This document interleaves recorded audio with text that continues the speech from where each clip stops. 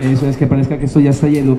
Muchas gracias por asistir entonces a este tercer conversatorio, Rompiendo el Silencio, sobre temas de interés para la, para la comunidad de la música independiente. En esta ocasión quisimos eh, traer, invitar a tres directores de tres festivales que tal vez algunos de ustedes conozcan acá en la ciudad y que ha sido un tanto difícil lograr que se pusieran de acuerdo. Han separado este tiempo en su agenda para estar aquí frente a frente. Nosotros, el público, Felipe, algo así era lo que vos tenías pensado en algún momento, ¿cierto? Sí, bueno, entonces... No, no, no, sí, pues, pero es para ti eres. la idea es romper el silencio frente a mitos, desconocimiento, especulación, chismes, rumores sin confirmar y cualquier tipo de inquietudes que se tenga respecto a los festivales públicos en la ciudad de Medellín. Antes de entrar en materia, pues valga la, la, mención, hoy contamos además del apoyo de la Fundación EPM, tenemos el patrocinio del Rockland Discotienda, que nos ha donado pues algún material para la rifa, eh, también tenemos patrocinio de Bomber Store, eh, patrocinio de, Crónicas Estigias, del Putas Fest Records, pues, Telemomia, eh, y ante todo pues los festivales como tal no nos patrocinan, pero sí las personas que están a cargo de ellos en su momento que nos han dado el aval para este espacio. Antes de iniciar entonces quiero traerles una historia para que ampliemos un poco el horizonte. El Festival Internacional de Metal Wacken, que se celebra cada año en Alemania, tiene una tarima especial para algo que ellos llaman la batalla de las bandas. A, ese, a esa batalla de las bandas que hacen en el festival van agrupaciones de todo el mundo de festivales que tienen convenios con el Festival de Wacken. Entonces, en cada país hacen un certamen les voy a contar el caso de Canadá. Canadá es una potencia en la música extrema, punk, hardcore, metal, pues, lo que ustedes quieran, pues hay mucha cosa, hay muchos festivales, algunos con los que en Colombia se tienen convenios.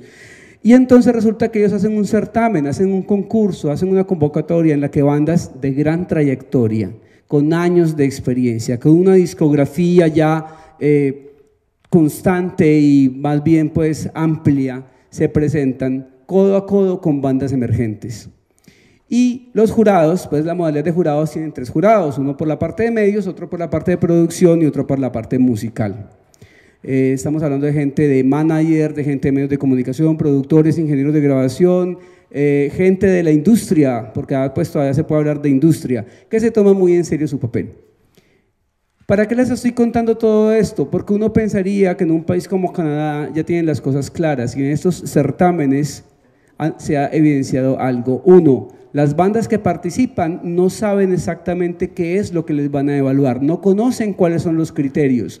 Y lo primero que usted debe de hacer al presentarse a un concurso, convocatoria, como quieran llamarles, por lo menos conocer los criterios con los cuales ustedes van a ser evaluados. Y dos, el festival, el certamen, tampoco hace, digamos, el esfuerzo para que esos criterios sean del todo divulgados y conocidos. Yo cuando me enteré de eso pensé, ah caramba, entonces no es solo en Medellín, ¿no? también es un fenómeno en otros países. ¿ya? En la preinscripción, quienes se preinscribieron habrán notado que teníamos una opción para que se hicieran preguntas eh, y tener como un material para comenzar a hablar. Y en ese primer barrido comenzamos a ver que efectivamente hay un desconocimiento general sobre criterios, sobre convocatorias, sobre procesos de selección, perviven muchos imaginarios en cuanto a qué tipo de bandas son las que se presentan, hay una serie de especulaciones respecto a si sí o no se favorecen tales o cuales propuestas, si hay, existen o no eh, convenios con otros festivales, para qué sirve un festival público, de qué le sirve o en qué se beneficia una banda, en qué se beneficia el movimiento musical independiente de una ciudad, si de verdad tiene un impacto o no. Entonces, ¿quién mejor que los directores de los festivales para que de tú a tú respondan esas inquietudes. Tenemos entonces aquí a Felipe Grajales, director del Festival Altavoz, Faber Ramírez, director de los festivales de Zona 2, y Juan Fernando Pérez, director de Corpo Roca y Festival C4. Eh, con ellos compartimos algunas de las preguntas que ustedes eh, en la inscripción hicieron para dos cosas. Uno, para tener como un punto de partida. Y dos, eh, lo más importante para comenzar a aterrizar temas y comenzar a generar el debate y comenzar a reflexionar y a conocer un poco más de la realidad que existe detrás de la organización, el montaje, la implementación, convocatoria, diseño y resultados, sobre todo, de cada uno de estos festivales. Entonces, muchachos, buenas tardes, el micrófono es de ustedes. Eh, habíamos comenzado entonces teniendo una pequeña conversación aquí interna respecto a algunas inquietudes que se habían generado y como aquí tenemos gente veterana y gente muy joven, pues yo quisiera comenzar indagando un poco sobre eh, cómo han logrado ustedes cimentar sus propuestas desde cada uno de los, de los, de los cargos o de, las, de los festivales que cada uno de ustedes representa, eh, cómo Festivales Sonados ha logrado posicionarse en tan poco tiempo, con, de manera tan contundente y relevante, cómo C4 ha estado haciendo cosas durante ya, ¿qué? ¿10, 11 años? 10 años ya y como Festival Altavoz, pese a que ha cambiado de dirección y esto y lo otro, pues Felipe, yo creo que vos sos el director que más ha durado en el cargo, ¿cierto? ¿Eso quiere decir que estamos haciendo las cosas bien entonces? Sí, sí.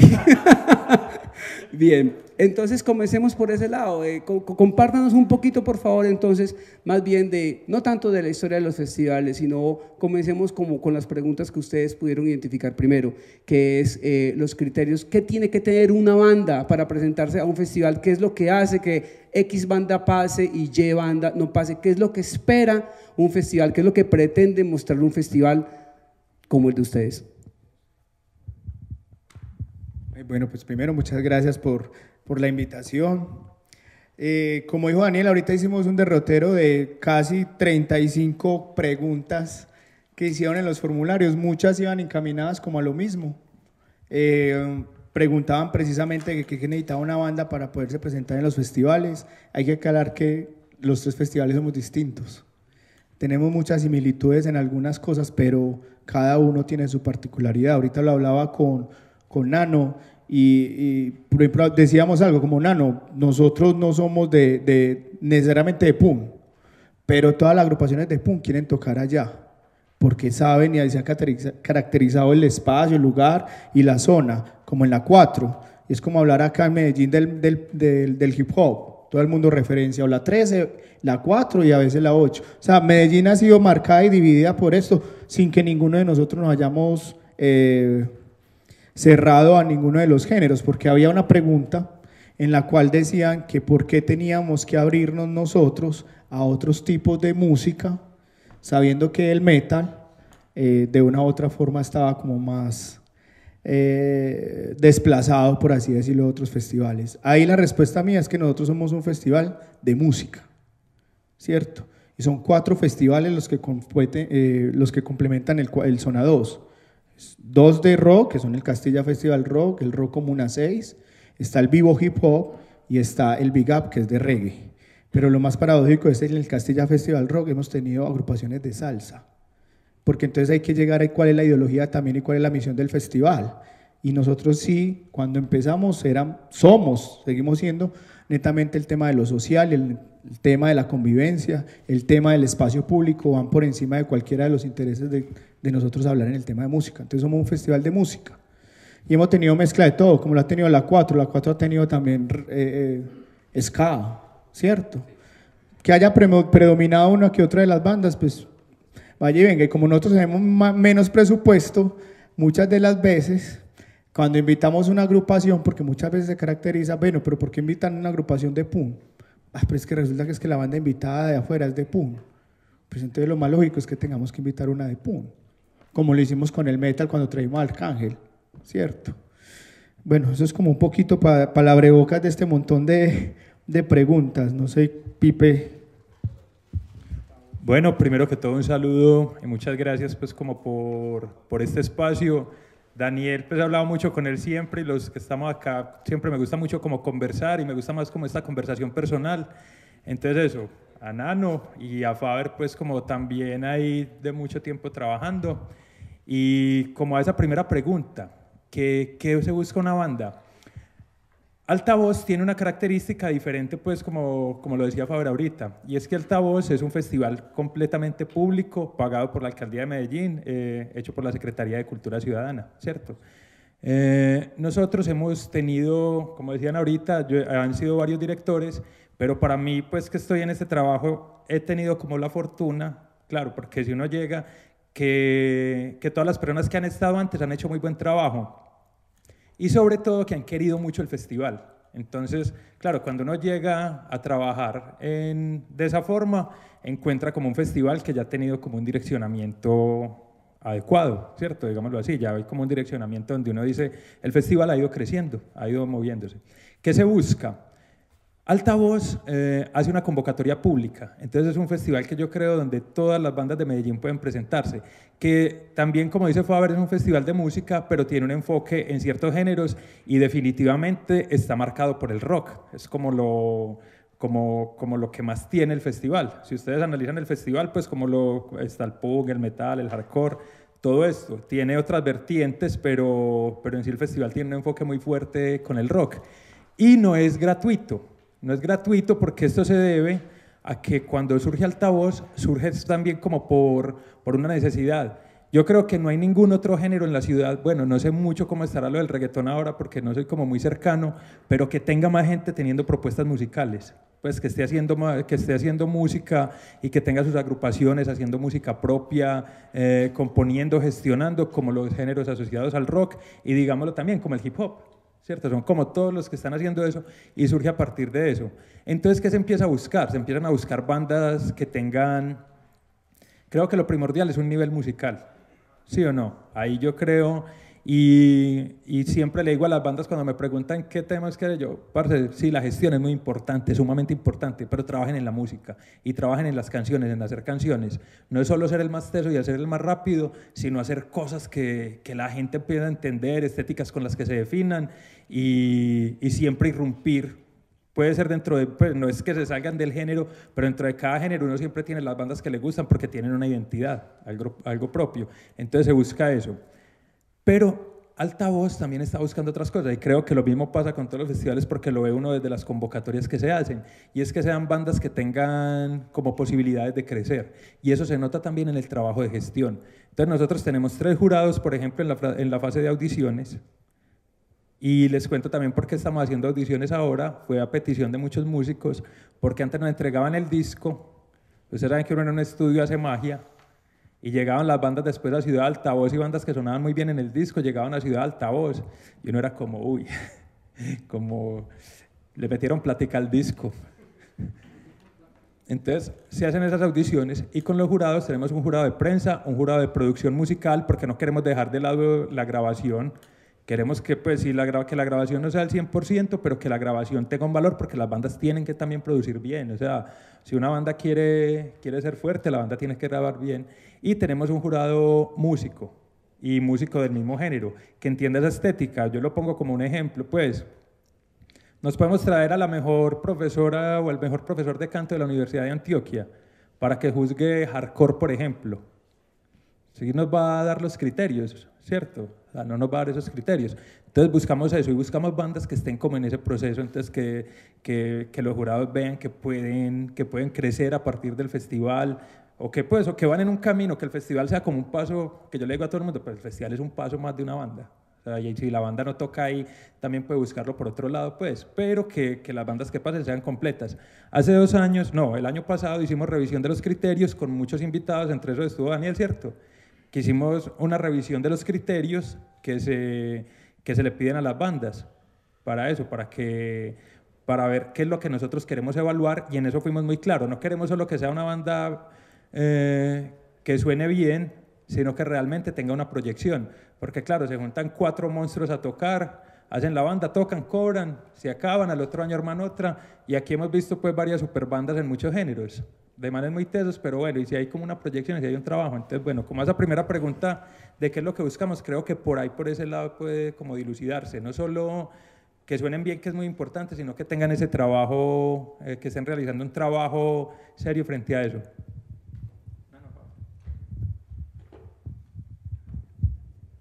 Elison, eh, buenas tardes.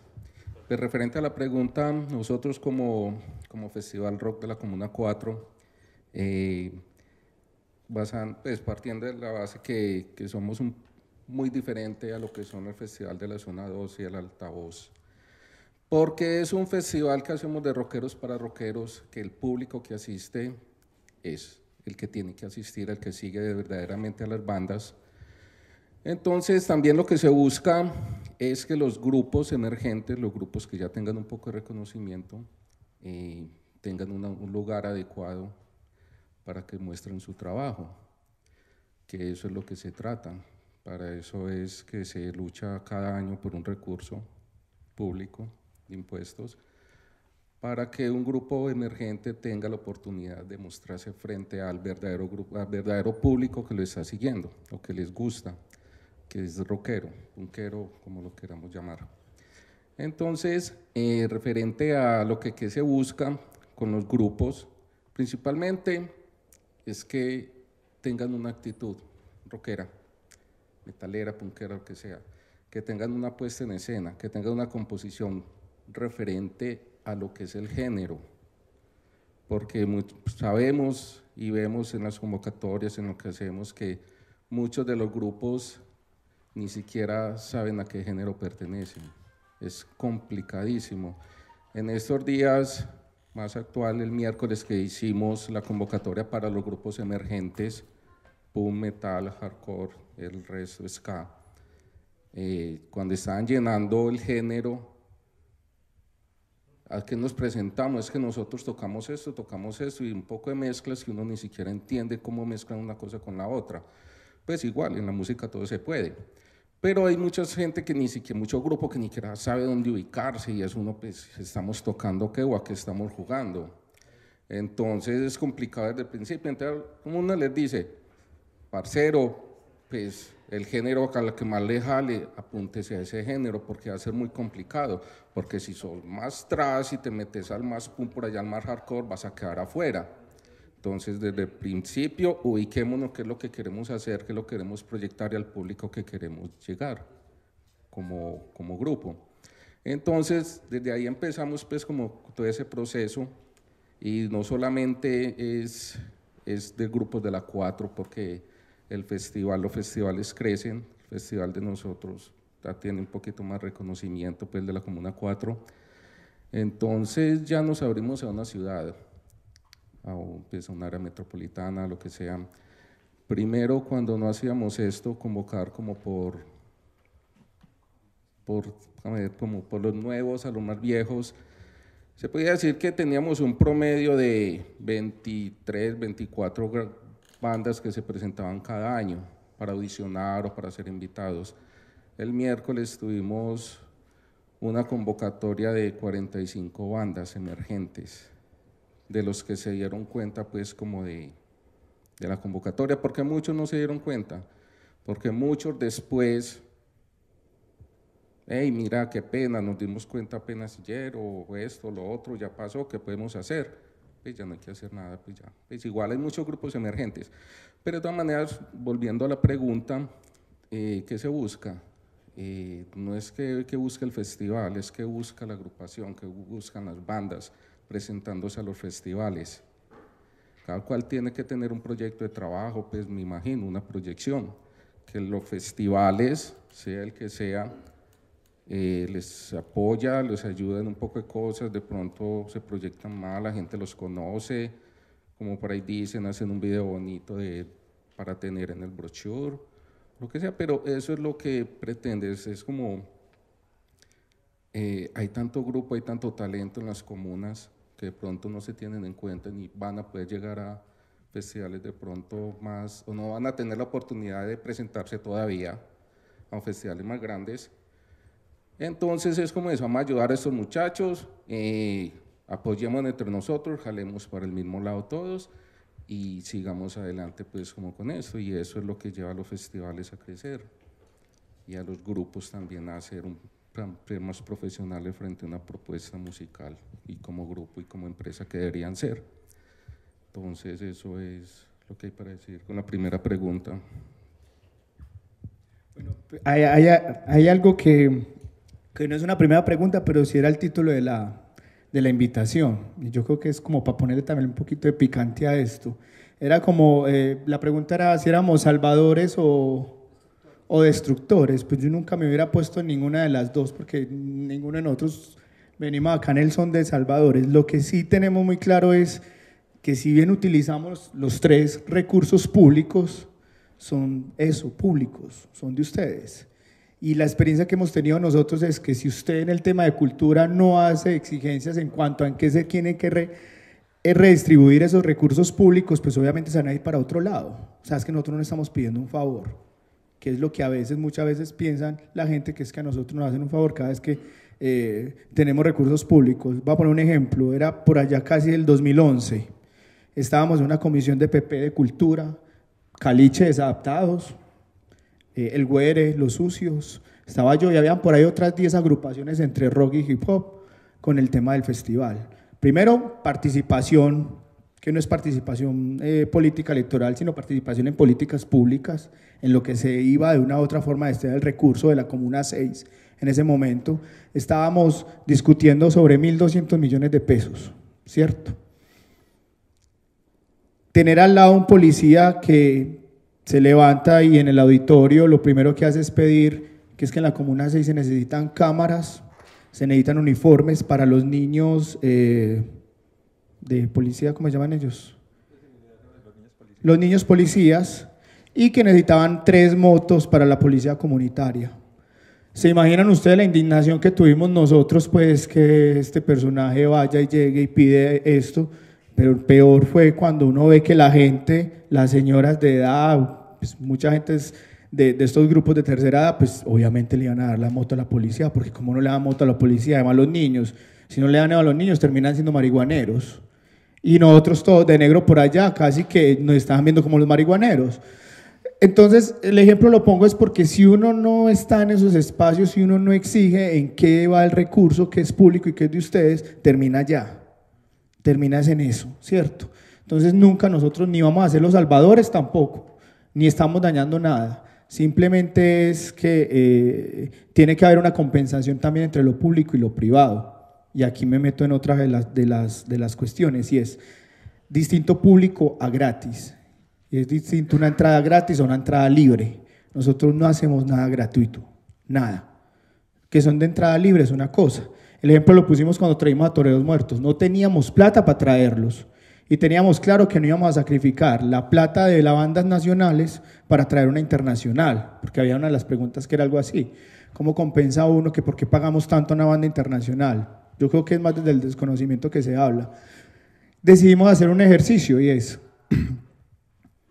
Cualquier concierto privado, festival, llámese Stereo Picnic, eh, ahora el Cosquín Rock, la boleta vale cuánto? 170 mil pesos, ¿cierto? Y el cartel es bueno. Nosotros igual creemos que teníamos un cartel muy bueno. Y decíamos, si hiciéramos el ejercicio que cada una de las personas pagara para poder costear este festival, la boleta tendría que valer 150 mil pesos, ¿cierto? hagamos el ejercicio, ya conseguimos unos patrocinadores, ya conseguimos quienes colocaban la plata, vamos entonces a cobrar dos mil pesos, que es lo que hace falta. Y es decirle a la gente, es que esto no es, de entrada, esto no es gratis. Si usted hubiera tenido que comprar esto, hubiera tenido que pagar 150 mil pesos. ¿Cierto? Ponga nomás dos mil, que ya conseguimos quien pusiera por usted 148. Y lo hicimos, fue el primer ejercicio que hicimos con ellos. De a dos mil pesos, inclusive, en la entrada colocamos que fueran voluntarios. O sea, no estábamos a nadie haciéndole, no puedes entrar. Mucha gente se coleaba y nosotros llegamos y les decía, vea, no nos dañen la cosa, vaya, entre por allá y diga que no va a pagar. Pues es que aquí no estamos sacando a nadie. Y siempre recogieron como dos millones de pesos. Para hacer el primer ejercicio para nosotros fue bien. No esperábamos tener mucha plata tampoco. Pipe creo que es el que está más amarrado que todos nosotros, ¿cierto? Porque un ejercicio como ese no lo podrá hacer. Pero igual siguen siendo los recursos públicos de nosotros en los que usted ya pagó la entrada. Por ahí estaban colocando carteles hace mucho tiempo, aquí están invertidos sus impuestos. Vea, ya están invertidos sus impuestos, que inclusive no nos hacen falta. Y para un ejemplo, este año el festival eh, de Rock Comuna 6, el Vivo Hip Hop y el, y el Big Up no tienen ni mil pesos. no tenemos en este momento ni mil pesos, hablando desde lo público. Igual se va a hacer. ¿Cómo? Pues, podemos llegar otra vez a la, medida de cobrar, ¿cierto? Pero eh, era como hacer esa diferencia entre lo público y lo gratuito y que no somos ni salvadores ni dañinos tampoco, ¿cierto? Además yo creo que todos los festivales emergimos y lo hablamos ahorita era porque había una emergencia en agrupaciones que estaban necesitando de una u otra forma espacios. Pues hace hace 20 años, ¿cuántos conciertos habían de festivales? Pues no había ninguno. La gente antes estaba reclamando, ¿cierto? Bueno, y todo lo que se ha generado a partir de eso. Pero para no alargarme mucho, Pipe. Bueno, frente a ese tema, nosotros sí somos públicos, como les decía, pues yo soy un trabajador, un contratista pues de la, de la Secretaría de Cultura Ciudadana. Eh, el festival es de la Secretaría de Cultura. Hay un tema ahí que yo creo que es fundamental y es también la democratización de la cultura. Y es por qué, si hay unos impuestos, por qué se invierten en, eh, en, traer una banda como Satyricon, por ejemplo, ¿cierto? O traer estas bandas. Y pongo este ejemplo también porque si bien desde el mismo rock muchas veces se dice, ah, la gratuidad, también desde otros muchos espacios dicen, ¿por qué se gastan la plata de los impuestos en traer música, este tipo de músicas, ¿cierto? Por ejemplo, sí, por ejemplo, Inside o Asfix, pues, o Yellow Biafra, eh, de Addicts, pues, toda esa cantidad de bandas que han pasado por el festival y que la, la, señora está pasando por, eh, por Telemedellín, está pasando haciéndose una vueltecita por, por Telemedellín y ve, por ejemplo, a Behemoth o a Ty Antichrist, ¿cierto? También se pregunta eso, se hace la misma pregunta, pero ¿por qué con nuestro dinero traen a... ¿Por qué traen a estas bandas? Y hay una cuestión que yo creo que es importante y es la democratización del arte y la democratización de la cultura. Y es que todo el mundo debe tener acceso a estas experiencias culturales y artísticas. Porque otra pregunta que nos hacen mucho desde afuera y también desde esos géneros es por qué Altavoz no se abre más a otros géneros y, y les digo aquí francamente, o sea, ¿ustedes creen que cuántas personas podría llevar un concierto de reggaetón? Cuatro o cinco veces, ¿cierto? Cuatro o cinco veces más. ¿Por qué? Porque es más popular. Pero también cuál es la respuesta frente a esto. Y es que esos, esas otras músicas ya tienen unas estructuras que permiten que la gente acceda a ellas. Es decir, a mí pues en serio que... Sí, y a mí, y a mí en serio personalmente yo digo, cada quien que oiga lo que le dé la gana, pero también pienso, o sea, uno pasa, uno está viendo noticias en Caracol en RCN y son los mismos y son la, y es la misma música, o sea, un pelado, un pelado que no iba en las ciudades grandes nunca va a conocer, nunca va a conocer una banda, no sé, Municipal Waste por decir algo, nunca va a conocer o a Conflict, nunca la va a poder conocer o inclusive cosas más comerciales, que yo, por ejemplo, yo llegué al rock fue a través de Veracruz Estéreo y creo que la mayoría de mi generación le pasó algo parecido, porque nunca lo muestran. Entonces estos ejercicios lo que permiten es por lo menos decirle a la gente como, mire, aquí está esto, esto también existe, esto también se puede mostrar, esto está aquí y aquí hay otra gente haciendo eso y es democratización, permitir que se vea eso y eso se hace a través de los impuestos, ¿cierto? O sea, yo sí, sí algo estoy seguro y completamente seguro es que es más posible que uno de los, de los chicos que estuvo en noviembre viendo a Satyricon aquí tiene más posibilidades de ser metalero o de por lo menos gustarle el rock, acercarse al rock, que uno que nunca tuvo esa oportunidad de ver eso. Y en eso yo creo que, que tiene que ver el acceso. Alguna vez también en altavoz, creo que fue en la época de Santiago Arango, hicieron un estudio que nos llamó mucho la atención y era que la mayor cantidad del público que llegaba al festival, o mucha, mucha cantidad de público que llegaba al festival, llegaba caminando. ¿Sí o no? Entonces dice uno, bueno, el, el tema, el, tema de, el tema de dinero no sé si ustedes han notado que en Altavoz la comida es muy barata, pues los puestos de comida comparado con cualquier festival, pues usted puede comer bien. También parte de ahí, eso pues se dice como, hey, no, el público de nosotros no es un público que tenga mucha plata y, y qué, y tenemos que mantener ese tipo de, de, comida para que puedan estar todo el día y puedan pues como por lo menos pasar bien y, y comer bien. Entonces creo que es como un tema de democratización, que la gente pueda tener acceso a eso y a partir de ahí ya usted se va enamorando y ya, ya existe otras cosas, porque esto es una oportunidad, o sea, es un, es un momento en el año, por ejemplo, Altavoz Fest.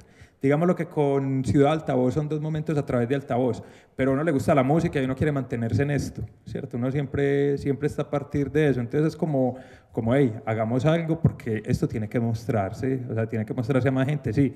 Las bandas, yo estoy seguro que las bandas sin altavoz estarían, pues igual, aquí ya había muchas bandas antes de que hubiera festivales. Y esas bandas y los festivales surgen, como decía Faber, por eso. Si había una cantidad de buenas bandas, pero ¿dónde se podían presentar? Sobre todo con esas condiciones. Yo soy músico, yo toqué en los primeros altavoces internacional, y yo les digo, ah, para mí era un descreste que simplemente lo recogieran a uno en una van.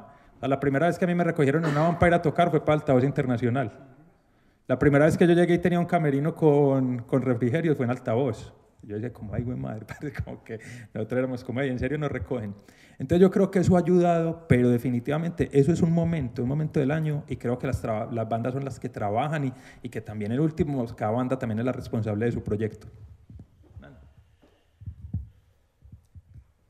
Bueno, yo, pues yo tengo otro punto de vista como más, igual diferente, igual eh, uno mucho tiempo como en esto, esto del rock, sí, ayer cumplí años para que me feliciten. Entonces, Petro presidente. Eh, yo digo, pues, eh, un festival con entrada libre, pues, eso que destruye o construye o El Salvador o lo que sea, pues, igual, eso es como relevante, eso, pues, para mí, como que no tiene importancia. No me acuerdo por allá, cuando era ya más bebecito, mucho más joven, eh, que la crítica y lo que más nos quejamos los rockeros, los que estamos parcheando en una esquina, los que estamos en la ruina, los que estamos en Campo Valdez o en Santa Cruz, ah, que es que el gobierno no apoya, que es que el gobierno eso, que es que el gobierno eso, nos quiere, pues nosotros éramos las víctimas, igual sí fuimos víctimas porque nosotros en esa época tan violenta, tan brutal, esa guerra que tenía Medellín por allá en los 80, eh, nosotros estamos en el medio, en el medio del, estamos ahí el fuego cruzado, este, estaba la mafia aquella, estaba el gobierno y estaba la familia contra, pues, contra la, la, forma de ser nosotros. Entonces, eh, el gobierno no apoya, que el gobierno no es, esa era la queja constante, entonces ahora no entiendo que el gobierno apoya, que tenemos unos recursos, que mucha gente, muchos de los grupos los ha aprovechado, muchos de los grupos los va a seguir aprovechando y va a hacer surgir y más como crecer una escena. Entonces no entiendo por qué nos quejamos tanto referente a eso. ¿Verdad? ¿Y por qué no apoyan? Porque un momento a otro el gobierno le dio por meter dineros públicos para el rock. Era por algo, o será por algo y va a seguir siendo por algo. Igual intereses. Hmm. Entonces, eh, la posición que, que, yo digo, pues igual los dos, los dos tipos de eventos, el público y el privado, tienen que existir y deben de existir. Que ciertos personajes, sin tapujos acá, se dedicaron a criticar y a darle duro a los eventos, que porque, qué pereza, que es gratis, que están acabando la escena, que es que yo no sé qué, que es que pues ya pues no entiendo por qué, y son los que más critican. La mayoría sabemos quiénes son los cuatro o cinco personajes que se dedicaron a eso, se volvieron youtubers referente a las críticas, y uno los ve, pues mejor dicho, no los vemos, solamente los vemos criticando en YouTube. No va ni un evento público, no va ni un evento privado, y son los que más critican, y los que más pues yo no sé. quisiera saber quién está Yuya, Yuya. Sí. Yuya, Yuya.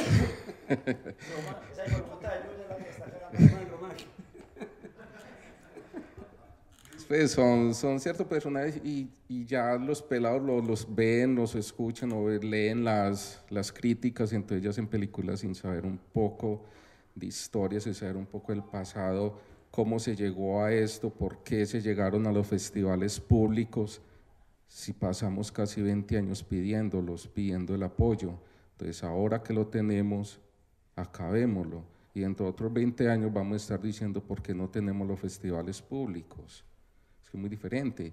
Yo digo, aunque mucha gente paga por una boleta, mucha gente no tiene lo que hablamos ahora, muchos de los pelados no tienen cómo pagar 80, 50, 100 mil pesos por una boleta. Entonces, estos grupos que hacen festivales o los invitan a los eventos privados, ¿cómo van a poder llegar a otros públicos? Un público pues, de menos poder económico. Entonces yo digo pues que los dos debemos de jalar para el mismo lado. Los dos apoyan. Son diferentes, no, no, diferentes públicos no, sino que hay unos que sí, unos tienen con qué pagar y otros no, y la mayoría no tiene con qué pagar 100 mil pesos por una boleta, y más si es un concierto internacional. Entonces es la posición mía, ni salvadores, ni destructores, ni, ni eso, pues es algo que tiene que existir y debe de existir porque existen los recursos y el potencial artístico.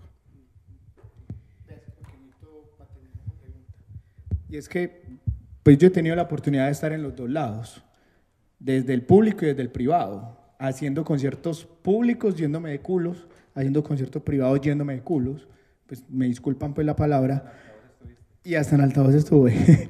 Pero, pues, por dar un ejemplo, nosotros hicimos Gatillazo, Barón Rojo, Arcángel, Escuela de Odio, pues un sinnúmero de bandas. Ustedes saben cómo pudimos nosotros traer a Bluta del año pasado. Tuvimos que hacer un concierto privado con ellos un jueves antes de un sábado que era gratuito, cobrando el boleto 45 mil pesos. Todo el mundo sabía que iban a estar gratis el sábado. Se llenó el sub, echen números, 45 mil pesos, más o menos 350 personas. Ahí están los tiquetes de ellos, ¿cierto? Y a los ocho días volvemos a hacer concierto para ellos, cobrando también un poco más barato a 15 mil, volvió y se llenó. Yo creo que no podemos culpar a los festivales de entrada libre como los que de una u otra forma están dañando la empresa, por así decirlo.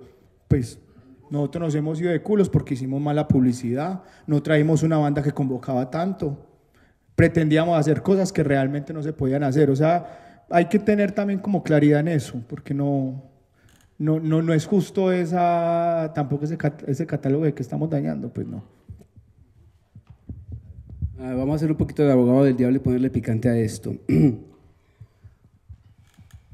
Eh, persiste un imaginario en cuanto a que las bandas que participan en estos festivales públicos son las mismas. Entonces, en el punk, en el hardcore, en el metal, entonces hablamos de las roscas, ¿no? Son los mismos, que son las mismas bandas que se presentan, son los mismos, trabajan para altavoz, forman una banda, se presentan altavoz, cobran y se van. ¿Qué tipo de seguimiento se le hace a eso? Eh, porque en vez de ver la banda, por qué no revisan la hoja de vida del músico? ¿En qué se beneficia una banda, además del dinero, de participar de estos festivales, eh, qué tipo de convenios tienen ustedes con otros festivales, cómo si sirve, no sirve para catapultar, cómo funciona todo eso, en realidad, en qué se beneficia más allá una banda de presentarse a los festivales, más allá puede tener la vitrina y la exposición ante mucha gente. Eh, no es tanto, no, las preguntas que hay ahí anotadas orientan un poquito el debate hacia eso, hacia cuál es el beneficio real, no tanto pues para la escena o el movimiento o la comunidad de música independiente, sino qué se puede beneficiar uno. Y dos, eh, respecto a los imaginarios, pues sí tengo que decir que durante unos años eran casi siempre los mismos nombres que se veían, de un, pero de unos años para acá eso ha cambiado. Lo que pasa es que el imaginario todavía persiste. Por ejemplo, yo pregunto, ¿es que son las mismas bandas? Yo, bueno, dígame una me dicen Tenebraron. Yo, pero Tenebraron no se presenta hace ocho años, entonces ¿por qué me dice que son las mismas? ¿Cierto? O sea, hagan la curaduría ustedes también. Entonces, ¿en qué se beneficia en cada uno de ustedes que una banda se presente a cada uno de esos festivales? ¿Qué tipo de articulaciones tienen con otros espacios de otras ciudades? ¿Cómo se proyecta la banda? O si es simplemente que la banda se sienta a esperar que ustedes le hagan una gestión o es algo mancomunado o ustedes tienen algún acuerdo para hacer ese tipo de proyección a otras partes.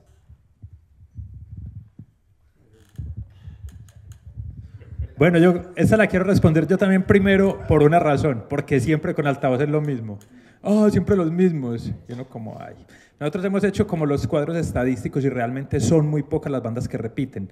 Efectivamente, efectivamente hay unas bandas que han repetido, y al principio eso sucedió. ¿Por qué? Porque eso está en constante evolución y nos vamos dando cuenta de cada cosa que pasa y pues vamos mejorando. Claro, esos primeros años se presentaban las primeras bandas. Yo en las dos primeras convocatorias pasé, pasé al altavoz, ¿cierto? Y no había ninguna restricción. Yo, nosotros tocamos y pasamos la primera vez y el segundo año pasamos como banda invitada fuera de concurso. No sé si recuerdan esa figura que había y era que desde la, desde la primera parte de la convocatoria estaba uno ahí.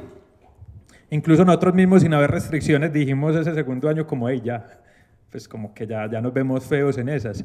Y el festival empieza a tomar como unas medidas frente a eso. ¿Qué medidas tenemos en este momento? Primero, banda que pase al internacional, en la tarima principal no se puede presentar al siguiente año. O sea, ustedes no van a ver bandas del año anterior este año en el festival. Las que se presentan, se presentan en el escenario norte sí pueden pasar, pero solo al escenario principal. O sea, una banda no puede repetir en el escenario norte. El año pasado, por ejemplo, con Electrónica Alternativa pasó. Gavilla Changoreta hace, en el 2016 pasó al escenario norte. Y el año pasado pasó al escenario norte, no pudo tocar. ¿Sí o no? Es como eso. Entonces se hace eso. Bandas que han tocado tres veces en su historia, que han pasado por convocatoria al altavoz internacional, ya no se pueden presentar más porque ya dice uno, ahí no, ya suficiente, pues, si has tenido otras posibilidades de tocar ahí, se supone que ya la banda creció y la banda debe estar en otro nivel, pues, y ya en otro nivel. Es como, parce, listo, vea, tres, tres veces acá, bacano, ya están girando internacionalmente, supone uno, están tocando en otros festivales y no se pueden quedar aquí viviendo de eso, porque también necesitamos esa renovación. Y y cuarto, se ha implementado la invitación directa de bandas. ¿Por qué? Porque es que sí hay unas bandas de acá que son muy importantes, que son referentes y que yo creo que las bandas, que la gente quiere mucho. O sea, nosotros tenemos las bandas invitadas para decirle, hey, no te presentes a la convocatoria, pero tenés posibilidad de pasar, pues tenés posibilidad de ser invitado. ¿Y qué le pedimos a esas bandas? pues ahí muéstrenos qué están haciendo, qué discos tienen, qué han sacado, qué están haciendo internacionalmente, cómo han crecido como para nosotros decir, no, no están en la convocatoria y vengan, toquen y, y venga y toquen acá. ¿Sí o no? Todo eso tendiente como a eso. Lo que pasa es que tampoco se puede cerrar la escena del todo, porque hay unas bandas que están en crecimiento y que se están moviendo y que tienen la posibilidad de participar un par de veces en el festival también, a través de la convocatoria. Eso que nos ayuda también a jalar el, el nivel. Hay algo que yo les digo, y no lo digo solo por el conocimiento mío, y creo que Nano y Faber les ha tocado lo mismo, y es ver el nivel tan alto que están teniendo las bandas acá ya en general. hace unos años había unas bandas que tenían un nivel alto, pero ahora estamos llegando a un momento de un nivel eh, internacional tanto que las bandas de acá están girando. Y lo digo que no es solo como por regionalismo y esto, sino que uno que habla con invitados de otros festivales, gente que hace curadurías de otros festivales y eso, y ya tiene una referencia de la música en Medellín como, uy, no, allá se hacen muy buenas cosas. Y nosotros, por ejemplo, para hacer intercambios, ya los podemos hacer más fácil porque nos dicen, ah, sí, eh, las bandas funcionan. Pues si vamos a Medellín y vemos bandas, funcionan.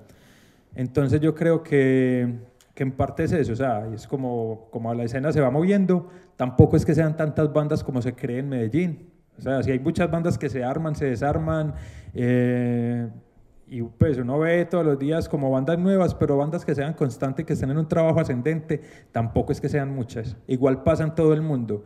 Uno creería que son muchas bandas, pero uno que le toca estar pensando para programar se da cuenta que, que en el metal hay un número limitado de bandas que sean bandas pues que podamos tener por el nivel que tienen, el conocimiento que hay acá.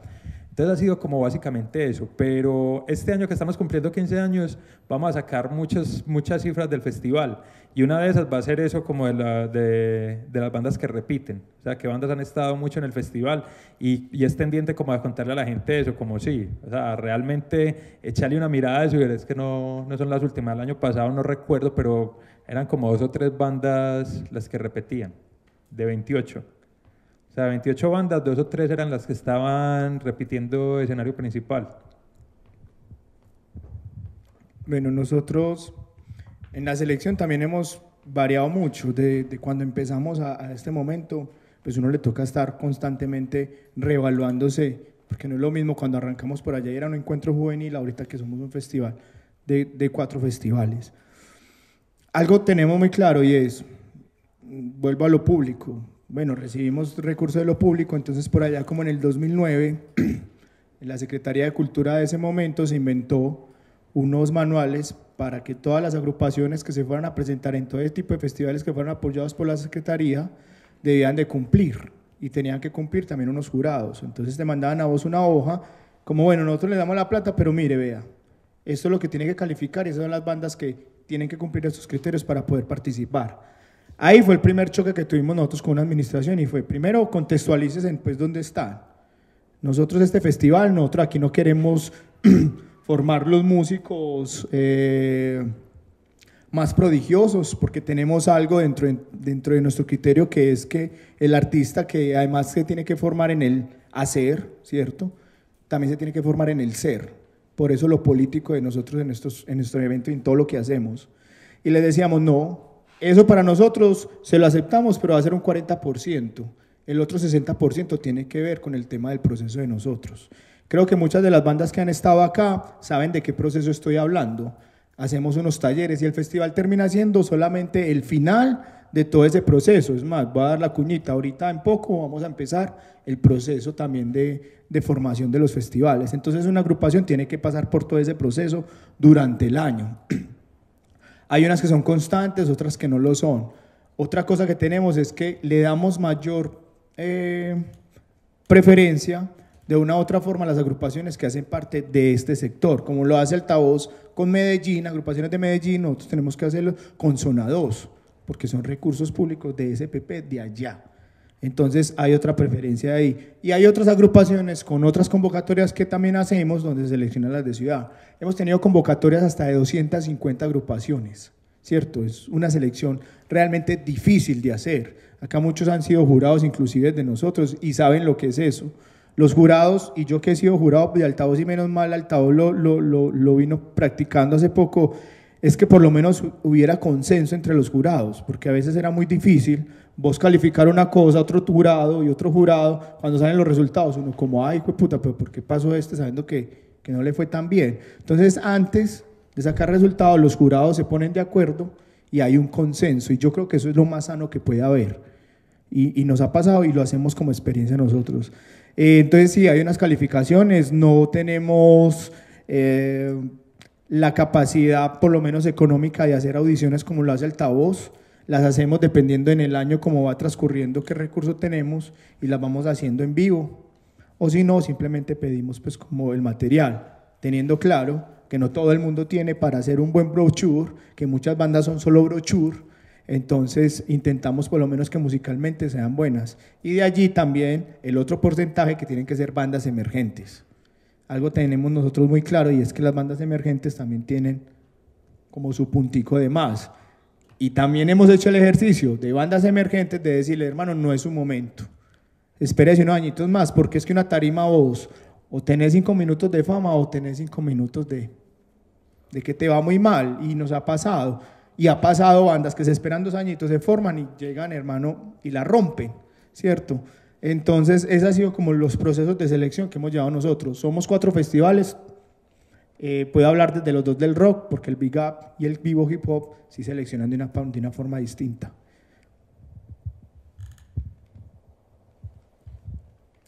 El Festival de la Comuna 4 eh, es sencillo, el proceso de nosotros ha sido muy, muy sencillo. Pues los que han participado ahí han visto pues que se trata de que el grupo participe y que coja una experiencia.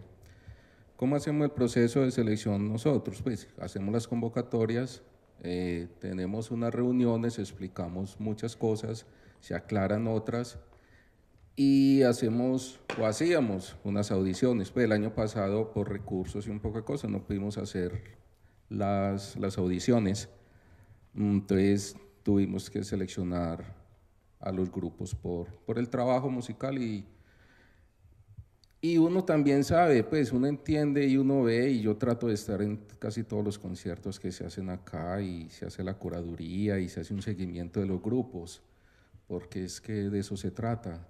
Es, no solamente vengan al festival, apoyen, sino que es que el festival también tiene que ir a apoyar a los grupos en otras partes que se presenten. Entonces, eso ha sido como el proceso de nosotros. Eh, no decimos ni, ni brochure. Nosotros al principio pedíamos un brochure, pero entendíamos pues, que es que la mayoría de los grupos emergentes que llevan un año, si mucho, un año y medio, qué brochure van a presentar o qué trabajo van a presentar. Entonces dijimos, parce, pásenos una, una reseña de lo que ustedes han hecho, ustedes quiénes son, el género, pues un representante y, y graben un live session y nos lo pasan para escucharlos y para tenerlos pues como ahí como a ver y si ustedes están tocando algo. Entonces llegaba, seleccionamos tres jurados de la comuna, del medio, que entendían y sabían pues las dinámicas y las puestas políticas y las composiciones de los grupos. Entonces se hacía como más fácil y más tranquilo, sin menos presión como para los grupos. Entonces eso fue como el proceso de selección para el festival de nosotros y así va a seguir siendo. En cuanto a los grupos, pues como invitados, pues igual, la Comuna 4 tiene grandes expositores de, los géneros más, se puede como más populares, metal, punk y hardcore. Entonces había mucho de dónde escoger y hay mucho de dónde escoger grupos invitados que por cuestiones de administración nos exigían ciertas cosas. Eh, un grupo se presentaba un año, pasó, no se podía presentar el otro, pero se podía volver a presentar el otro año. Eso sí no podíamos hacer nada. Por eso es que muchas veces, año por medio, se, veíamos que en el cartel estaba un grupo que ya había tocado anteriormente. Pero con eso sí no podíamos hacer nada. Igual tenía el mismo derecho que cualquiera a presentar un poco más de oportunidades, pero igual con eso no podíamos hacer nada. Pero igual, de a poquito a poquito, lo que fue las reuniones con la administración en la Comisión de Cultura, y con los interventores y un poco de cosas pues, que tiene detrás un festival, eh, se hablaba sobre eso, que vamos a terminar siendo los mismos con las mismas, los mismos grupos cada año por medio. Entonces ahí fue cuando no vamos a cambiar estas condiciones y usted como grupo para entienda que le tiene que dar oportunidad a los demás. Entonces mucho grupo entendió. Para mí me, pues, de esas cosas yo admiro mucho a Hugo, a Hugo Uribe, eh, con mi grupo Wistrap, esta es la última vez que toco, no más, porque él entendía y él sabía que es que a los el, resto de los grupos había que darle oportunidades. Y, y Wistrap es de la 4 y siempre va a seguir de la 4 y, y es un grupo, pues ya sabemos lo que es Wistrap, la, la mayoría Wistrap. Entonces, eh, que los grupos tuvieran una conciencia, un grupo grande tuviera una conciencia de eso, pues fue como, uy, wow, esta gente sabe qué está haciendo. Y así fue más de un grupo que entendió el mensaje. Parce, esperemos, listo, nos volvemos a presentar como para audiciones o para, o para que nos inviten. Esperemos un tiempo. A ver, llegaron los 10 años el año pasado y ahí sí, los dijo, vamos a hacer una convocatoria de unos cuantos emergentes o grupos nuevos de audición y el resto vamos a hacerlo de la mayoría de los grupos que estuvieron para cerrar ese, ese proceso, ese ciclo. Ya este año como decimos, no hay un peso, no tenemos un peso porque la alcaldía nos quitó todos los recursos para los... Es que eso es, ya no tenemos recursos para eventos públicos, pues Altavoz sí lo tiene, pero lo que es la 6, la zona 2 y nosotros ya, y más de una comuna, cero pesos para los... Seis comunas tienen cultura este año por parte de PP. Entonces... Por el nuevo mecanismo que hay en esos momentos el nuevo mecanismo, pues presupuesto participativo cambió. Esta alcaldía lo que hizo fue, sí, se acabó, generar otro modelo donde de una u otra forma los jefes políticos que están en las comunas deciden ahorita cómo es el presupuesto. Mandan a votación, hacen unas votaciones, un montón de cosas, en el que solamente seis proyectos de 21 son eh, priorizados pero son seis proyectos por áreas. Cultura en casi toda la ciudad perdió el año. Entonces, ¿en qué se está yendo la plata en estos momentos? En infraestructura, se está yendo en seguridad, tercera edad. Porque, ¿qué pasa? Nosotros los rockeros no somos de participación de ir a votar, lastimosamente. Pero los grupos de tercera edad sí. Entonces vos veías los buses que llegaban pagados por esta gente que le interesa Llegaban los buses, la señora llegaba y les decían, vea su pastel, vote así. Hay un montón de irregularidades, inclusive que ahorita, hace poco el que le interesa el tema, les puedo contar luego en el Consejo de Medellín acerca de, cómo, de qué fue lo que pasó. Lo peor de esto es que estas votaciones son ahora a dos años y las que se van a hacer en dos años son a diez años. O sea que podemos estar hablando de diez años sin el tema de cultura por parte de PP, ¿cierto? Yo siempre he sido una crítica a PP de PP dependientes. Mucha gente ha sido PP dependientes. Nano y yo quedamos en la conclusión de que nosotros igual vamos a hacer los festivales, porque no somos PP dependientes. Que va a cambiar la calidad, va, veremos este año qué va a pasar. Pues calidad en cuanto al montaje, porque las agrupaciones todas son muy buenas. Pero entonces eso es lo que pasó, un poquito como contextualizando de, qué, de por qué solamente seis comunas ganaron el tema de cultura algo que me faltó a mí en el tema de los intercambios y que vos lo habías tocado, y que muchas agrupaciones lo preguntaban de cómo nosotros hacemos los intercambios con otros festivales. Nosotros tenemos alianzas con varios festivales a nivel nacional e internacional, ¿cierto? Básicamente es el interés de la banda quien decide si la banda llega o no al festival, ¿cierto? A mí no me piden, dame tres eh, agrupaciones como de pronto hacen con Pipe. A Pipe sí le piden los festivales, dame tres opciones, ¿no es así? Ah, bueno, ahorita lo explica.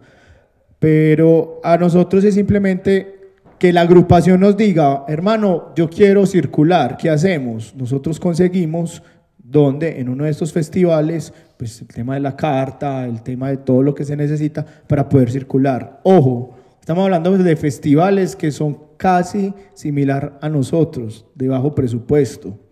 ¿Qué hacemos nosotros para que la agrupación no tenga que costearlo? Venga, entonces presentémonos a las convocatorias de becas, miremos de dónde podemos sacar la plata, hagamos conciertos en pro de eso, que ya tenemos el cupo, lo hemos hecho con Ibagué. Con Ibagué hemos ido con los sucios, ahora con BC4, cuatro tiempos, y es la agrupación en última la que va y busca el espacio, pues con nosotros, nos dice, ve, queremos girar, y nosotros lo hacemos. Porque sí es muy difícil nosotros como festival decir que vamos a traer a alguien para que ellos se comprometan para nosotros también traerlo. Es pocas veces lo podemos hacer. Eh, explícalo tú. Bueno, nosotros también tenemos intercambios es con, pues hay diferentes formas. Hay algo que nosotros le decimos intercambio, que más que eso es invitación a, a festivales de la región, ¿sí o no? Como las bandas de fuera de Medellín, no pueden, del área metropolitana, no se pueden presentar altavoz. Y de todas maneras es más difícil que esas bandas sean invitadas directamente para garantizar esos cupos. Nosotros siempre tenemos mínimo tres bandas de Antioquia de fuera del área metropolitana. ¿Qué exigimos? Que sean bandas que no se puedan presentar al festival. Es decir, hay veces llegan bandas, nos proponen bandas de algún municipio. Y uno, pero ¿sabes que Si esta banda se presentó. Ah, pero es que el baterista vive aquí, la abuelita de yo no sé quién, y ellos veces ensayan acá. No, no, no es una banda de ahí. ¿Para qué? Para garantizar que la región también crezca, que no solo sea, no solo sea Medellín. Entonces el año pasado tuvimos con Río Negro, con, con Carmen de Iboral, bueno, no me recuerdo con quién, hemos tenido con Roca la Perra, ¿cierto? Con, con festivales, porque nos interesa además que sea con festivales para apoyar procesos, porque uno no cree, y pues no sé, en un, en un municipio como Urrao, por ejemplo, para los que hacen el festival es importante cuando van a solicitar recursos a la alcaldía poder decir hey, nosotros tenemos este convenio con Altavoz y una de nuestras bandas puede estar en el festival. Entonces eso es lo primero, o sea, siempre tenemos bandas de, Antioquia y pues sí creo que debe seguir manteniéndose esa, posibilidad porque si no la región se queda sin ese espacio. Básicamente, si lo dejamos al libre criterio, creo que siempre van a tener más posibilidades otras bandas. Lo otro son los intercambios, intercambios para las bandas del festival. Eh, los últimos años internacionalmente se ha crecido, pues ha habido una gestión internacional, pero también lo que les decía, ha habido un nivel que permite eso. Entonces tenemos, en este momento tenemos intercambios vigentes con Chile en Imesur, que es un mercado cultural y nos parece muy importante. Tenemos con el Festival Vive Latino, que es uno de los festivales más importantes de América Latina y tenemos ese, que es donde les digo yo, el nivel está, ¿sí? o sea, Vive Latino nos aceptó eso cuando dijeron, sí, podemos ir a ver a Medellín bandas y las podemos programar acá, porque no programan, pues estos manes son muy exigentes a la hora de programar. Tenemos intercambio con Panamá, eh, el Festival MUPA, este año estuvo Nación Criminal allá, eh, Rock al Parque, Hip Hop al Parque, eh, el eh, Quito Fest no, ya no tenemos con, con Pasto tenemos, tenemos con el Galera Rock, tenemos con Unirock Alternativo de Cali. ¿Cómo funcionan estos intercambios? Es más o menos sencillo, pues, y es, nosotros les decimos a ellos, ustedes llevan una banda o nosotros las mandamos y las mismas condiciones para nosotros. Con casi todos los festivales, nosotros traemos una banda de ellos y ellos llevan una banda de nosotros, les ponen los tiquetes, hospedaje, hotel y acordamos un pago. Eh, con Vive Latino, por ejemplo, es ellos mandan su banda y nosotros mandamos la de nosotros, pero es básicamente pues lo mismo, ¿sí o no? Eh, les iba a decir algo importante que se me, está pasando, a ver qué era... Bueno, estamos, seguimos trabajando, por ejemplo, el año pasado trajimos al, íbamos a traer al Hell Heaven, a Charlie, pues que es el programador del Hell Heaven, para tener algo más de metal, y imagínense que este man se chocó yendo para el aeropuerto. a, Esteban le, a Esteban le compramos tiquete, él venía para acá. Cuando me llamó Felipe, me, se chocó, hubo lesiones personales, no lo dejaron salir del país. Pero seguimos, este año estamos otra vez en conversación con Charlie porque queremos tener, queremos tener un intercambio con el Hell and Heaven, ¿sí o no? Y eso lo permite, lo permite es eso, o sea, lo permite tener, tener el nivel y la gestión. Y realmente en este momento la Secretaría está muy, como muy enfocada en esa, en ver a ver cómo, en lograr a ver la circulación. Se escogen cada quien escoge la banda que necesita. Es decir, yo no le digo a ninguno de los festivales qué banda llevan. Simplemente ellos vienen y ven las bandas y de las bandas de convocatoria se llevan, se llevan alguna. Lo mismo yo, yo necesito una banda del Vive Latino, pues obviamente el Vive Latino la mayoría son invitadas, pero... no, ya Queen of the Stone Age, Gorillas. Pues hay unas bandas que, que, tienen para eso, se hace a través de Intolerancia, que es un sello disquero que tiene pues uno de los escenarios allá en el Vive Latino. Entonces a través de Intolerancia escogemos una de las bandas de intercambio. Eh, entonces se van esas. Este año también se empezó algo y es que en la Secretaría muchas veces llaman a pedir recomendación de bandas. Hay gente que va a hacer cualquier evento y no tiene como idea de quién llevar, pues como que... Entonces este año la secretaria nos dijo, venga, no recomendemos bandas directamente, o sea, pasemos del roster de altavoz. Yo en ese momento tengo un roster como con las bandas del año pasado, de un, un, roster con las bandas del internacional del año pasado, entonces eso también se lo mando a todos los programadores, o cuando voy a otros, o me piden información de acá, yo mando ese roster de las 28 bandas. Ah, bueno, el intercambio es únicamente para bandas de convocatoria que muchas veces nos preguntan si las bandas, de, las bandas invitadas no pueden estar en el intercambio porque es como un premio también a los de convocatoria. Entonces este año la secretaria nos decía, ¿qué hacemos? Pasemos un roster de altavoz, pero para algunos conciertos no estamos pasando las bandas del internacional, sino el roster de las bandas de clasificatorios. ¿Por qué? Porque hay otros niveles y bacano que estas bandas también y tengan acceso a algún recurso, porque es algo que también se tiene como claro, pues siempre se busca que sean conciertos remunerados. O sea, como si nos piden el roster de altavoz para tener algo, la primera pregunta es, ah, bueno, ¿y cuánto les pagarían a las bandas?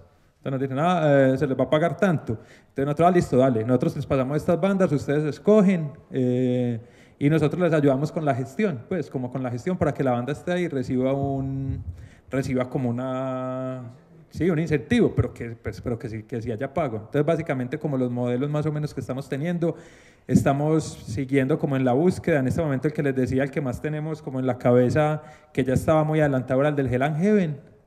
Vamos a ver si logramos tenerlo este año, porque además sí somos muy cuidadosos en, en intercambios, o sea, que sí estemos seguros que nos van a programar a, a la banda de nosotros, ¿cierto? Como que, que nosotros podamos tener esa certeza. Entonces, también cuando hay algunos festivales que nos dicen, pues como que decimos, sí, bueno, bacano, pero pues sí, pero vamos a ver, sí, por ejemplo, nosotros hemos tenido hay veces la dificultades como que, listo, vamos a hacerlo, vamos a hacerlo, y ustedes que van a programar, ah, sí, pero es que estamos viendo, es que el presupuesto hay veces se nos, ah, bueno, no, sí, hágale, ahí luego, sí, sí, luego conversamos. Entonces, como que sí somos con eso, pero en general nos ha funcionado muy bien y creo que las bandas están aprovechando muy bien. Ah, bueno, qué pena que me estoy alargando con eso.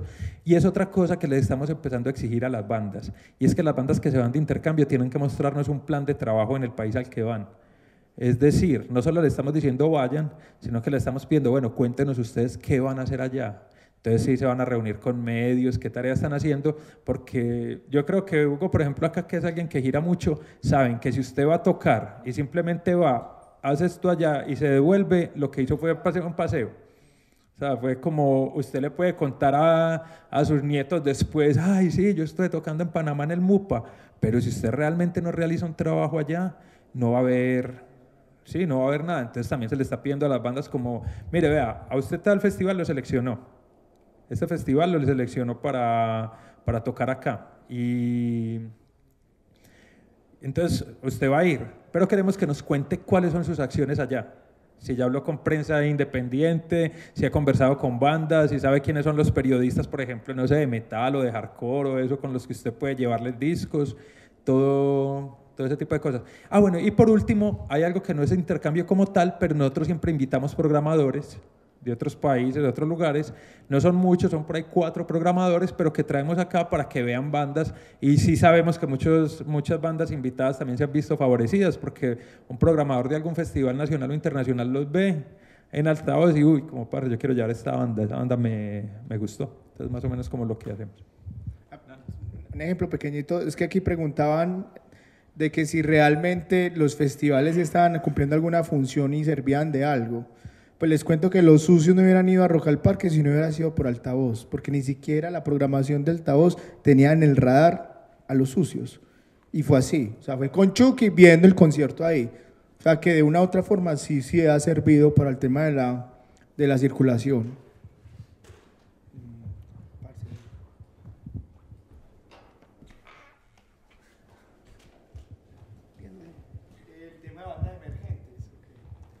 Bueno, ese es una... Un momentico, por aquí me estaban preguntando ahorita que había preguntas entre el público. Preguntamos desde el público para dinamizar esto y que no parezca un diálogo entre nosotros, ¿o qué?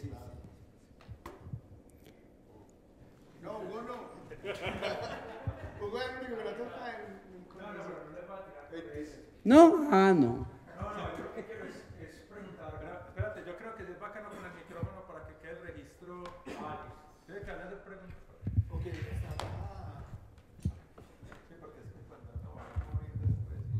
Buenas tardes muchachos. Bueno, eh, para ser puntuales, el asunto eh, con, con, lo de los intercambios, eh, bueno, más, más, enfocado como hacia altavoz, el aspecto de que el año pasado estuvimos conversando con el, el dueño organizador del 70 mil toneladas y estábamos como llegando a un acuerdo. Hay posibilidad de volver a entablar eso, teniendo en cuenta que eh, recibir un intercambio directo con el 70 mil toneladas es difícil porque ellos no tienen un, un roster de bandas, ¿cierto? Pero sí habría posibilidad de volver a conversar con, con, Andy con Andy Piller, eh, nuevamente como para, sabiendo que tenemos pues un nexo con Gustavo Valderrama, que ha sido la persona que se ha encargado de hacer el booking de las bandas colombianas en el festival. Sí, claro, completamente. Y es algo que hemos buscado. Es que no es la primera vez. Yo ya le había dicho a Hugo, yo ya había conversado un día con Andy hace algún tiempo y ese año no pudo venir porque particularmente Altavoz le cae como en más o menos temporada de vacaciones. Entonces la, la primera vez que lo invité me dijo, ay Felipe, no, me encantaría ir. Además porque Andy ya conoce muy bien el metal de Medellín que además es otra cuestión ahí que la gente tiene que entender y por qué se busca esa calidad también en intercambios y eso, es porque una banda de Medellín le abre el espacio a muchas. O sea, cuando, cuando la gente ve a Masacre en otro país, o ve a Wistrab, o ve a Norraza, que son bandas que traquean durísimo, la gente mismo empieza a preguntarse como, uy, ¿qué es lo que pasa allá, hombre? O sea, si estas son las bandas de allá y hay más. Y eso me pasó hablando con Andy Piller. De hecho, yo no sé si, pues, Hugo lo debe saber y Román también que, que, conoce eso. Medellín es la ciudad de Latinoamérica que más bandas ha llevado al, al 70 mil toneladas. Incluso me contaba Andy que de México ya le habían medio, no hecho el reclamo, pero sí le habían dicho como, hey, pues la mayoría de personas que vienen al 70 mil son de México. Y, la, y tenés más bandas de Medellín, pues además que le dijeron que de Colombia, pero en realidad son más bandas de Medellín, las bandas latinas que se ha tenido. Entonces sí lo hemos buscado, o sea, desafortunadamente no se ha podido porque la gente piensa que estos viajes son como, como el más parche, pero muchas veces la gente no tiene el tiempo, está cansada, pero sí seguimos en esa, en esa búsqueda de tener a Andy Piller. Como les dije, también seguimos en la búsqueda, pues queremos, con Charlie si hay un diálogo pues que es como muy, muy fluido, con Charlie el del Hell and Heaven. Eh, porque sí queremos también que, por ejemplo, dentro de tener un festival de metal grande dentro de, nuestros intercambios.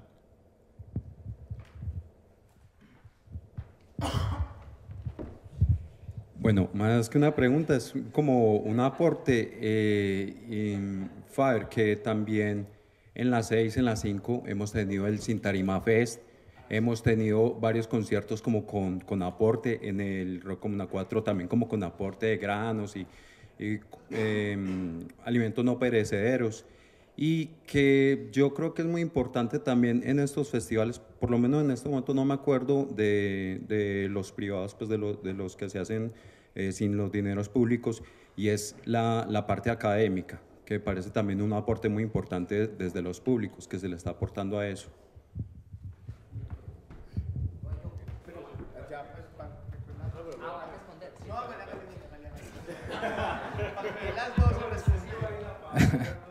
Buenas tardes, eh, mi nombre es Iván. Eh, antemano, puedes felicitar a, a, las tres personas que en este momento están ahí adelante. Eh, a Faber pues conozco el trabajo que ha venido haciendo en la comuna hace mucho tiempo. Felicitaciones desde mi punto de vista. Eh, la otra persona ha ido a, varios conciertos, bacano. Nunca he participado, pero bacano. Y altavoz, eh, bueno, aquí se mezclan con muchas pasiones en este festival porque muchas de las bandas ya hemos pasado como el proceso. Entonces acá se mezclan como ese sentimiento de que, del que pasó, del que no pasó, del que, ¿cierto? Eh, lo que decía Daniel, eh, de que muchas bandas no se tomaban la tarea de mirar los criterios de evaluación. En mi caso yo sí lo hice. Yo sé que son 15 puntos, en los cuales eh, yo personalmente lo, sé que son tres en el ámbito de producción, difusión y exposición, que es el punto de vista en el que yo siempre también he manejado mis proyectos. Obviamente yo los desglosan cada uno en día 5, no hay ningún problema. todo esto con el objetivo me imagino, que es de que una banda se profesionalice y haga su carrera, ¿cierto? Me imagino, y porque así lo hago yo también. Eh, eso es muy complejo de tratar porque, bueno, yo estoy en la música hace más de 20 años y de forma seria.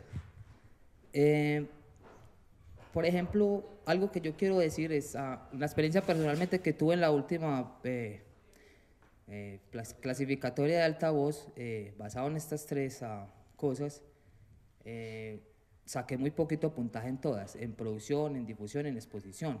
Entonces, eh, obviamente nunca que me presento a un, a un, festival digo que quiero ser el número uno, ni que tengo que sacar 90 o, o 10 de 10, no, nunca lo hago con ese objetivo. Pero sí me pareció muy simpático ver calificaciones como 50, 55 y la que más saqué fue como 59. Eh, por ejemplo, en el ámbito de producción, el, el, último álbum que yo saqué yo eh, trabajo en el ámbito de la producción musical desde hace 17 años. Eh, yo personalmente eh, sé que el sonido varía mucho de lo que el músico está buscando. El músico, la banda, es la que realmente se le acerca al productor y le dice, yo quiero sonar así, yo quiero que mi guitarra suene así, yo quiero que mi guitarra sea así. En base a eso, si el sonido queda una pelle, es realmente la banda la que lo pone así. Y él, simplemente el productor lo que hace es basar esa información, pasarla al ámbito técnico y convertirlo. Por ejemplo, lo, que la apreciación que yo tuve de este productor fue que saqué como 50 y algo, y no tuvo en cuenta de que yo, por ejemplo, nosotros producimos ese álbum y invertimos una cantidad en equipos carísimos. Fuera de eso, la, se mandó a dos ingenieros, uno en Alemania y otro en República Checa, para que lo supervisaran antes de que sacáramos el disco. La pregunta mía va, ¿Cuál es la aprobación realmente que tiene que tener una obra para participar en esto, teniendo en cuenta, o sea, yo estuve hace un mes en la, en la, anterior charla, donde, por ejemplo, acá Chengo, que es, pues yo lo conozco y es muy respetado en la escena, él proponía dos tipos de sonido, lo, decía literalmente, sonido Runner o sonido Nuclear Blast Records. Yo lo llamaría diferente, pero él propone, hace dos propuestas de sonido, o sea, como si estuviéramos limitados a dos tipos de sonidos en una gran variedad universal del sonido. Entonces, si es en base a eso a lo que los, los técnicos de hoy en día, los jurados, están basándose en esos dos criterios de sonido, sabiendo que hay una gran cantidad de ecualizaciones de guitarra, una gran, gran, ecualización de redolantes, una gran ecualización de bombos. Eh, eso es lo que yo me refiero, sacar 50 sobre una producción que se mandó a a supervisar en dos países potencia mundial musical en el metal, porque quiero hablar del metal, que es el género que yo pertenezco, para que uno me la califique 50 y le diga, no, es que eso todavía le falta. Mi pregunta va en este. Eh, ¿Ustedes han detectado intereses particulares de los jurados? O sea, ¿y cómo los toma el festival? Digamos, los intereses particulares del jurado, que son los que toman estas determinaciones, y si el festival tiene una curaduría sobre a los resultados que se toman, si ellos lo verifican, si ellos realmente cogen esa información que ellos pasan ahí para, eh, ¿cómo le dijera yo? Para no determinar, sino como para darle eh, la... Eh, no, no, no, esto tiene un nombre. No, pero sería meterle la mano, no. No, espérate, eh, exacto, bueno, eso es lo que yo quiero saber. Por eso, o sea, realmente todo eso está en manos del, del jurado, ¿cierto? De los tres jurados y ese porcentaje sale.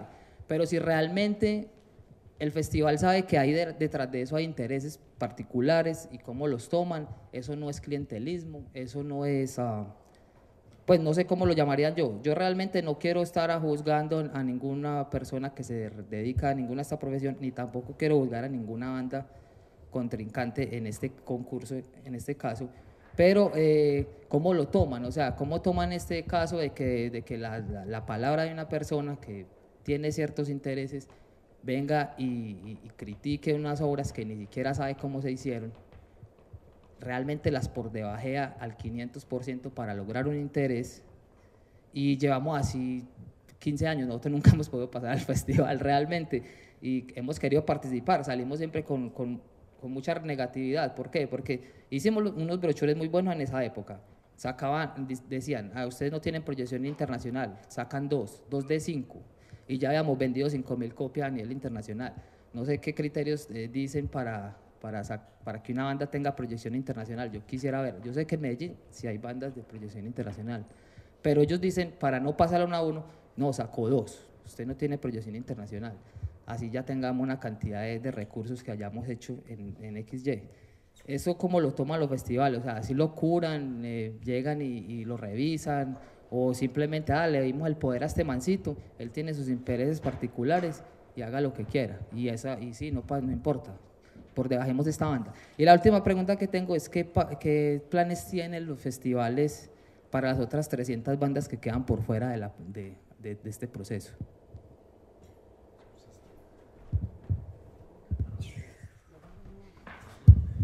Bueno, yo creo que de todas maneras lo principal pues, que hay que entender acá es que nosotros no, no intervenimos en la decisión de los jurados. ¿Qué hacemos nosotros? Si haces una revisión y si ustedes publican, cada jurado tiene la hoja de vida, pues o tiene al menos una reseña de qué es lo que ha hecho en la música. De aquí han sido jurados, ha sido jurado Román, ha sido jurado Alberto Mira, ha sido Hugo fue jurado de producción, por ejemplo, Leandro también fue, fue jurado, ¿cierto? Eh, Daniel fue jurado, no, no, no ha sido jurado. Ahora ya planille Faber Faber ha sido jurado, ah, Rocco también ha sido, Rocco también ha sido jurado. Entonces todos los años pues se trata mucho como de, de, variar los jurados, inclusive estos años hemos traído, tratado de traer algunos jurados internacionales en metal, por ejemplo este año no tenemos internacionales, no, pero, pero bueno, eh, ¿qué es lo que pasa? Primero, el, el jurado se le pide cuando se selecciona y se cree en su criterio. Yo creo que todos acá los que han estado, lo hace que yo estoy en altavoz, recuerdan siempre el primer diálogo que yo les hago y es, aquí no se les puede arrimar nadie pues de la alcaldía, nadie les puede hacer ningún comentario. Yo nunca le hablo como, ah, tal banda, hey, esa banda es como bacana, nada, yo soy como, pues como hágale, normal, sí o qué. Incluso muchas veces con Luis Grisales, me acuerdo un año que nosotros decíamos, para nosotros somos que saltan y hueputa, porque entre Lucho y yo hablábamos que nos gustaban bandas y esas no pasaban. Entonces nosotros decíamos, para nosotros no nos puede gustar ninguna porque vamos como la sal. Los, cuando, claro, nosotros nos damos cuenta de los resultados ahí mismo. Eh, Tercero, ¿qué es lo que tratamos de hacer nosotros? De reducir, la subjetividad, porque efectivamente cualquier acción mediada por los humanos tiene un, tiene, tiene un impacto subjetivo. Eso no...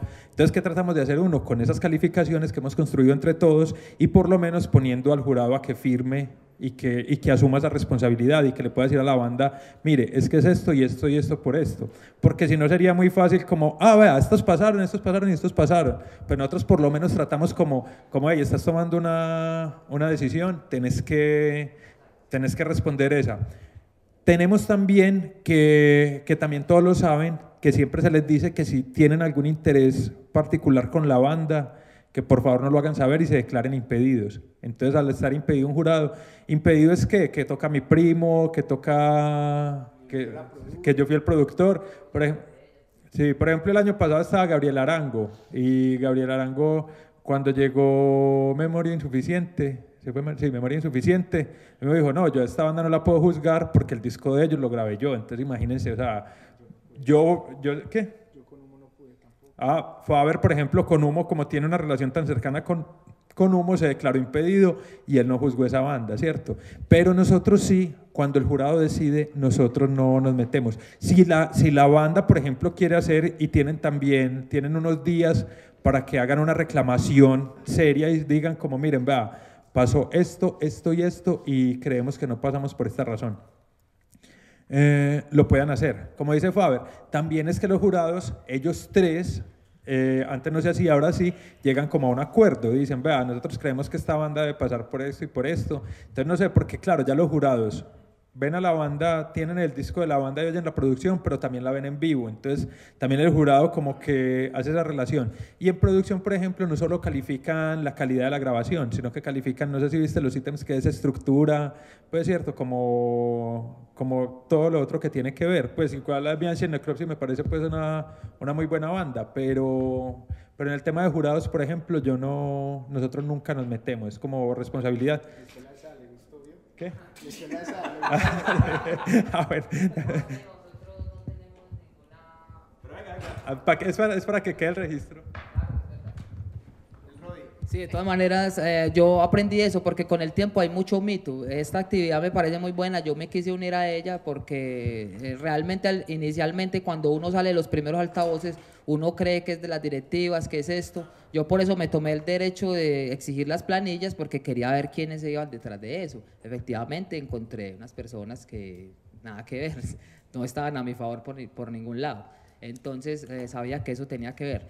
Eh, la, otra pregunta que tenía era si tienen algún plan para las otras 300 bandas que estamos por fuera, pues, y que queremos tocar, y que, que somos de Medellín, pagamos impuestos, eh, por, pues, cierto, todo ese tipo de cosas, que queremos un pedacito del pastel. Y, ah, ya, yo tengo muchas fotos, pues ya las pagué. Fue fotomulta el año pasado, saqué dos millones de pesos en fotomultas y bueno, me gustaría reclamarlo en forma de concierto. ver, me ayudó. Mentira, no. La otra pregunta que yo tengo es, um, ah, bueno, esa está bien.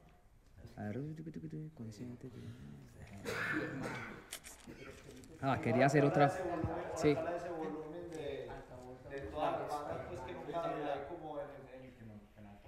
Ah, ya, ya, qué pena. Por ejemplo, la, la, apreciación que hizo Felipe, nosotros acá en varios procesos que hemos participado así, digamos, donde hay selección por jurado, nos ha ido muy mal esa parte, de que digamos nos dicen, ah bueno, es que un músico no tiene que ser el más rápido, ni el más pesado, ni... Lo que pasa es que ese es un ingrediente de nuestro proyecto artístico. Si nosotros no lo tenemos, no vamos a vender los discos que vendemos, ni mover la merca que vendemos. Eso es nuestro ingrediente. ¿Cuál es la situación acá en Medellín? Que nosotros tenemos pues no hablo de Medellín, pero si yo vengo, no solo soy yo, yo vengo otras 50 bandas que tocamos la misma música y hay otras 300 seguidores de ese género acá. O sea, es una cifra que hay que tener en cuenta. Puede que en un evento así grande no lo vean, ah, este man no se le arrimó a nadie. Pero, por ejemplo, nosotros hicimos el live streaming de esa presentación de altavoz y, y lo vieron mil personas en live.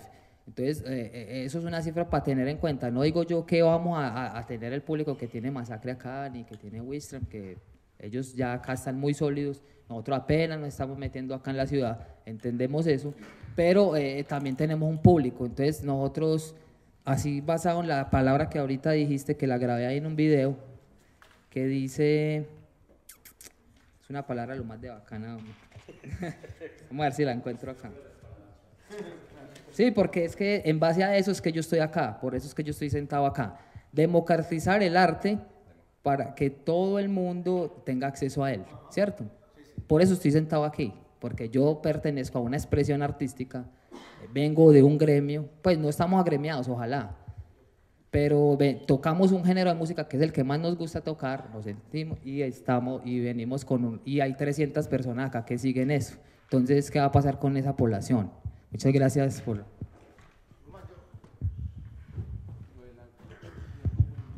eh, Sí, pero pues primero, Iván, hay, hay algo que, que, que, hay que tener en cuenta y es que tampoco es la obligación de nosotros tenerle que responder a todo eh, los músicos de Medellín. Uno quisiera, pues, pero no, no le da. O sea, sí van a haber ofertas y las tenemos en estos momentos. Inclusive nosotros, eh, ah, bueno, democratizar también es acceso a, no es que todos los músicos tengan acceso, sino que uno también como espectador pueda estar en eso, eh, como eso, espectador. Voy a contar un ejercicio que estamos haciendo ahorita en Ciudad Frecuencia, que hace parte pues, de la organización de Sonados. En conjunto con el SUB, aquí somos poquitos los punqueros que habemos, pero se está haciendo algo que se llama Unión PUN. No sé si la han escuchado, ¿cierto? Y es una recopilación que queremos hacer, que creería yo que es la más grande ahorita que se está haciendo, por lo menos en Latinoamérica, Llevamos casi dos meses de grabaciones donde ya llevamos 75 agrupaciones de PUN de Medellín grabadas, ¿cierto? Es un proyecto total en el tema de autogestión. en el que todavía no sabemos, vamos a sacar un LP, decíamos, bueno, lo que se va a hacer, pero lo que, a lo que voy es que esto hace parte inclusive de cómo empezar nosotros a reconocer bandas emergentes, porque es una recopilación que no está solamente a las agrupaciones de trayectoria de la ciudad. Entonces me da a mí como ciudad frecuencia un panorama de cuáles son las agrupaciones, por lo menos en el género del punk. Les hago la cuña porque acá hay mucho metalero y quisiera que en algún momento empezaran a hacer Unión Metal. Ahí nos tienen a nosotros y cuando quieran la hacemos, porque ya Unión Ska entre poquito va a empezar. Pero esa es una de las formas también de vincular también a los músicos de la ciudad en este tipo de proyectos, en este tipo de, iniciativas que nosotros tenemos. Porque es eso, son los talleres también. Y lo otro que yo creo que ya ahorita lo habían tocado y es que el fin único de una banda no puede ser tocar en un festival. Pues ahí ya entró perdiendo el año. O sea, si yo pienso que tengo que formar una banda para llegar al y hasta ahí llegó, ni quiera rock al parque, no. O sea, eso simplemente hace parte de su hacer como músico, pero nunca puede ser el fin.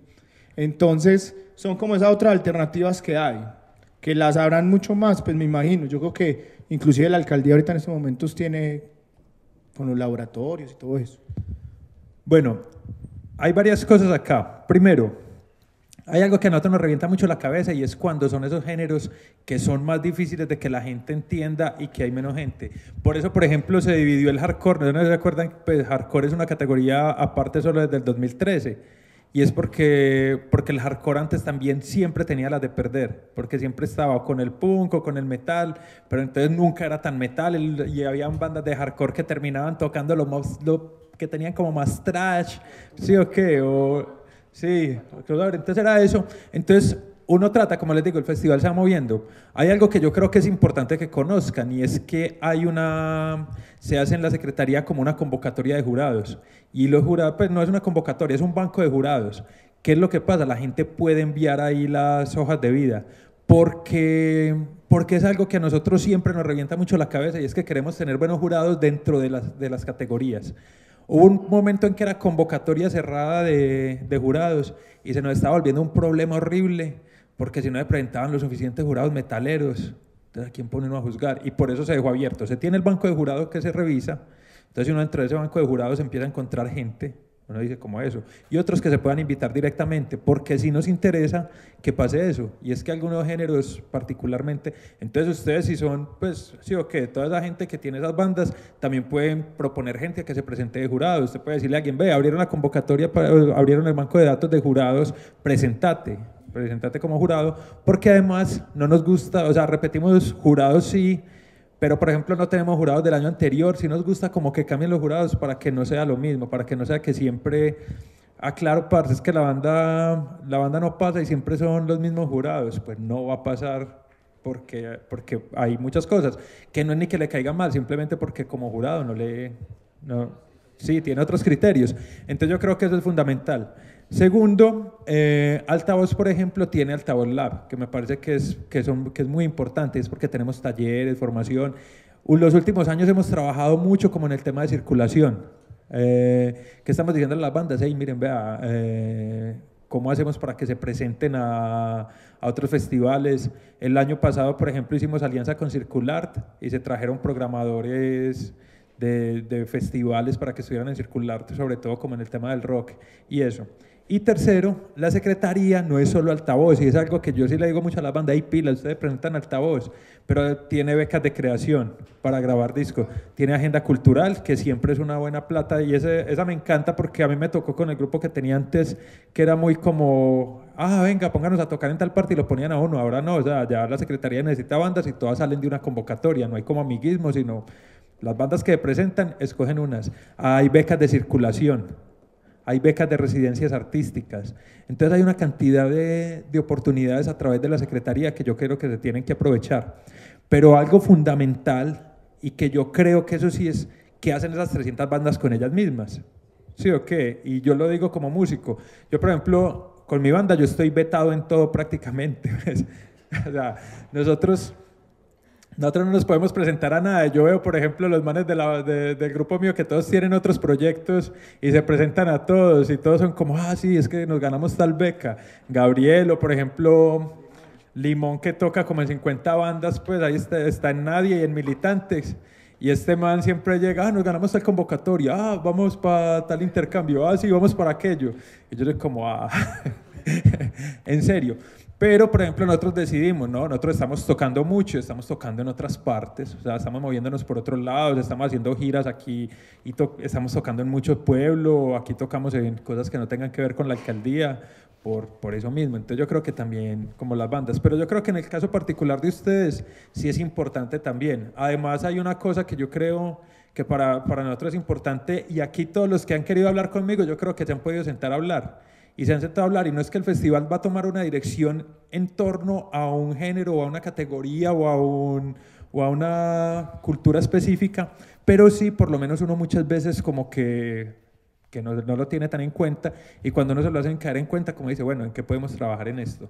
Por el momento yo creo que es también importante que ustedes dentro de su categoría también presenten jurados, que tengan, que tengan un acercamiento también a, a esos sonidos más extremos, digámoslo así, sí o qué, que tengan como que uno diga como, ah, bueno, esto, este man... O sea, sí. al banco de jurados.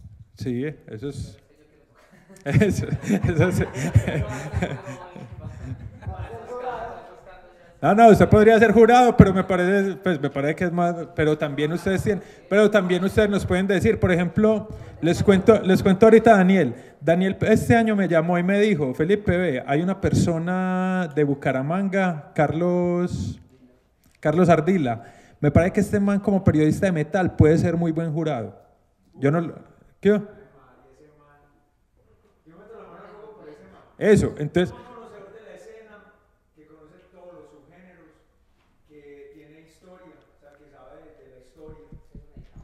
Eso. va a estar de jurado. No, Daniel, va a estar de jurado. Va a estar, no, va a estar de jurado. Daniel me llamó, sí o no, yo no lo conocía. Daniel me llamó y me dijo, Felipe, te quiero... sería? Va a ser. Ve. Viene a los festivales. Sí. Por eso. Sí. Y Daniel me llamó, Daniel me llamó este año y me dijo, Felipe, a mí me parece que este man, yo no lo conocía, no tenía idea. Yo le dije, yo, ah, parce, no. Dígale que me mande la hoja de vida. Sí, o que para analizarlo, pues, como, cuando yo empecé a leer lo que el man había escrito, lo que yo le dije a este man, pues yo le dije, yo sí, listo, me lo llamé y yo, hey, te queremos invitar como jurado. Entonces eso también, o sea, que yo creo que el festival se abre mucho como a conversar, como, como conversemos. Y, y sobre todo en estas propuestas y que son abiertas, pues, y yo lo cuento aquí porque simplemente es una recomendación que alguien hizo de buena voluntad, sin ningún interés personal y... y que, no me va a pagar, pues. que, eso, y que y que está respaldada por un trabajo. Pues Hugo no sabía que venía de jurado y miren los comentarios que hace Hugo de, de, Carlos, ¿cierto? Entonces yo creo que en ese sentido todos, todos podemos como ayudar y como les digo, yo por Facebook sí soy muy malo para responder, de una vez les digo, entonces no, no soy como muy de responder por Facebook, pero yo creo que aquí todos los que me han dicho vamos a conversar, con todos me he sentado a conversar, pues como, como listo, pillemos a ver, entonces estamos como abiertos a eso.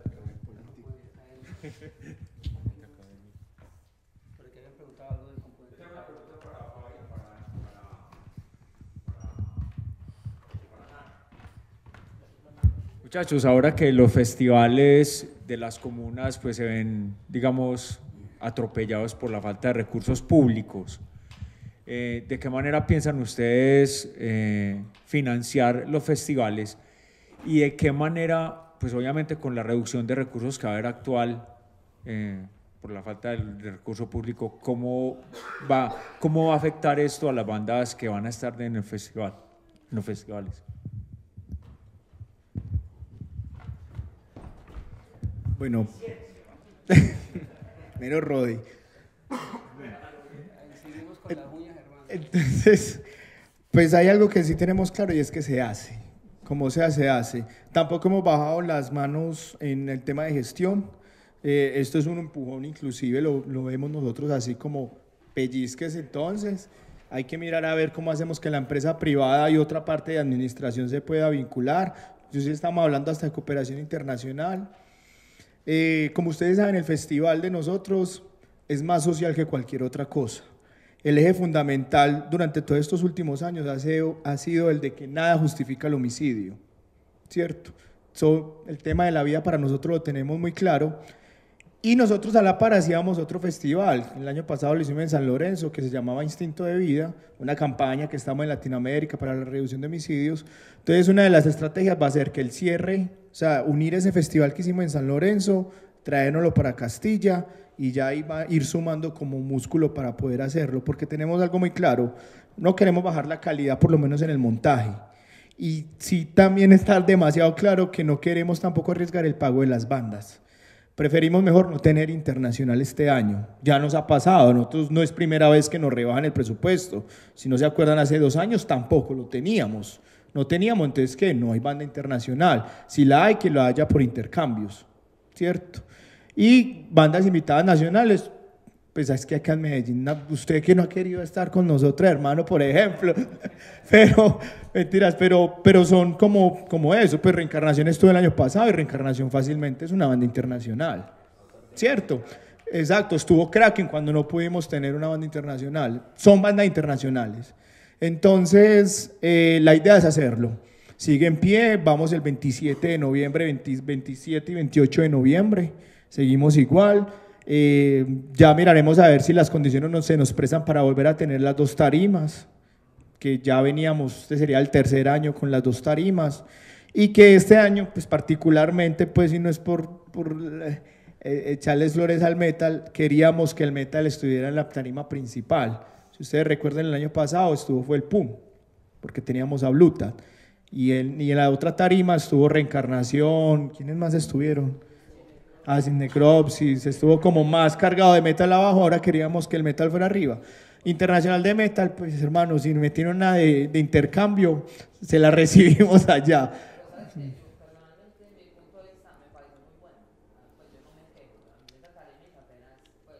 No, y era tarimota, pues.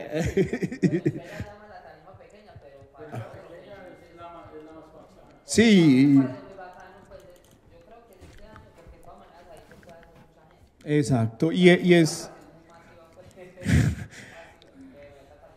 Pero la idea, Hugo y Iván, es poder sostener por lo menos en lo técnico y en el pago a los artistas. Se va a reducir, puede ser en días. Podemos estar hablando como solamente un día, porque a uno le queda muy fácil hacerlo. Como, muchachos, hagámoslo en el sub, un festival para 300 personas nomás, lo hacemos de entrada libre y muchas agrupaciones dirán que tocan gratis y no. O sea, eso sí ha sido política del festival casi desde que empezó, de que ninguna agrupación, no, no somos los que mejor pagamos, ¿cierto? Pero por lo menos damos un pago, un incentivo eh, apropiado a, las agrupaciones. Entonces, pues eh, esa es la concepción. Yo sé que Nano también lo va a hacer y que para lo que necesite mío. Eh, no, Hugo, mira, y gente, pues igual como decimos acá, eh, de que se hace, se hace. Como sea, igual se ha estado eh, como con unos acercamientos a la empresa privada, en sí más que todo como con fama. Ayer tuve una reunión importantísima como con ellos, que no sé si nos acordamos que en los 90 con fama era el que patrocinaba aquí el rock. Lo vemos ahí en San Ignacio y en las estaciones del metro, todos los eventos que hubo entonces ellos están como retomando eso, entonces estamos aprovechando como ese auge pues, de ellos y están comprometidos pues como con el rock. Entonces, por esa parte de la privada, igual estamos también hablando pues con la administración, porque es que de verdad son 10 años de lucha que habíamos tenido pues como con ese recurso. Te tocó luchar por eso, a Daniel también, y saben cómo es ese tropel tan brutal con la administración. Entonces igual nos estamos acercando y esto no se puede acabar, están acabando un poco de procesos, están dejando a un lado un poco de muchachos, un poco de, de artistas fuera de eso. Entonces ya están tomando como más conciencia porque es que eh, muchos, muchos de la administración ni siquiera sabía que se había perdido ese recurso cultural en las comunas. Eso es increíble. Yo, pues, no es esto, pues usted no está metido ahí como no sabe. Parce, ese señor allá en su trono hace lo que le dé la gana, entonces, y entonces están como también muy comprometidos con eso, por eso es que se decidió convocar, por eso es que se, se tiene fechas, por eso es que hay unas cosas, porque estamos seguros que como sea, se hace. Entonces, esa es, muchachos. O sea, que de alguna manera hay un compromiso de, de la administración. Sí. Así sea Sí, porque eh, con lo, pues, por la parte mía, con lo que yo he hablado, ya se han juntado, pues se han reunido un poco de dependencias para sacar unos dineros y patrocinar. Pues hablo por la 4, no sé por, por la 6. Mira, pues es algo muy paradójico. En la administración daban por hecho Ah, bueno, porque estamos hablando de cultura, no estamos hablando solamente de los festivales. O sea, estamos hablando que en la Comuna 6 no va a haber danza, no va a haber teatro, no va a haber eh, el Festival de la Matraca que se hacía allá, pues un montón de cosas. Pero ellos daban por hecho de que estos festivales, por lo menos a nosotros que nos tienen como referente, pues mira, referente en el tema de PP como una de las experiencias positivas y de éxito en la ciudad una de cultura, por encima inclusive de emprendimiento económico, de, infraestructura, que lo habíamos ganado de como tres años. Entonces ellos daban por hecho que no, pues si, esto ya ganaron eso, pues le vamos a meter la ficha, ya se la meten y no, quedamos por fuera. Entonces el viernes inclusive fue un baldado de agua fría, inclusive para gente de la administración, como, uy, ¿cómo así? Entonces, ¿qué vamos a hacer? Porque si nosotros abrimos la boca, esto va a ser un boom en la ciudad muy grande. Porque es que mire cómo una decisión administrativa termina perjudicando todo el tema de cultura en la ciudad. Y es grande, o sea, somos, son 21 comunas que tiene la ciudad. Solamente, es, solamente seis están priorizando el tema de cultura. Entonces... ¿Y qué, comunas La 7, que es Robledo. Eh, no recuerdo si la 8, creo que la 10, que es Candelaria. Eh, la 5, la 5 sí priorizó cultura creo que Guayabal y ya. no es que fueron muy pocas realmente. Es, la 4 no, la 6 no. Entonces, para que vayan teniendo en cuenta que todo, como el tema de lo político y el tema de la participación, esto de lo público termina de una u otra forma siendo un colectazo. Y esperen lo que va a pasar con Hidroitango. Eso sí va a ser un colectazo grande que lo vamos a sufrir en el tema de lo social, mucho. Ah, y esperen la economía naranja, que es así, vea. Igual nunca ha sido un recurso total para los festivales. Ha sido Venga, yo, yo meto la cucharada ahí. A mí me llama mucho la atención que yo pensé que hoy íbamos a tener una gran convocatoria, pues porque este es un tema, porque aquí todo, a todos los directores de festival les dicen que son unos rosqueros, que son unos hijueputas, ta, ta, ta, y yo pensé que hoy iba a venir un gentío a carear, no, que iba a venir una gente aquí a carear, pues no, eh, por lo menos aquel parcero yo sí lo he visto, pues pobrecito, yo tranquilo que yo lo pongo en mi festival la próxima vez para que toque.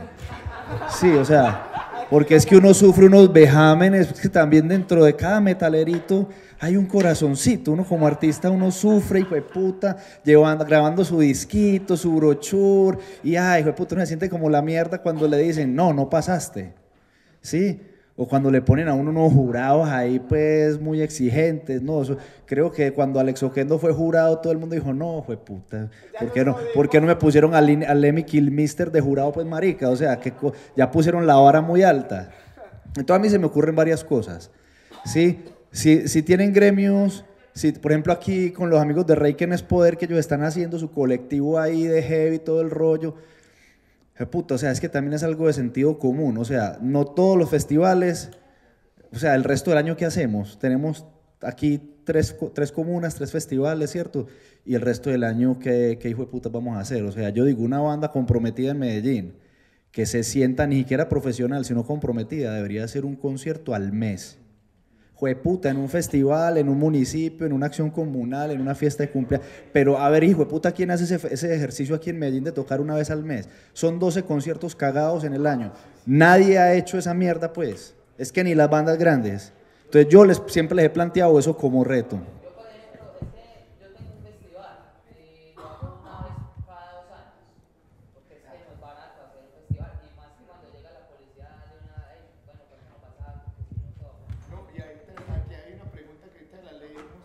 Hay unas preguntas bien interesantes, ¿cierto?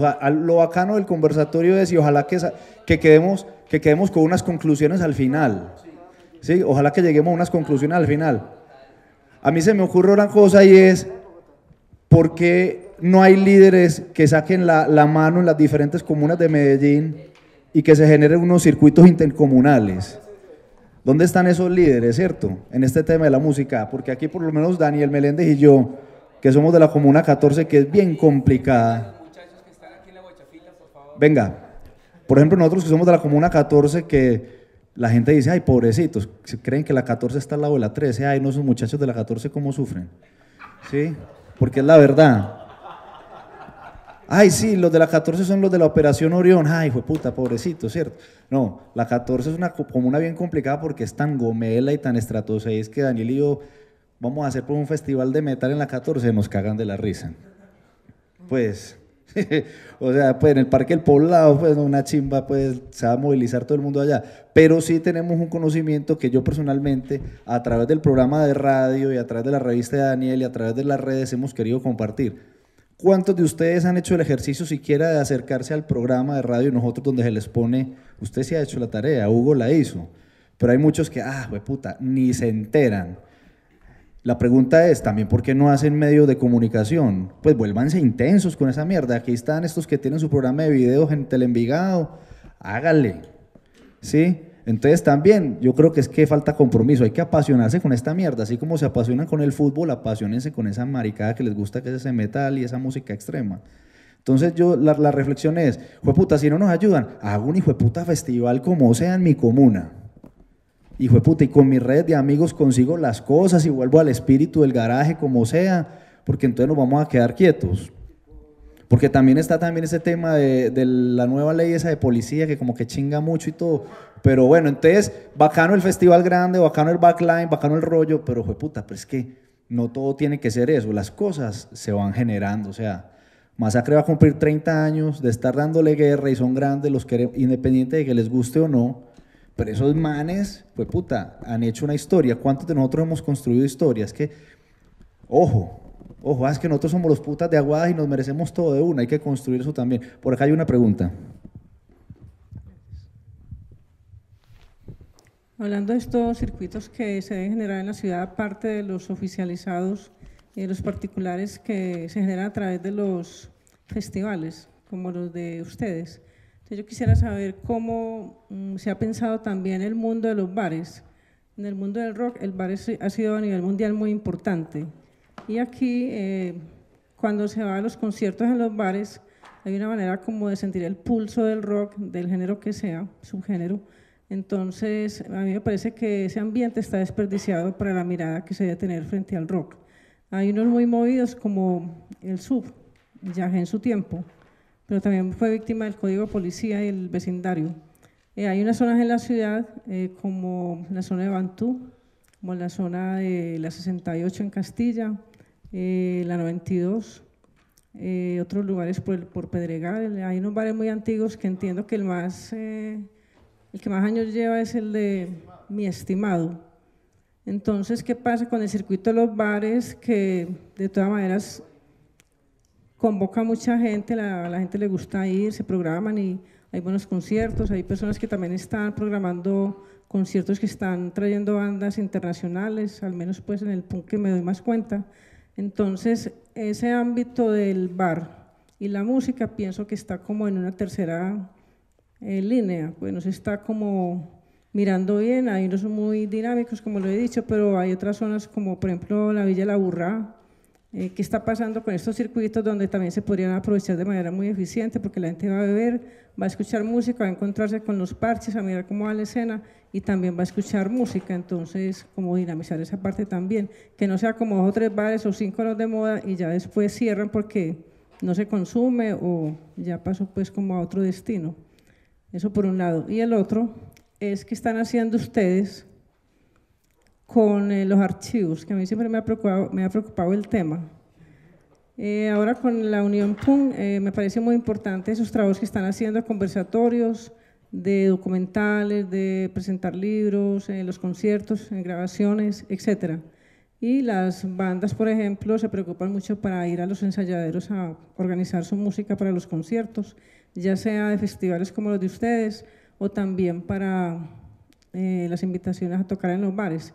Entonces, ¿qué pasa con esa parte de los archivos? Porque pues el tiempo va pasando y eso va quedando en el olvido y cada uno con su archivo particular. Eh, y bueno, hay que hacer como un trabajo también en ese sentido de la memoria histórica de la música urbana de la ciudad. ¿Alguien quiere aportar sobre el tema de los bares antes de que entren acá? Porque yo sé que todos tienen su percepción, los que han tratado de armar festivales y parches en los bares. ¿Sí o no? Alguien, pero díganlo, pues huevones, porque no están hablando? Están ahí como... Oiga, pero ustedes pues habitan en toda parte. Sí, sí. Bueno, nosotros aquí, huevonamente, pues ah, hemos hecho mucho en los bares. La, mayoría de la profesión mía se, se hizo en los bares. Yo vengo de ahí, no de tomar, sino de tocar. Pero lo que pasa es que tenemos una realidad, son los festivales públicos. Yo, por ejemplo, que vengo de, de tocar hace 20 años en bares a, a tocar hoy en día, la- lamentablemente eh, esos festivales, pues yo voy a hablar desde mi punto de vista personal, no quiero hacerlo general. Esos festivales lo mal acostumbran a uno. ¿Por qué? Porque, eh, si me entiendes, cuando tú llegas al bar, entonces la depresión, el, el negro, si me entiendes, Eh, a mí me gusta lo negro y tal, por eso, pero si me entiendes, cuando ves el, or- el olor al orín, ¿cierto? O sea, empiezas como a encontrar esas condiciones infrahumanas. Eh, No, cualquier otro, o sea, es que eso es en todo, cualquier bar después de las 12 de la noche usted lo va a ver así, pues por lo menos los que yo he ido.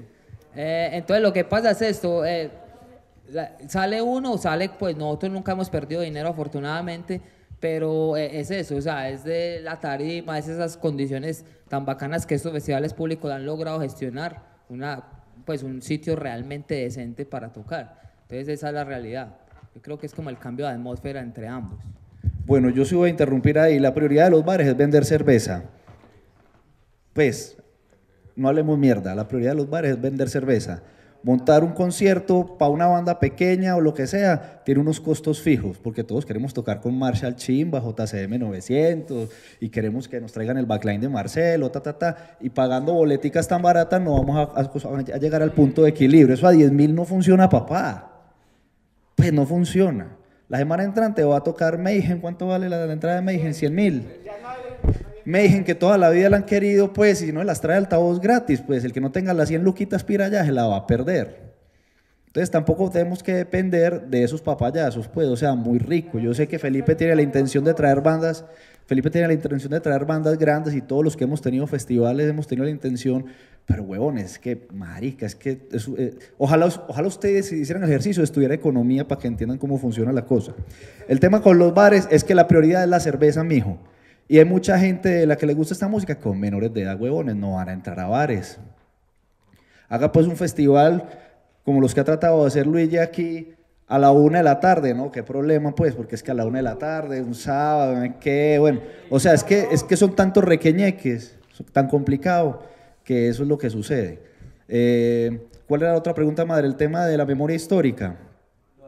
Bueno, pues yo no sé si saben, Felipe con el equipo de altavoz han estado bregando con todo lo que han recogido en altavoz en los últimos cuántos años, 10 años. Todos los años tienen ahí, en- todavía está en el Lido, la casa de la memoria altavoz. El Jordán, allá el amigo de él, Santiago Arango, pues que todo el mundo lo conoce, pues él allá está. Y uno puede ir a ver archivos y fotos y hacen conversatorios y proyectan películas, ¿cierto? Ay, yo no sabía. Enteres, hermano, porque es que eso Gilmar no se lo va a decir en el noticiero. Pues, ¿sí o no? Ni, ni, ni Malala va a tu barrio, te lo va a decir, ni en la revista del viernes les van a decir eso, mijo. ¿Para qué tienen ese hijo de puta internet? Para buscar porno sí lo saben usar, pero para estas maricadas que les interesan, no. Ahí está ese proyecto. Yo tengo otro proyecto que se llama el Museo Rock de Antioquia, ¿sí? Pues que no ha salido a la luz pública porque es un proyecto independiente. También hay otros, del, el Hormiguero tiene su proyecto de, El Hormiguero es un colectivo punky que tiene su proyecto de fanzinoteca de memoria histórica. Ahora, le estoy diciendo una cosa, pues, a mí me encanta el rock y el rock es para mí metal, punk y hardcore. Yo escucho todo eso y otras mierdas, pues, que, que donde les diga dirán, ay, que man tan casposo, pero... Pero a lo que voy es, y la cacheta de la siguiente, la escena punky sí está metiéndole las manos a esta huevonada, se están comprometiendo más. Y la escena metalera se está volviendo una escena muy posera, sí, muy de true metal y toda esa mierda, ¿sí o no? ¿A dónde están? Están viendo el partido de Perú, huevón, no, pues qué chimba. ¿Sí? Y les traigo estos mares de papayita aquí para que les hagan bullying, para que los puteen. Y, ni mierda, pues. Yo ahorita antes de comenzar les dije a ellos, hey, háblenles durito a estos manes, porque es que aquí no hay ninguna teoría de Jean Piaget que sirva. Aquí a la gente hay que patronearla y putearla. Sí, esto aquí pues la teoría, aquí no hay ninguna teoría para hablarle bien a la gente, está comprobado, 40 años llevamos de rock nacional y estamos cometiendo los mismos hijueputas errores siempre.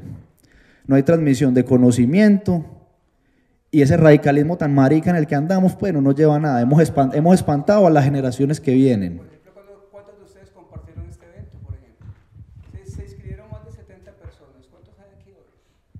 Sí. No, ahora la pregunta es, no, ahora que hablan de compartir eventos, cuando los invitan a un festival, ¿cuántas bandas se comprometen de verdad a compartir el evento en el que van a tocar? No me hablen mierda, hijo de puta. Poquitas, porque yo me quebré con un festival hace unos años en el que tenía 30 bandas y ninguna hijo de puta posteaba voy a tocar en Del Putas Fest.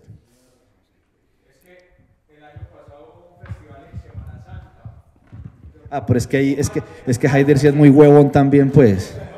No, eso, eso, eso es un tema aparte. Hablando de Haider y de asistencia, yo pensé que él iba a estar aquí. Halo bien, yo pensé que Haider iba a estar aquí. Y me da, y, y- ah, oiga, y se inscribe. Me da, a mí me da como una rabiecita con la escena también porque eh, Nano y yo cuando empezamos con el proyecto en Aranjuez para, para tratar de levantar el festival de allá, porque el festival lo estaba realizando Henry eh, de la corporación Cuatro Elementos de Hip Hop, nosotros hablamos con él para que nos eh, diera una pequeña inducción y empezáramos a, hacer el proceso. Y recuerdo que en ese proceso nosotros empezamos a conversar con toda la escena que hay en la Comuna 4, que es bien grande, desde Barranquilla hasta la quebrada de Santa Cruz y desde la 45 hasta el río Medellín, imagínense en el área tan hijueputamente grande. Y conversamos con X cantidad de bandas, con una cantidad de gente, y entonces les decíamos, muchachos, necesitamos, solicitamos que vayan a las asambleas barriales para que voten por cultura, para que prioricemos el Festival de Rock de Aranjuez. Y sabe que íbamos a votar máximo 20 personas rockeros. ¿Sabe que me tocaba a mí y Nano y los otros 3, 4, Robinson, Daniel, decirle a los familiares de nosotros que votaran por la cultura? ¿No le parece uno muy pelle mendigando votos como mendiga Petro y como mendiga Duque, como mendigan todos estos malparidos? A mí me parece muy triste que no tengamos dolor por lo que nos duele. Yo, yo pertenecí, eh, Nano y yo estuvimos, yo estuve dos, uno o dos años. No, porque yo tuve, me tuve que concentrar con Wistra porque yo estaba planeando gira en Estados Unidos, visita a Europa, eh, o sea, ahí me salen muchas buenas y yo no podía ocuparme de todo lo mismo. Sin embargo, yo sabía que ahí estaba Nano y yo le dije, Nano, yo el otro año no puedo. Es más, me tengo que salir de lo de Aranjuez. O sea, uno tiene que también buscar sus prioridades. Sin embargo, yo trato de estar en los procesos. Yo hablo mucho con Felipe. O sea, yo, yo le digo a Felipe, Felipe, ves, a este man de 70 mil toneladas, ¿cómo hacemos para involucrarlo al altavoz? Yo ya estuve allá, pero yo quiero que otras vallas vayan. O sea, es que es la gente que no quiere comprometerse con la escena. ¿Y cómo hacemos para que se comprometan? Hay que empezar enseguida a regañar a todo el mundo por Facebook, braviar a la gente. Si no, no. pueden hablar así porque nos, nos regañan. Estos pues porque son, estos son políticamente correctos, ¿cierto? Pero que hijo de puta, hay que putear a la gente. Ahora, Eh. por- ¿Qué pena te interrumpo? Porque no se han hecho la pregunta, ¿por qué la gente no está yendo a, a los conciertos? Y les va a doler. Estamos haciendo una música de mierda. Entonces, huevones, no le gusta a la gente. No estamos conectando con la gente, huevón. No, pero en Medellín hay un problema, hay una, hay una, yo lo llamo el fenómeno de que no le copiamos a nadie. En Medellín ya no nos copiamos los músicos y es una, es una, digamos, una disputa que tengo yo con muchos músicos en la ciudad porque eh, yo procuro ir a la mayoría de los conciertos que hay en la ciudad. Obviamente por estar viajando con mi banda muchos eh, no puedo asistir, pero yo estoy tratando de ir incluso a, a conciertos. He ido a conciertos de géneros que no son los míos, como el gótico, por ejemplo. Y yo nunca he visto en un concierto de vuestra a un man que pertenezca a una banda de gótico.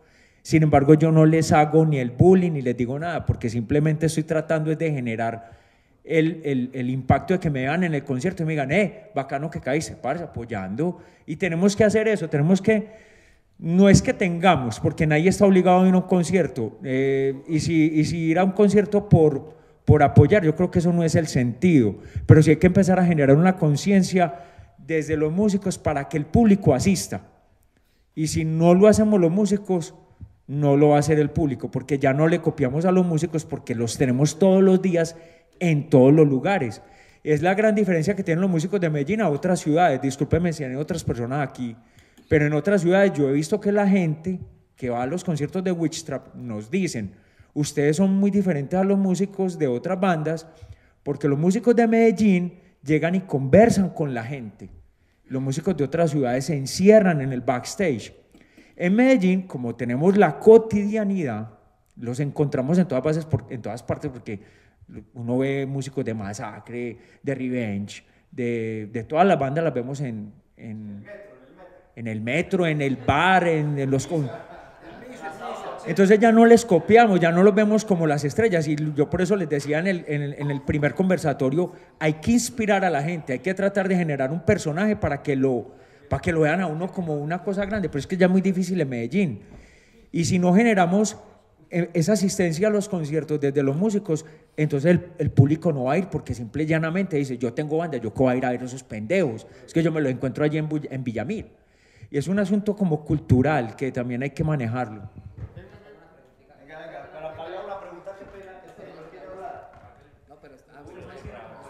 No, lo que pasa es que yo, mm, buenas, eh, Hugo, lo que pasa es que yo quisiera que usted nos compartiera una experiencia que yo vi que usted hace poco estuvo en Bogotá como en una, como una feria de música. ¿Cómo vio ese evento? ¿Le parece que eso es lo que queríamos? A mí personalmente me parece que eso es lo que queríamos de empezar a, incentivar acá en Medellín. ¿Cómo fue la experiencia que usted hizo, eh, que tuvo en Bogotá con esa... En, en Bogotá hace mucho el mercado del rock hacen muchos, hacen por ahí dos o tres al año, que es un evento donde ponen stands que hay que alquilarlos, pero por un valor realmente muy bajo, 50, 60 mil pesos. El, es montar el stand y llevar tu mercancía. Van muchos manes de, de, de locales, van personas, van manes de bandas que llevan a montar su stand y llevan material de otras bandas amigas. Y pues nosotros desde desde el año pasado, antepasado, fuimos a uno que nos arriesgamos, mi hermano y yo, eh, ¿será que nos arriesgamos a, invertir los pasajes, la estadía, la, alimentación, a ver cómo nos va y, nos arriesgamos? Es, es más el asunto del miedo que uno maneja como emprendedor porque uno no quiere perder. Nos arriesgamos y la verdad fue que el, primer, el primero que fuimos fue totalmente exitoso. Nosotros hicimos una venta cerca de 3 millones de pesos. En el segundo que fuimos, que fue como ocho meses después, vendimos como 2 millones 200, 2 millones 300. Bogotá es una plaza que compra mucha mercancía. Esos manes compran todo. Esos manes son eh, muy estilo eh, Norteamérica. Eh, esa última vez que fuimos estuvo bajo, pero hubo una asistencia totalmente masiva. Además, estaba la competencia de Revenge, que también es una banda que vende mucho y que habían otros dos, estaban los de mm, Guerra Total, entonces la venta se repartió.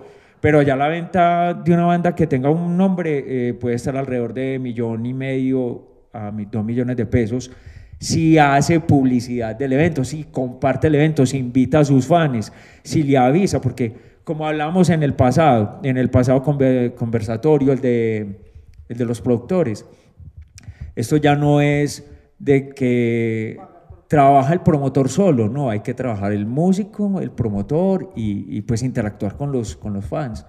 Y pues de eso se trata, de empezar a, interactuar. Esos mercados aquí en Medellín han hecho dos o tres, que recuerde, uno lo hicieron hace como un año, lo organizó Santiago Naranjo, si no estoy mal. Es Santiago Arango en el, en el Matacandelas. Eh, el pasar de la música es exactamente lo mismo. Lo que yo veo es que las bandas no se están comprometiendo con el asunto de, de, compartir los eventos, de llamar el público, llamarlo. Hay que invitarlos, hay que, hay que, hay que hacer que la escena se, se agrupe en este tipo de eventos que no son solamente ir a tocar, no es solamente ir al bar a beber cerveza y no es solamente encontrarnos a, a compartir con los amigos. Yo creo que hay otros eventos que también hacen parte de la escena y los mercados son un lugar muy propicio para compartir todas esas cosas. Y yo creo que a la banda les conviene hacerlo.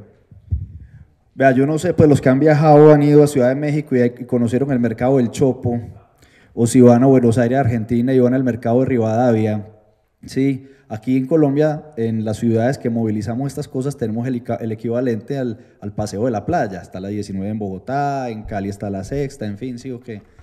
Pero yo no entiendo por qué a la gente no se le ocurre un evento que se llame Misa. Vamos todos a Misa, músicos independientes en San Alejo. ¿Sí? Ey, qué chimba, ¿qué vas a hacer el próximo sábado? No, yo voy para Misa.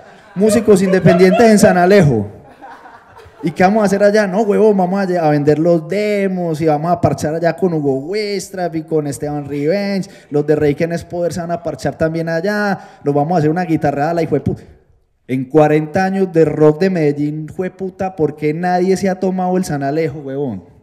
Pues, les da penito que muy artesanal uno llegar allá, pues muy hippie, uno con sus demos, pues ahí, ay, qué pena, pues.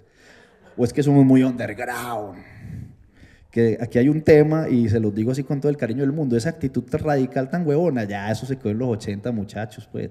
Y esa marica, y esa marica de que el metal no se vende, y que yo me voy a caspear si me parcho allí, ¿sí? O sea, esa mentalidad hay que cambiarla. Como es de chimba tener 500 lucas para comprar al papá algo ahorita el día del padre de cuenta de los demos que vendimos.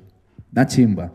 Bueno, Daniel, antes de... A ver, Reiken es poder. Tengo allá a mi, a mi amigo de, de Laureles y acá el flaco. ¿Sí o qué? Brevemente, pues para que nos rinda. Al fin se calentó esta marica. Ahorita les mando... ¿Qué hubo?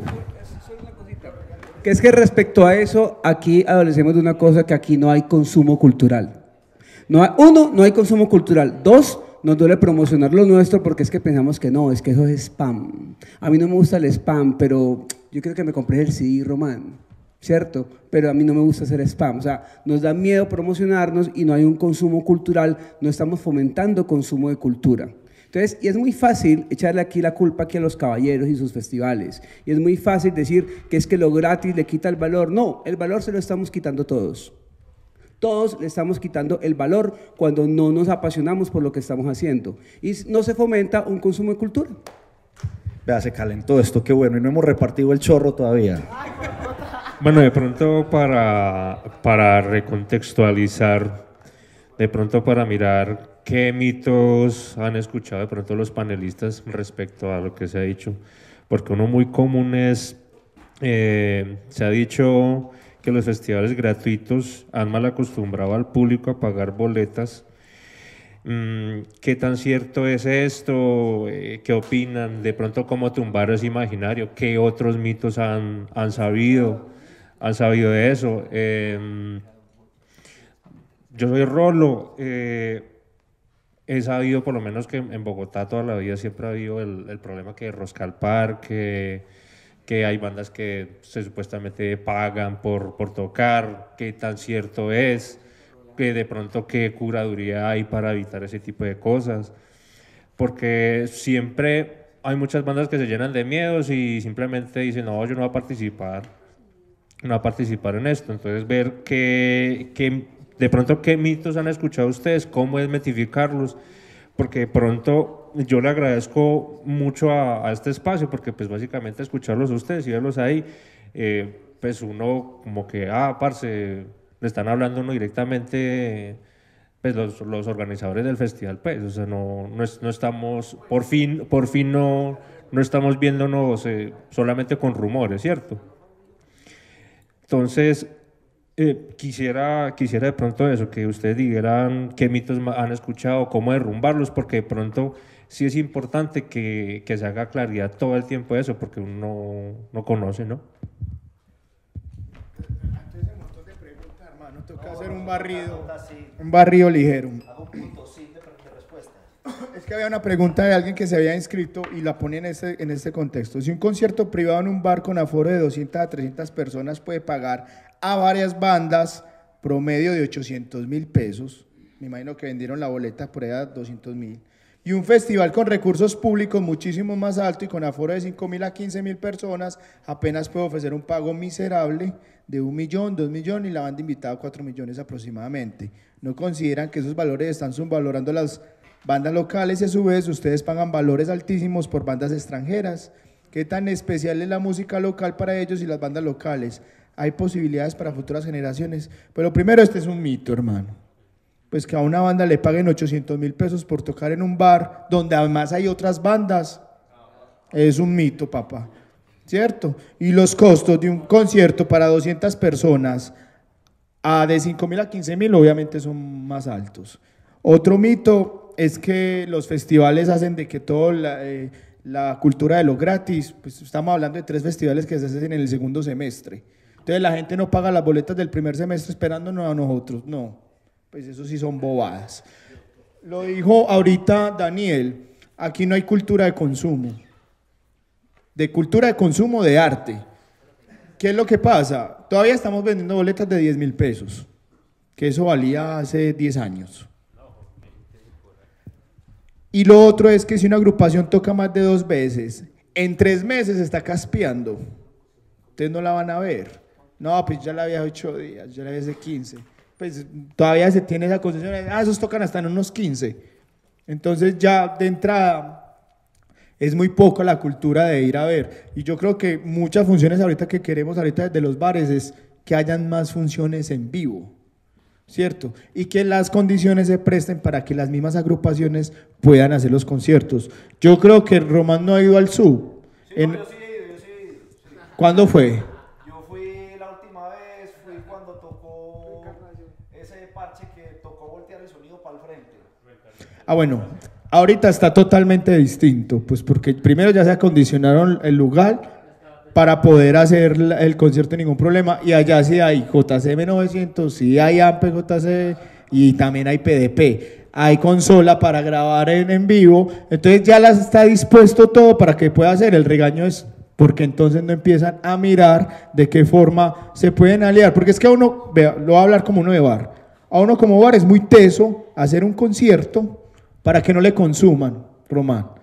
Entonces uno puede decir a la banda, listo, te pongo todo, toda la entrada es tuya, pero llegan 20 personas. Ah, huevón, sáquele ahorita el costo suyo, porque como el artista tiene costos, nosotros también.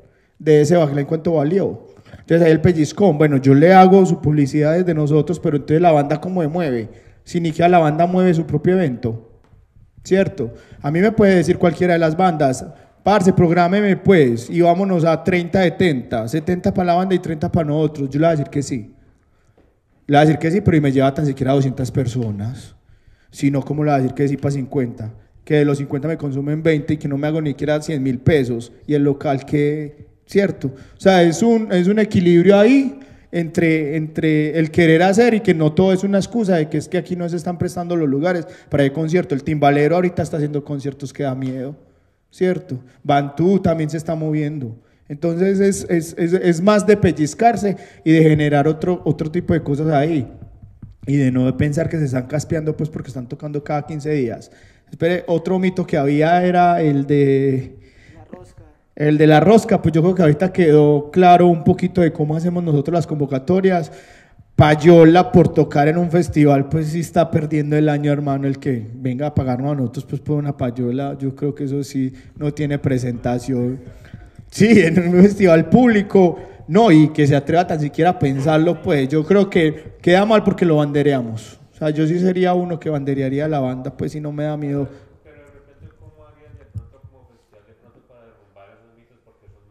Sí, no. Vea, lo que pasa es que este espacio, lo, lo chimba de este espacio es precisamente eso, el tenerlo en el cara a cara, porque yo tampoco respondo por Facebook. Y por lo general en la organización, todos en nosotros en 2 intentamos de que nadie responda, porque es que el Facebook se presta es para malinterpretar. en- Claro, entonces... A mí me habían dicho que ese man de, de que era una gonorrea.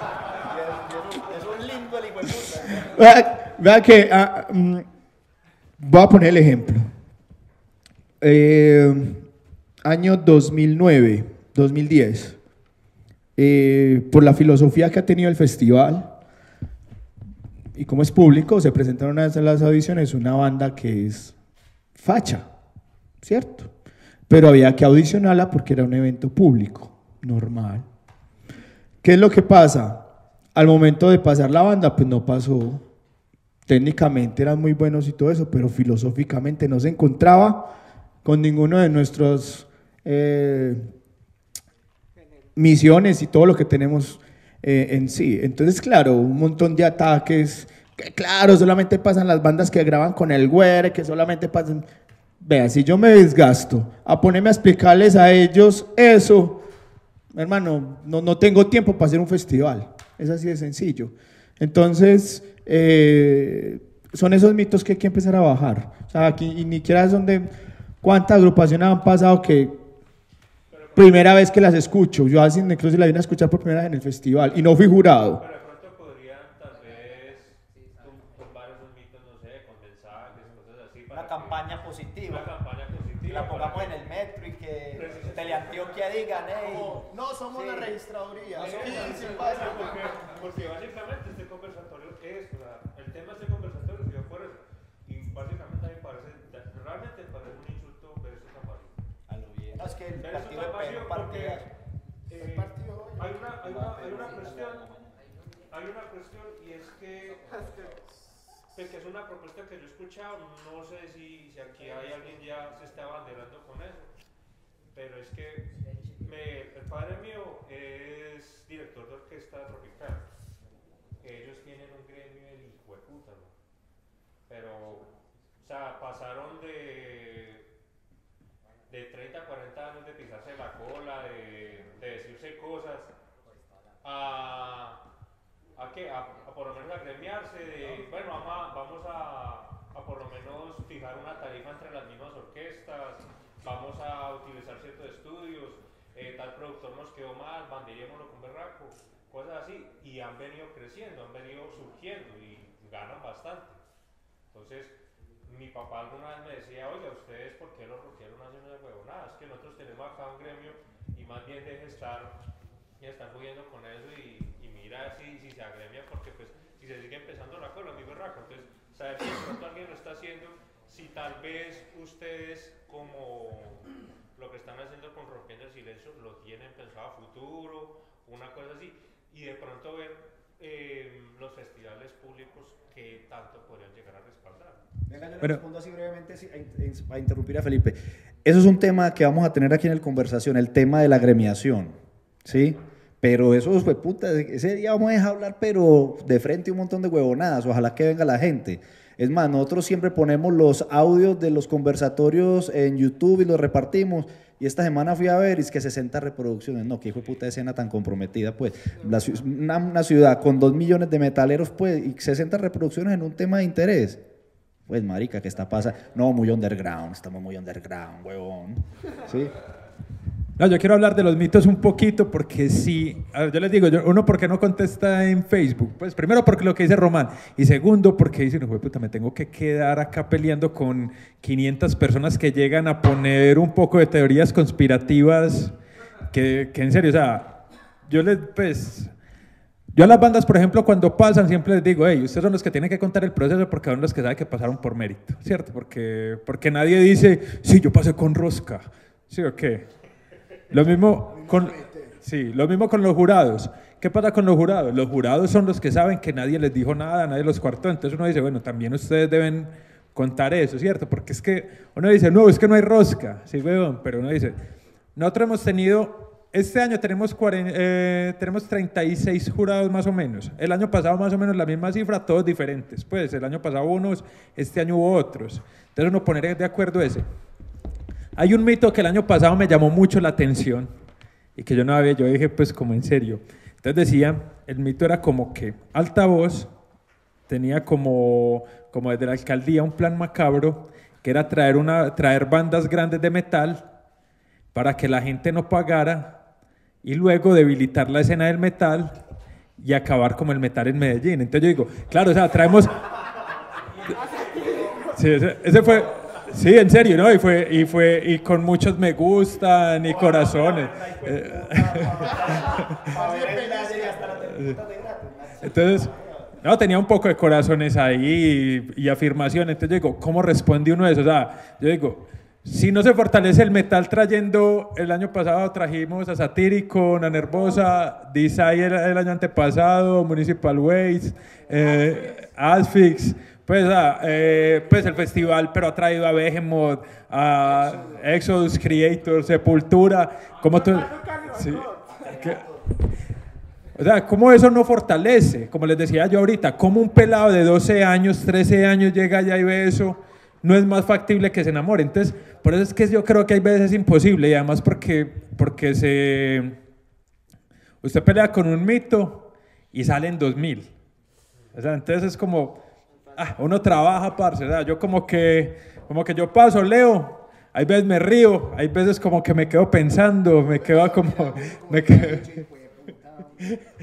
también pasa, pero en general yo me quedo como pensando y yo en serio, o sea, es como, como eso. Entonces yo creo, yo creo que lo de la eh, desmitificación pasa mucho también como por la gente que está en el entorno del festival, porque también es mucho, o sea, son 15 años y ya muchos han pasado, han tocado, y que yo creo que también la historia va mostrando, o sea, también uno dice, claro, eh, tales años pasaba tal banda y miren ya en dónde van que hay muchas bandas que pasan y que no pasa nada con ellas, también es verdad, pero yo creo que, la, que las bandas importantes de Medellín han pasado por el festival cuando se han presentado en algún momento, ya luego no vuelven a tocar y eso, pero, pero sí, sí han ido pasando. Entonces eso de la desmitificación, imposible, es como que hay veces...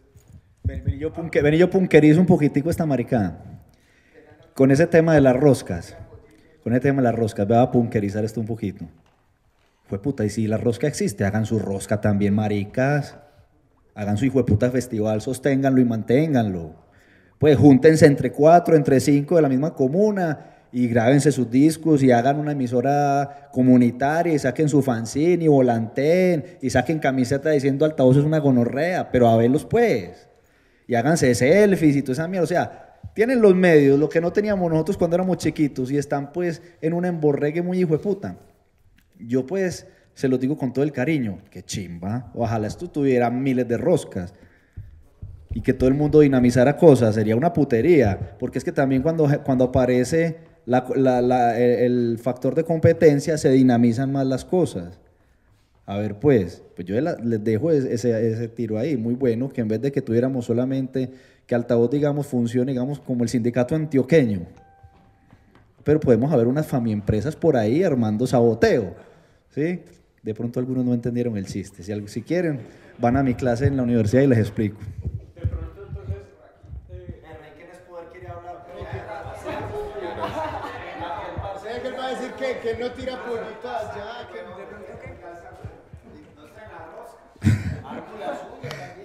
Ay, va- ah, no. No, respondamos unas preguntas, me pone el de doña Rocío, el de aquel del parcero. Sí. Eh, no, vea, eso de, los mitos y toda esa manera de cosas, los festivales, eso hay de todo. Eh, a mí me han puesto derechos de petición porque un grupo no pasó, me han llamado a amenazar.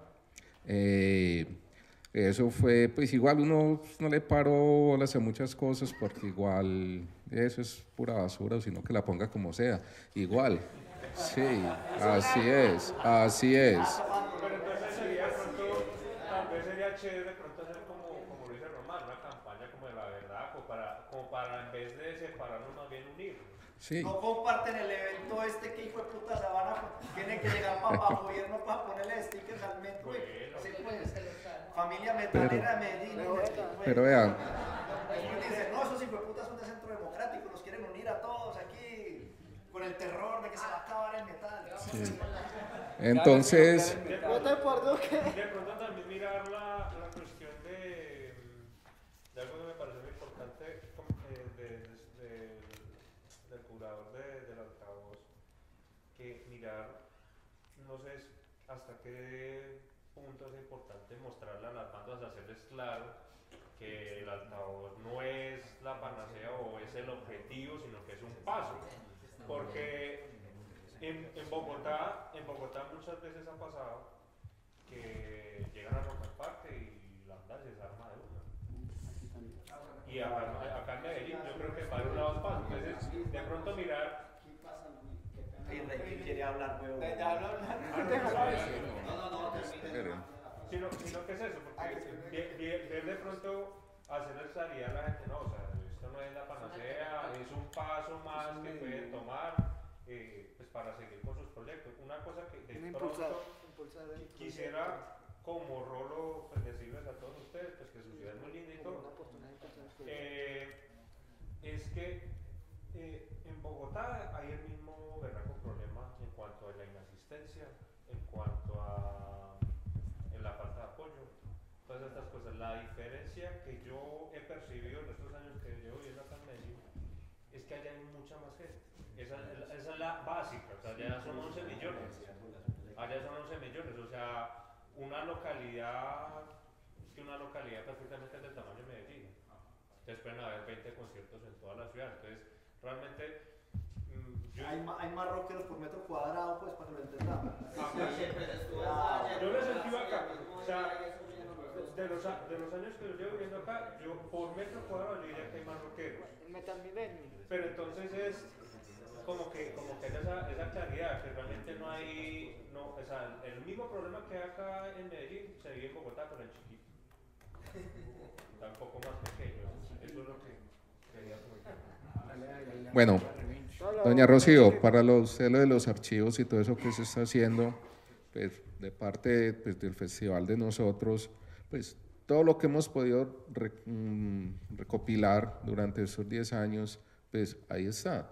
Se ha tratado o se está intentando hacer pues como la historia de estos primeros 10 años del festival con todo eso, aparte de todo lo que yo he recorrido y recuperado y recopilado de tanto tiempo pues como, como, como rockero, como parte de la escena. Pero es muy difícil, porque de todas maneras es un proceso costoso. La gente que uno necesita y uno sin un recurso, la gente dice, hey, vení, colabora. La gente gratis no trabaja ahora. Es muy complicado, usted sabe cómo es. Pero igual, ahí está, algún día conseguiremos un recurso pues, para hacer eso, de que se necesita hacer, se necesita. Ahí la historia de la Comuna 4 frente al rock, frente a una escena es grandísima, porque es una de las comunas más importantes que hay referente al rock aquí en Medellín. Eh, lo otro, de los bares, eh, allí en Aranjuez, acá en Aranjuez, la 92, el parque, todo eso, hay varios bares de rock, ahí en sí son cuatro bares de rock. Eh, ahora están como en un proceso de abrieron como sus puertas los dueños de los bares convencer a un dueño de un bar de que meta un grupo que no haga cover para que para que toque es complicadísimo. No, que es que eso no va a nadie, que es que eso, lo que sabemos, lo que todos, y si en verdad no va a nadie.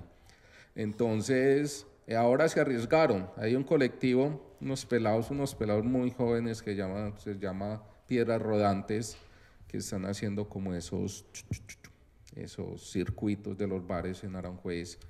Entonces, ahí están los muchachos. Ayer hicieron un toque allá en un bar que se llama Cool Music que lo deberían ir a conocer, que es un bar grande, que tiene una tarima, que tiene un sonido, que tiene luces, que está abierto al que sea. Parce, ahí está, venga, toque, si quiere cobra, si no cobra, pero ese espacio es buenísimo, ese espacio es grande. Se llama Cool Music. Y allá muchos grupos, pues es que yo no sé, como decían ahora, la escena punk es la que se está moviendo ahora. Allá hacen cada ocho días un toque punk y los toque pum son 5, 6, 10 bandas metidas en un bar, que ellos mismos llenan el bar, pero lo están haciendo, se están moviendo. Entonces yo ya empecé por ahora con un bar donde yo me mantengo, que es un parche para mí, se llama Memento, se queda cerquita al parque. Eh, empecé como con unos toques, igual, se hizo con un grupo de covers y otro de, de temas propios, yo creí que no iba a ir nadie, pues no, el bar se llenó, a las 11 de la noche ya no había una cerveza, el dueño contentísimo, entonces ya se le abrió como la mente, y no vamos a hacer otro toque, ahora vamos a hacer con otro, con el tributo, y sí, sí que hay por ahí, y ya, y ya vamos a empezar a hacer como los toques de grupos, eh, los grupos ya como con temas propios, porque es un trabajo que hay que hacer con los dueños de los bares, ellos nada más creen que es que los grupos de covers son los que llevan gente. Entonces hay muchas cosas que hacer pues en Aranjuez, lo que se está haciendo en Castilla, en la Villa de la Urra, este grupo, el Valhalla y el otro bar que ahí no me acuerdo, también hacen cosas y tienen su público, que nosotros no vamos, la mayoría no vamos, es diferente, pero que tienen su público y se han sostenido y han apoyado mucho pues a la escena local del rock. ¿Y cuál era la otra pregunta? Pues de los mitos y leyendas referente a eso, pues eso. Yo creo que todos los festivales lo tienen, de acá y de Europa y de Estados Unidos, lo que sea. Igual es, como decían ahí, es al, que no pasa a un festival igual, queda como, como con esa heridita, es que, que yo era mejor que, pero analicen qué falló. Esa, esa es una de las preguntas que le hacían, es ustedes como directores, ¿qué, qué cómo se llama? Ahí está el micrófono. No, yo no creo. Se nos va, se nos va a momificar Reiken aquí. Eso, hágale. Que- y a- al- aquí a- Sí, esto, rápido que aquí Faber tiene que ir a recoger. el hay una urgencia, la siempre le estaba jodiendo. No, no, no, qué cosa tan hijo de puta. Ey, no, muchachos, eh, lo primero es, ¿qué bandas de heavy metal hay aquí hoy? En español. Bueno, muy bien. Primera, primera de las cosas, y es un llamado a la apatía tan hijo de las bandas que tocamos heavy metal y en español, independientemente y respetando mucho los que tocan heavy metal y la postura que tiene Hugo y ese rocho. Muy apáticos, hermanos. O sea, y en parte yo diría que, que también tenemos esa percepción yo me incluyo ahí pues porque soy parte de- de los que hacemos heavy metal, pero yo estoy en todo lado, porque a mí esto me gusta. Yo amo esta huevonada. Pero hay una apatía muy grande, es que, ah, no, es que en los festivales solamente es pura carne molida y todo, y todo ese montón de cosas. Entonces también hay un, un criterio y una postura mental de las personas o los músicos que están haciendo heavy metal en español. Y lo otro es que no están participando de nada, no participan. O sea, aquí deberíamos estar más de, más de uno de los que hacemos heavy metal, porque por ejemplo el parcero que se queja, o sea, recibir un no de, de altavoz y, la- de, lo- de los festivales que están muy hijo de puta. Todos hemos pasado por ahí. O sea, se siente aquí como, fue puta, ¿yo qué estoy haciendo con mi vida? Es, es- es- es horrible, o sea, realmente, y yo lo digo con una, de una manera muy humilde, yo no soy de los que recibo mucho, muchos no en mi vida, pues en muchas cosas. Y esta vez me tocó, me tocó y se siente muy hueputa. Entonces yo a veces digo, y entonces las bandas que ya han recibido nos cuatro, cinco, seis, siete veces, ¿qué? Porque yo conozco, por ejemplo, aquí pasó esta banda... es- ah, bueno, ahí está. Por ejemplo, yo, yo valoro mucho que pasó esta banda de gótico, no hay varios, la otra, la otra, Atémesis. Esos pelados llevan en altavoz de todo lo que yo llevo más o menos desde el 2004 sin fallar ni una sola vez altavoz ni, y he estado siempre en, todo el rollo de los festivales. Ellos se han presentado más o menos cinco o seis veces y por fin pasaron. Y eso yo se, se los aplaudo porque tuvieron la valentía de recibir tantos hijueputas no y sentir esa frustración en el pecho que ya pasaron y les aplaudo eso. Entonces un llamado a nivel público, así no estén, a las bandas de heavy metal porque no participan. Y porque las hijueputas bandas de heavy metal somos los que más nos creemos una puta estrella de rock, pero no estamos en ningún lado, ni estamos tocando en ningún lado. Porque es que no se ven, no se ven, yo no las veo. Ni siquiera poco los que hacen heavy metal en inglés, por aquí estos parceros. Yo reconozco muchas bandas de acá y yo sé el movimiento, yo leo. Voy para otra cosa de los jurados. Independientemente que ustedes como festivales tengan jurados, yo le voy a pedir mucha coherencia a Felipe, incluso siendo yo que fui jurado de, altavoz. ¿Cómo es posible, lo voy a decir por mi banda, que lleguen y digan, yo les pregunto a ustedes, ¿qué, qué hay más arriba de la palabra excelente? Bueno, y existe o no existe, entendemos que, que una palabra excelente es de que les fue muy bien. Si a mí un jurado o unos jurados me ponen excelente interpretación, buena interpretación vocal, muy bien los solos, pero llegan y califican disque 6, de un puntaje, de un puntaje de 0 a 20. Llegan y, o sea, pero entonces ¿dónde está la coherencia? O sea, hay que ser coherentes con lo que escribimos y lo que plasmamos. A mí no me importa, listo, yo no pasé, me sentí muy hijo de puta, soy muy maluco, pero también sean coherentes. Si usted va a poner excelente puesta en escena, muy buena interpretación de solos, muy bien de, de, eh, vocalista, entonces ¿por qué ponen un, de calificación de 1 a 20, por qué ponen 6 a 9? O sea, ¿dónde está la coherencia?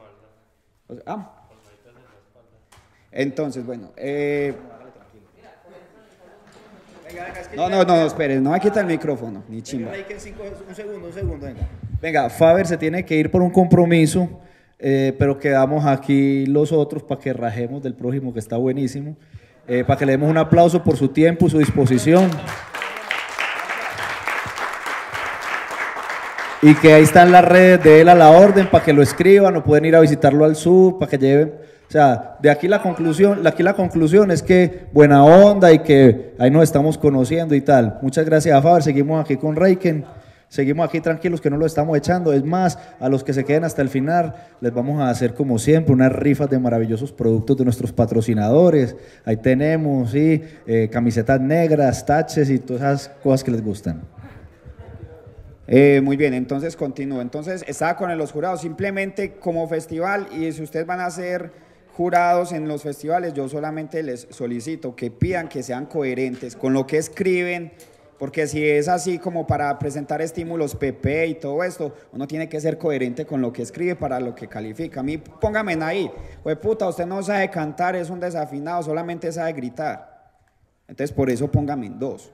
Pero si me van a poner una palabra muy bien, excelente, entonces sean coherentes también. Eso en esa parte. Eh, lo que están hablando de los conciertos en los bares, compañeros, amigos, colegas. En los dos conciertos que yo he hecho este año, eh, lo mínimo me salen 500 mil pesos, lo que es hacer un concierto con un sonido, pues con un sonido muy, muy decente, muy decente, pues no es la putería. Obviamente, yo siempre digo es que los bateristas y los vocalistas sufrimos por el hijo de puta retorno. Es un sufrimiento horrible. Pero se tiene un buen sonido con 500 mil pesos. Otra cosa, entendemos lo que dice Román, es que los bares están hechos para vender cerveza. En Relax Bar en Bello no nos cobraron un peso y por eso puede sacar uno aquí eh, de pronto los conciertos adelante con 500 mil pesos. Eso sí, contando de que es que la banda de XYZ, ve, parce, ve, ponemos una extensión, ponemos este, este micrófono porque nos tenemos que ayudar, porque si no, no nos da, no nos da. Pero hay un llamado también de atención y es que si ustedes como bandas están haciendo un concierto, con, otra, con otros parceros, ¿cómo es posible que si se saca una batería para que usted libre su propia inversión, que es por banda, hemos tocado cuatro bandas, son más o menos de a 160 mil pesos, no sos capaz de vender 20 putas boletas para que listo, liberes tú 160 mil y te quedes con 40 mil pesos para que te compres un ron. No lo hacen, o sea, prefieren perder, muchachos. Están perdiendo. No, es que no es solo la gestión, es salir a vender, parce, tu producto. O sea, no te importa. Entonces eso es un llamado de que si nos vamos a unir, parce, es que no importa de que, de que eh, las entradas vayan a ser para, a, nivel público. Venda usted sus entradas y libre usted solo. Lo que se entre ya eh, dentro del bar va a ser una ganancia para todos. Pero muy huevón uno llegar y meter 160 mil pesos para perder, va a vender 30 boletas, invitar a la mamá, al primo, al papá. Eso es sentido de pertenencia. Eso es un llamado. Eh, bueno, nuevamente, enseguida te doy la palabra, Felipe, en un momento. Eh, bandas en español en los festivales. Yo sí les voy a, solicitar en parte que, que analicen muy bien esto. Y lo digo con toda la convicción del mundo. La gente quiere cantar y nosotros entendemos es el español, por lo menos para acá. Respetando mucho la postura de Hugo y todo, todo lo que se dice el inglés y todo eso. La gente quiere cantar independientemente de que sean inglés. Es que fue puta, uno escuchar a Behemoth y entenderle el inglés así en gutural es muy chimba. Pero entonces, porque acá el español es como tan vetado hasta por nosotros mismos? La gente quiere cantar. Y no hay nada mejor que a cada uno de ustedes les cante las como se las cantan a Wistra, en inglés, pero se las canta. Y la gente acá entendemos es el español. Entonces ahí hay que revisar algo también que tiene que ver con el sentido de pertenencia de nuestro idioma es un llamado.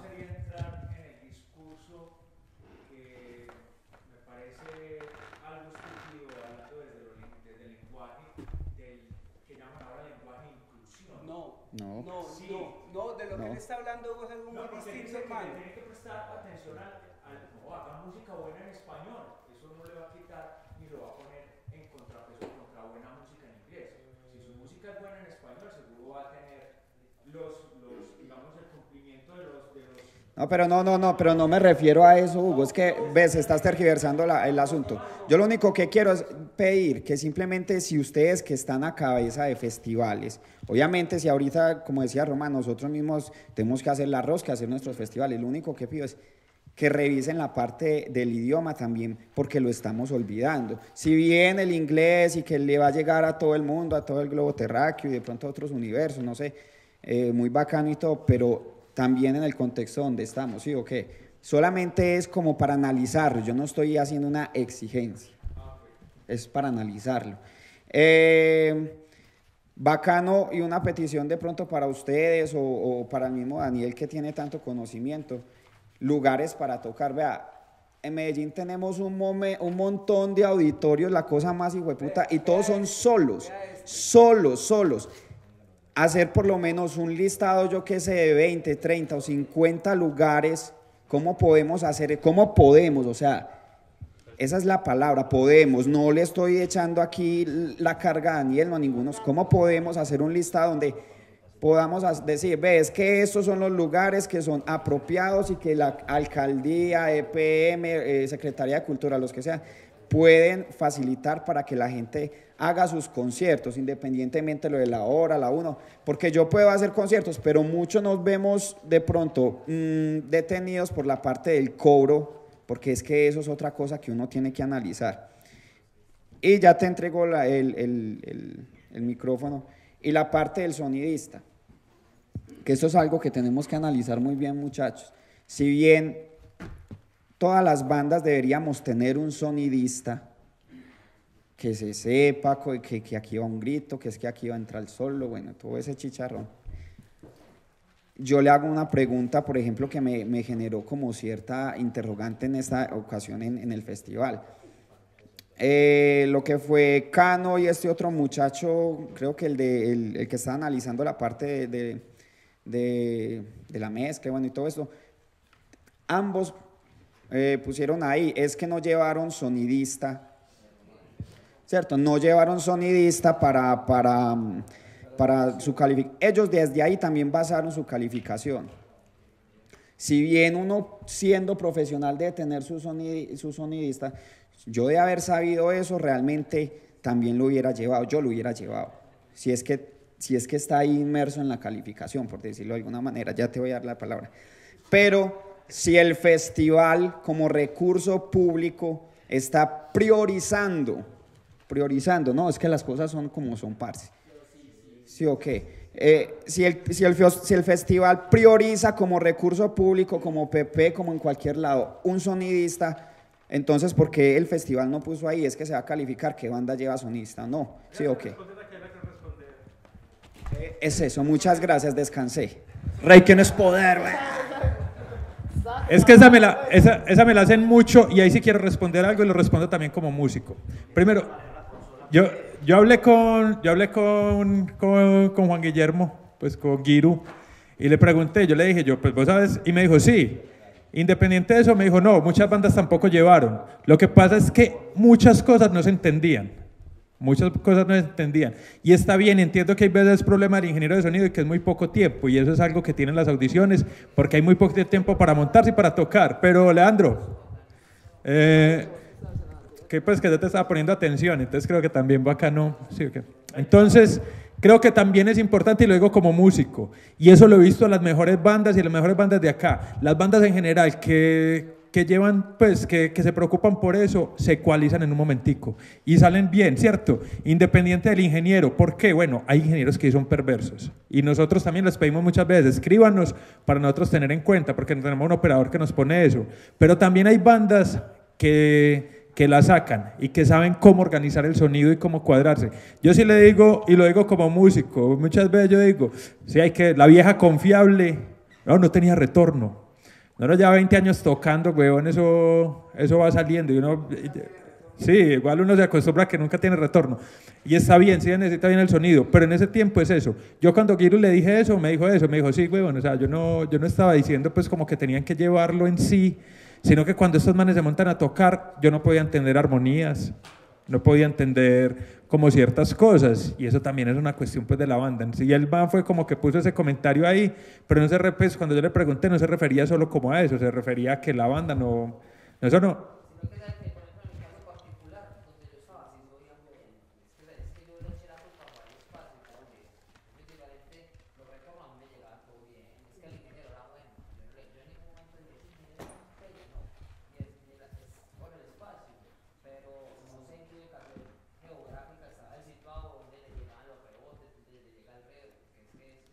Bueno, inicialmente un ingeniero tiene que estar en el centro, tiene que saber, por lo menos, pues si quieren escuchar armonías.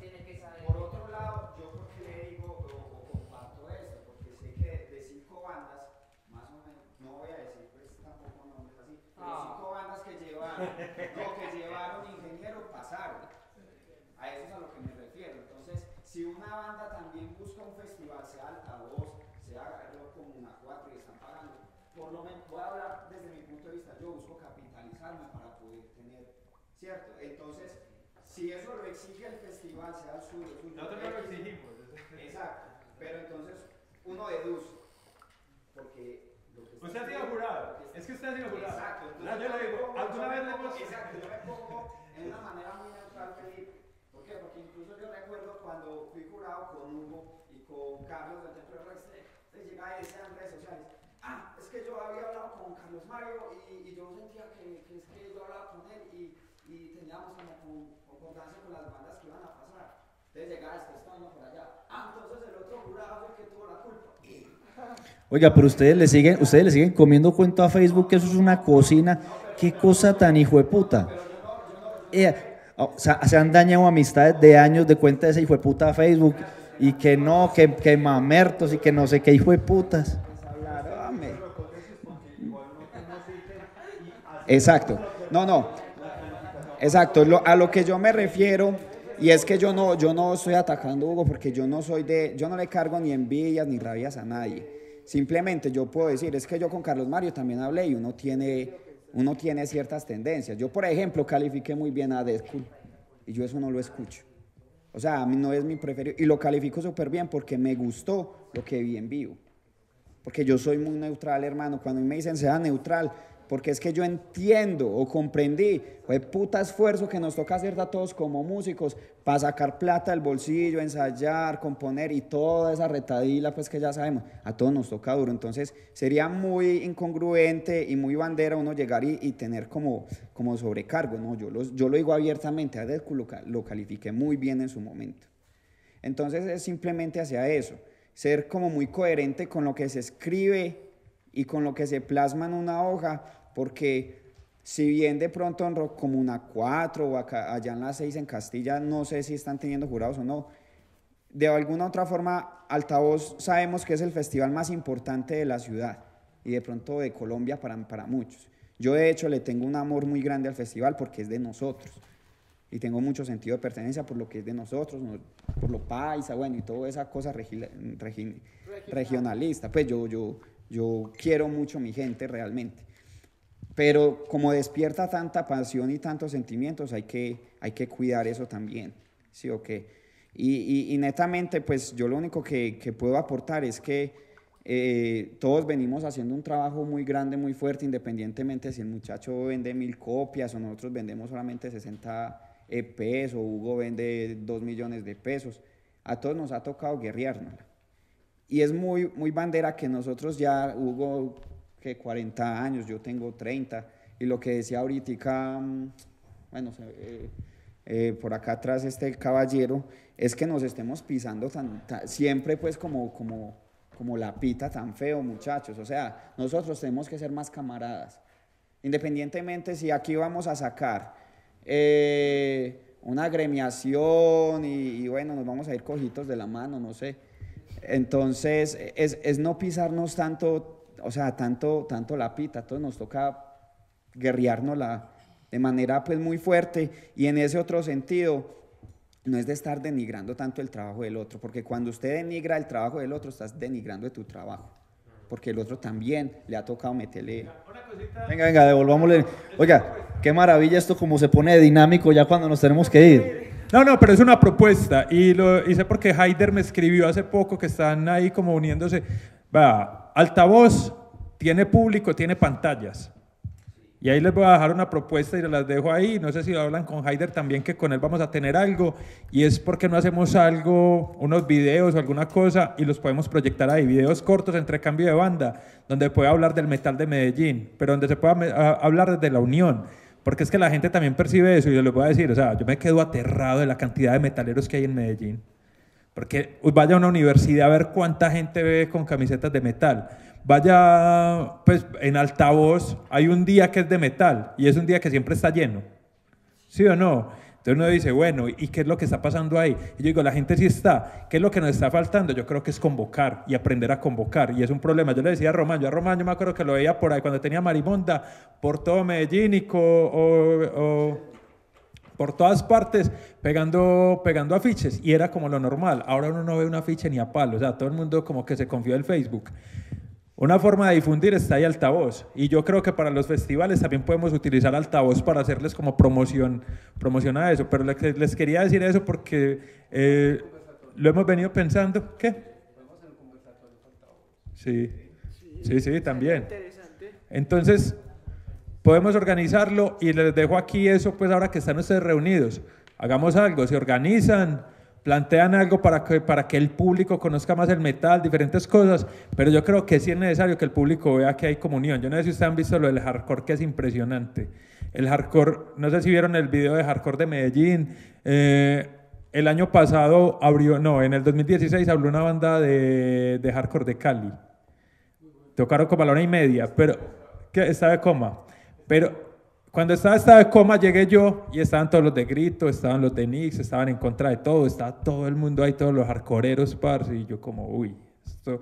Entonces yo creo que tenemos también que mirar, a mí el hardcore me llama mucho la atención, por eso, pues personalmente me gusta mucho el hardcore, pero además también me gusta es como la, como la, la unión que tienen, y siento que eso como que se transmite, o sea, yo siento que, que estos manes, ustedes saben que, que la escena hardcore no es la más grande, pues y el hardcore en ninguna parte del mundo va a ser una, Sí, nunca va a ser una, una, tendencia grandísima, pues, o sea, los conciertos de hardcore, inclusive yo una vez pude ver a Gorilla Biscuit, pues, por fuera de Colombia y eran 350 personas también, o sea, no, no era, pues, como que uno dijera 5 mil personas pagando, pero es la unión, entonces les quería hacer esa antes de que me fuera, ahí están, y podemos utilizar esas pantallas para hacer algo productivo también ahí.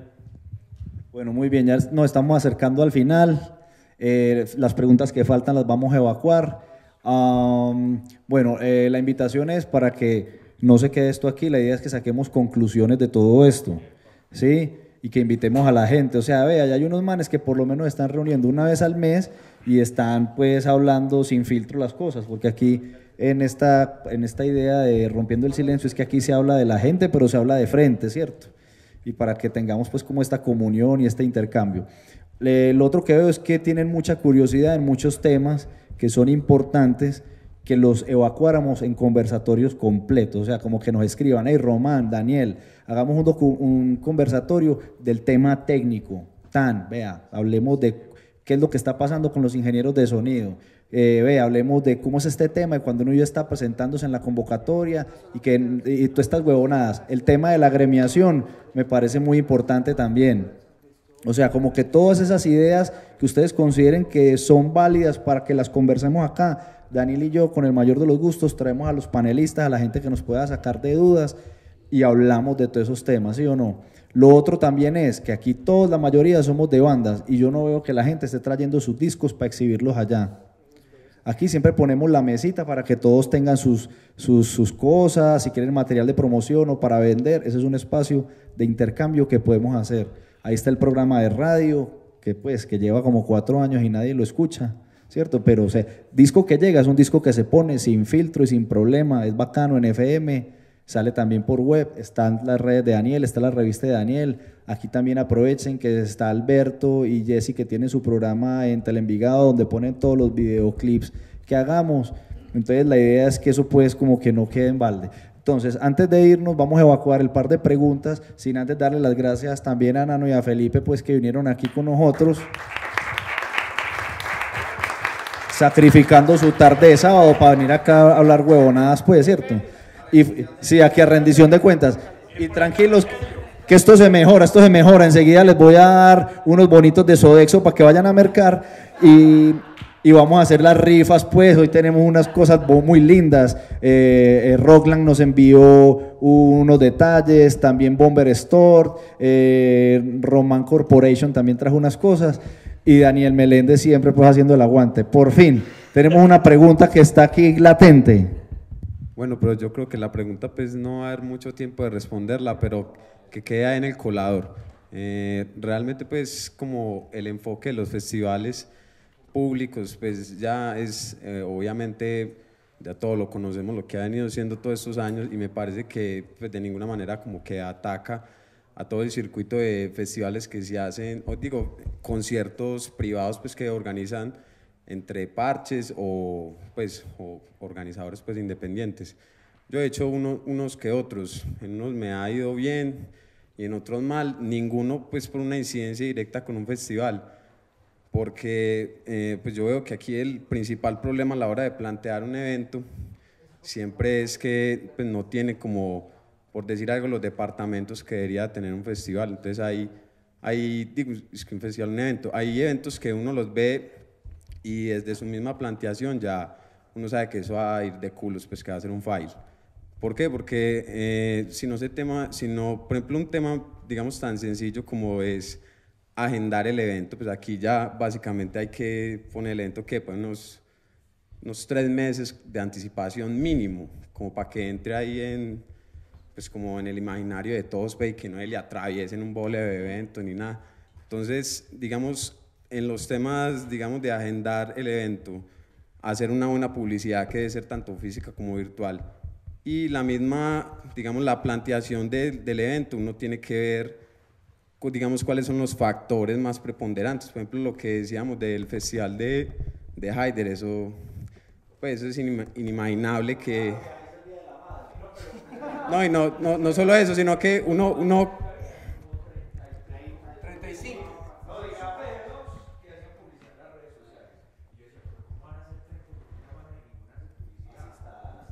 Oh, pero es que es muy, es, muy loco uno saber que, pues porque Haider hizo evento, pues había hecho el evento en, en, años anteriores, un número de bandas, un resultado. ¿Cómo va a pensar uno que con ese resultado que ha tenido, el cambio iba a ser meterle más bandas? No, eso pues sí me entiende. Entonces, digamos que ese paradigma de que el festival público me afecta a mi festival, eso es una cosa, pues yo digo que, eh, o mi propio evento, eso es mentira. ¿Por qué? Y la razón principal es que a nadie le gusta apoyar nada y es porque a uno le gusta consumir lo que uno le gusta. A mí, por ejemplo, como consumidor me, me, me interesa un pepino apoyar algo porque yo no voy a gastar plática que yo me sudo en una cosa solo por apoyar, jamás. Uno solo consume lo que uno le gusta. Entonces, por ejemplo, si una banda lleva, por decir algo, 10 años camellando y no has vendido nada, pues papi, no, no gustó. Que falla, que fail. No es que todo tenga que salir bien. Yo he hecho eventos y esos salen malos. ¿Por qué? Pero porque una mala planeación, bueno, una infinidad de cosas. Entonces, como que las culpas siempre se suelen recaer al lado más sencillo, como que bueno, me salió el evento mal y mañana digo, es que nadie apoya, es que yo no sé qué, no, aquí nadie apoya, eso, eso está claro, o sea, aquí sencillamente la gente consume lo que realmente quiere consumir, entonces es como poner muy bien, pues como en la mesa, saber qué tiene uno que combinar para que realmente ese evento sí salga adelante porque realmente pues como que se están quedando atrofiaditos en, en, una, pues como en, en, esa sola idea. Y mi pregunta pues original, que era, digamos, uno de los componentes que a mí me parece que también debería eh, como potencializarse en este sentido, y lo había mencionado ahorita, era la inclusión de lo que es la empresa privada en todo lo que nosotros hacemos no como de una manera de, de, que organizaciones metan la mano pues como en el metal o algo así, sino sencillamente que hay que buscar otros recursos. Por ejemplo, eh, yo tuve oportunidad de hacer también un evento allá en el sub y en el sub no fue excelente, pues todo salió muy bien. Y yo ahí logré hacer, eh, logré meter unas que otras eh, empresas que son del mismo sector musical, obviamente salas de ensayo, marcas de ropa pues que se dedican pues como al metal y hay alcances que uno personalmente puede tener, por ejemplo pues de mi familia hay una escuela de enseñanza, entonces pues fue puta, yo los obligo al menos que me den un apoyo de transporte, por decir algo. O sea, no tiene que ser que esto se va a privatizar, pues, porque todo el mundo, cuando uno les habla, digamos, del sector privado, a meterlo al metal, dicen que es que no, es que ya vas a venir a privatizar el metal y eso no es el metal, y bueno, entonces es miércoles. Entonces la pregunta es, ¿Qué planes tienen los festivales y en general los eventos de aumentar, digamos, ese sector privado en el sector del, pues, en, lo que es sí, pues, nuestra actividad general, sí, porque realmente...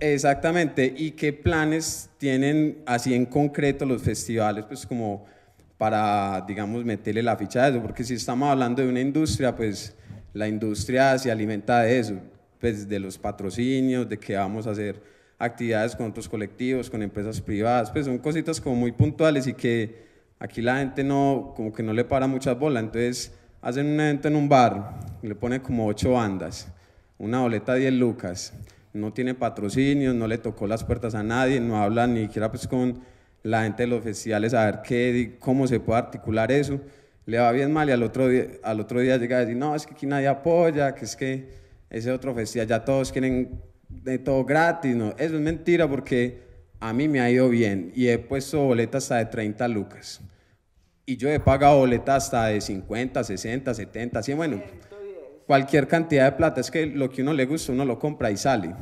Entonces la pregunta aquí no es como que no hay apoyo o, o que lo gratis me lo quita, sino lo estoy haciendo bien o lo estoy haciendo mal. Eso es una respuesta, porque entonces yo cómo puedo ver que una banda le vaya bien y haga, digamos, festivales todo el año. Digo, pues no, no haga, sino que participe, participa en festivales y eventos todo el año. Y hay otras bandas que sencillamente no salen de, del municipio pues son cosas como muy precisas, son procesos que son, digamos, que se van juntando, pero que realmente se dividen en el éxito y en el fracaso y son detallitos, la verdad, pues muy puntuales. Entonces sería eso, como que proyectos hay con el sector privado para que esto tenga un músculo financiero pues como más, más poderoso. Bueno, los que no conocían, Andrés pues tiene también un proyecto de revista, ¿cómo se llama? Subterráneo, ¿cierto? Bueno, muy bien, vamos a responder la, pregunta de, de, Andrés y dejamos las últimas preguntas que son una, dos y tres. Perfecto. Muy bien.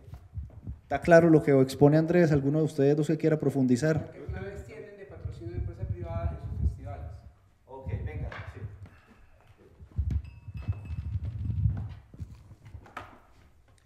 Pues planes todos, y más ahora que estamos sin un peso. Pero igual, no, es, sí, suena gracioso, pero es duro. Eh, no, siempre se ha tratado de, de, vincular a la empresa privada, pero es muy complicado con un monstruo que es, la, que es la alcaldía, que no permite nada.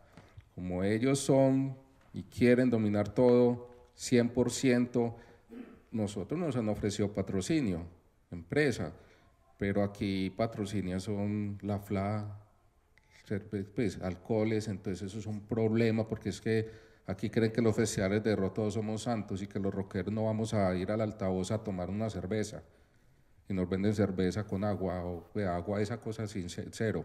Entonces es muy teso. Entonces es muy teso cuando la empresa no le conviene a la alcaldía. Eso le conviene a uno, claro, pero es difícil. O digan, listo, le patrocinamos, eh, que, listo, permitimos ese patrocinio, pero el logo o el símbolo lo de la empresa no va. Entonces una empresa cuando no puede mostrar si está patrocinando algo, pues es que es ridículo. Entonces es una pelea constante. Ellos sí cuando hacen sus cosas, claro, eso meten a la FLA, eso, la feria de la flores es una cosa así, vamos y emborrachemos al pueblo y lo que sea. Pero el rockero, los festivales de rock muy complicado porque todavía somos los demonios, somos los que nos vamos a ir allá a bolear, sí, eso es una cosa, mm, no entiendo, saliéndonos del tema, eh, ¿por qué me tienen casi que desnudar para entrar a un evento como el altavoz? ¿Por qué no podemos llevar los taches? ¿Por qué no podemos llevar las botas? ¿Por qué no podemos? Tenemos que entrar allá con los, pantalones cogidos de la, de la, porque no nos permiten ni una correa, no nos permiten ni una cosa. Nosotros hemos tratado con el festival de nosotros de la 4, los que han ido, ¿a quién se le quita algo? Parce, es el uniforme de nosotros, es como si un equipo de fútbol, parce, usted no juegue con esa camiseta porque no se lo vamos a permitir. Pues haga con, con hacemos lo que les da la gana. Nosotros en el festival les hemos tratado eso, parce, eso, es, eso, es, eso es la vida, eso es, Es como, como la armadura de nosotros, si era un festival con un chaleco, con unas manillas, con una correa, con unas botas. Y en el festival de la 4, ¿qué ha pasado? O en el festival de la 6, ¿qué ha pasado? No ha pasado absolutamente nada. Perdón, mandan una mano de atarbanes a violentarnos desde el principio. Uno entra, uno entra al, al altavoz ya todo ofendido desde el principio. Uno es ofendido, ofendido como lo tratan a uno, y más en este último altavoz. Esa gente de logística, yo no sé ustedes de dónde la sacaron, qué bastardos, en serio, como los trataron a todos. A lo bien como nos trataron. Eh, Esa no era la pregunta, pero me desahogué. Aprovechando. Aprovechando que él está acá, pues, y, y que ese es, nos lo sentimos.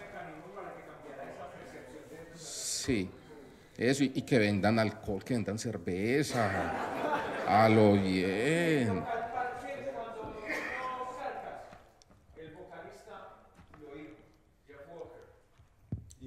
Y Mike Petrosa lo dijo aquí en Medellín también.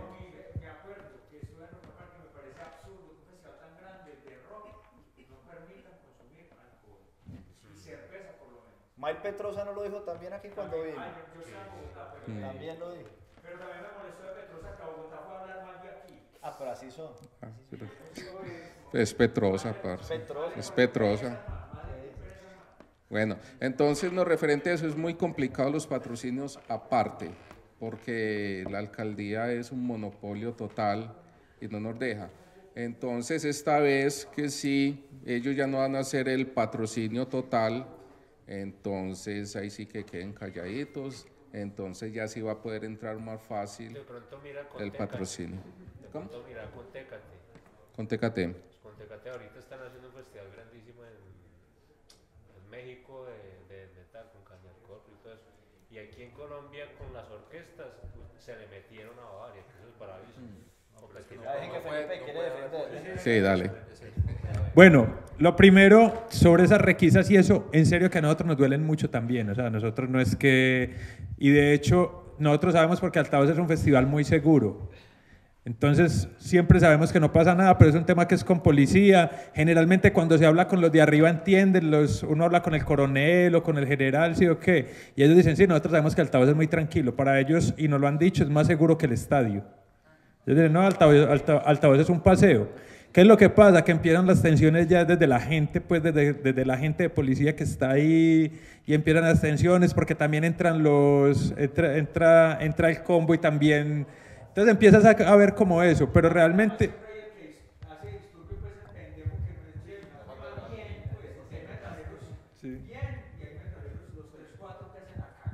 No, y no solo metaleros, de todas las, o sea, de todas. Entonces, claro, llega. Ustedes saben que siempre ha habido una tensión entre el rock y la policía, que a mí me parece muy sana también, entre otras cosas.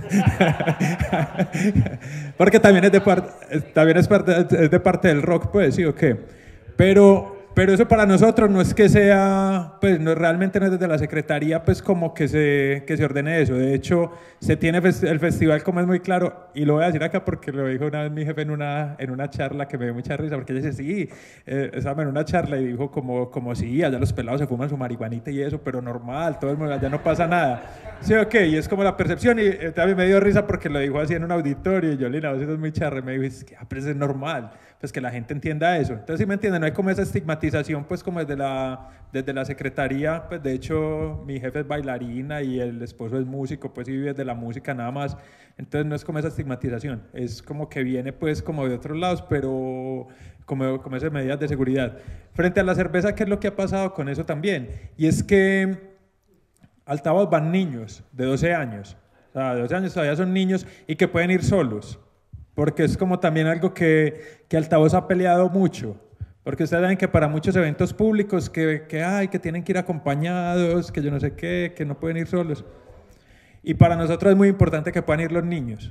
O sea, como que... que sí, o sea, que, que un pelado de 12 años que lo dejen salir de la casa pueda ir.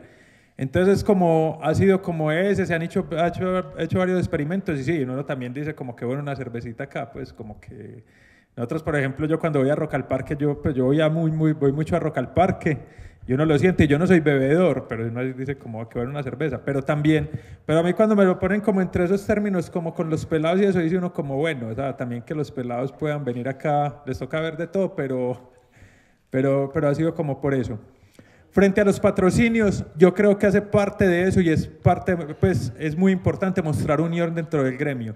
Cuando las barcas empiecen a ver que, que hay un sector rockero fuerte, pero les digo, el Facebook a mí me parece muy dañino, porque es que en el Facebook usted empieza a ver, usted tiene una marca y usted dice, yo voy a apoyar este evento. Entonces, primero, todo el mundo tirándole a todo el mundo quién es, quién es True y quién es, quién es un casposo, ¿sí o qué? ¿Quién, quién, tiene, ¿Quién tiene esta edad? Entonces puede hablar de, de, la música de tales años y llega un pelado de 13 o 14 años y todo el mundo le va encima. ¿Sí o qué? Que porque todavía no conoce, porque fue puta, los 14 años no, todavía no conoce nada. Normal. Yo tengo 40 años y quisiera tener 14 así no conociera nada, papá. ¿Sí o qué? Para no tener que trabajar y que me mantuvieran en la casa todavía. Eso, eso, eso para mí sería, eso para mí sería ideal. Pero las marcas buscan eso. Yo creo, que, yo creo que hay marcas que han empezado a entender eso un poquito y yo creo que tenemos que mirar modelos. Hay un modelo que es muy interesante y es el modelo del rock mexicano. En México, o sea, la autogestión en México es muy fuerte, pero hay como una, un interés de todo el mundo porque las bandas mueven muchas personas. Entonces yo creo que tenemos que movernos a, a hacer público. ¿Qué es lo que pasa en México? En México las bandas independientes viven del rock. Pero las bandas independientes se mueven mucho por generar su público. Pero entonces, como generan su público, los festivales privados, festivales grandes, necesitan hacer crecer esas bandas porque saben que esas son las headliners que van a generar dinero. Pero entonces está metida toda la empresa, mucha empresa, sobre todo la empresa cervecera, está muy metida ahí y organizan cosas alrededor. Hay algo que me parece muy bacano que se llama el circuito indio por, por el Festival Vive Latino y eso lo montaron unos amigos míos, Jerry Rosado y Salvador Toache. Y es con el Vive Latino, hicieron un circuito de bares en México, donde eh, Indio, la cerveza Indio, le paga las bandas, o sea, le dan todo a las bandas para que hagan la gira. Entonces tienen, no sé, no sé cuántos bares son, por ahí 30 bares, o que sean 15 pues, pero son 15 bares en diferentes ciudades de México, entonces la banda va el bar se compromete a tener un buen backline. Eh, yo con mi banda estuve pues casualmente tocando en un bar de esos, eh, no en el circuito indio, pero fuimos a tocar y era un bar con un backline, con un backline muy bueno, con un buen sonido, digamos como bares tipo sub, bares como tipo el sub. Tenían allá la... Entonces el bar se comprometía a eso. El indio les ponía a las bandas el, el transporte, el hotel y la alimentación. Entonces la banda se iba a hacer 15 fechas, patrocinada por Indio, y se iban y tocaban hoy en un día, dormían en un hotel, al otro día tan tan. El bar se llevaba el consumo y la banda se llevaba las entradas. Entonces la banda no, le, no perdía plata en la gira porque le pagaban eso, pero además tenía las entradas. ¿Y qué incentivaba las entradas? Que la banda se tenía que mover a convocar. Entonces hay una banda, hay una banda que, que haga ese viejo, ese viejo truco de ah, yo voy a tocar ahí ya de malas, se jode porque no le va a nadie. Pero además se jode porque entonces no lo van a invitar luego a un festival porque lo tenían planeado ese circuito indio para que la gente conociera las bandas, para luego llevarla a los festivales, para que la gente pague entradas por ir a ver esas bandas que ya los conoció en los bares, ¿cierto? Como todo ese, como todo ese modelo. Entonces yo creo que tenemos que entender, empezar a hacer eso. Y cuando las marcas empezaron a ver que eso estaba funcionando, las bandas empiezan a ver que todo ese modelo funciona y que va mucha gente. Entonces, claro, si yo tengo una, una marca de zapatos como, por ejemplo, acá en Medellín pusieron Dr. Martin. Es una banda asociada al punk, al hoy y a muchas tendencias pues dentro del rock, ¿sí o no? Y esa gente quiere hacer cosas ya con bandas. Y ellos han hecho en Bogotá con, con, algunas bandas y las patrocinan, les hacen conciertos, organizan cosas. Entonces yo creo que lo que tenemos es que mostrar como, yo sigo pensando en eso, mostrar comunión, como mostrar que, que hay una gente trabajando, que es un gremio, así por dentro, mejor dicho, al estilo familia, así por dentro todo el mundo se tire, que por fuera también se vea la cosa como como organizada y eso empieza a garantizar y eso nos va a garantizar y yo lo digo pues por ejemplo porque me tocó ver mucho el trabajo de Román y pude ver una banda como brujería en el, en el Putas Fest pues además que ese baterista pues yo no sé aquí quién es baterista yo no hay baterista pues, pues ¿cómo le parece animal que, traje, que trajeron ese día? O sea, uno- eso no es pero así animalísimo pero para que eso suceda se requieren esos patrocinios. Pero esos patrocinios funcionan cuando vean que esto, o sea, nadie va a entrar a arriesgar dentro de la empresa privada y Román que sabe que es economista, sabe que nadie entra a arriesgar. Cuando esta gente llega es cuando ya ve algo montado. Cuando esta gente dice como, uy, sí, o sea, aquí tengo, sí, aquí tengo, estos manes me pueden, aquí tienen mil personas y aquí cuántos, aquí cuántas chaquetas puedo vender yo o aquí cuántas cervezas puedo vender yo, o aquí cuánto, pues de lo que yo sea, gorras o lo que sea que, que sea que vendan. Y creo que también es, es importante empezar a trabajar mostrando eso. O sea, yo considero acá la gente que he conocido que organiza festivales es organizada y ha venido haciendo un trabajo.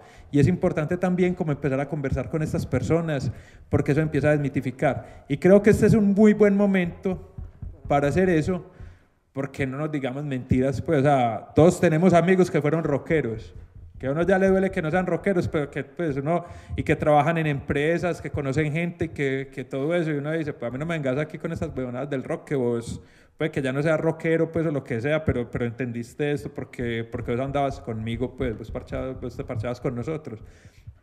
Entonces creo que es un buen momento como para que nos sentemos, reflexionemos, miremos otros modelos exitosos y empecemos a convocar a estas empresas y a decirle, venga, pero eso hagámoslo cuando podamos tener esas... eh, sí, algo para mostrar, porque si no nos jodemos. Y el día que lo hagamos, la cagamos, olvídese que hay gente que no vamos a recuperar. ¿Quiénes eran las últimas preguntas que quedaban por acá?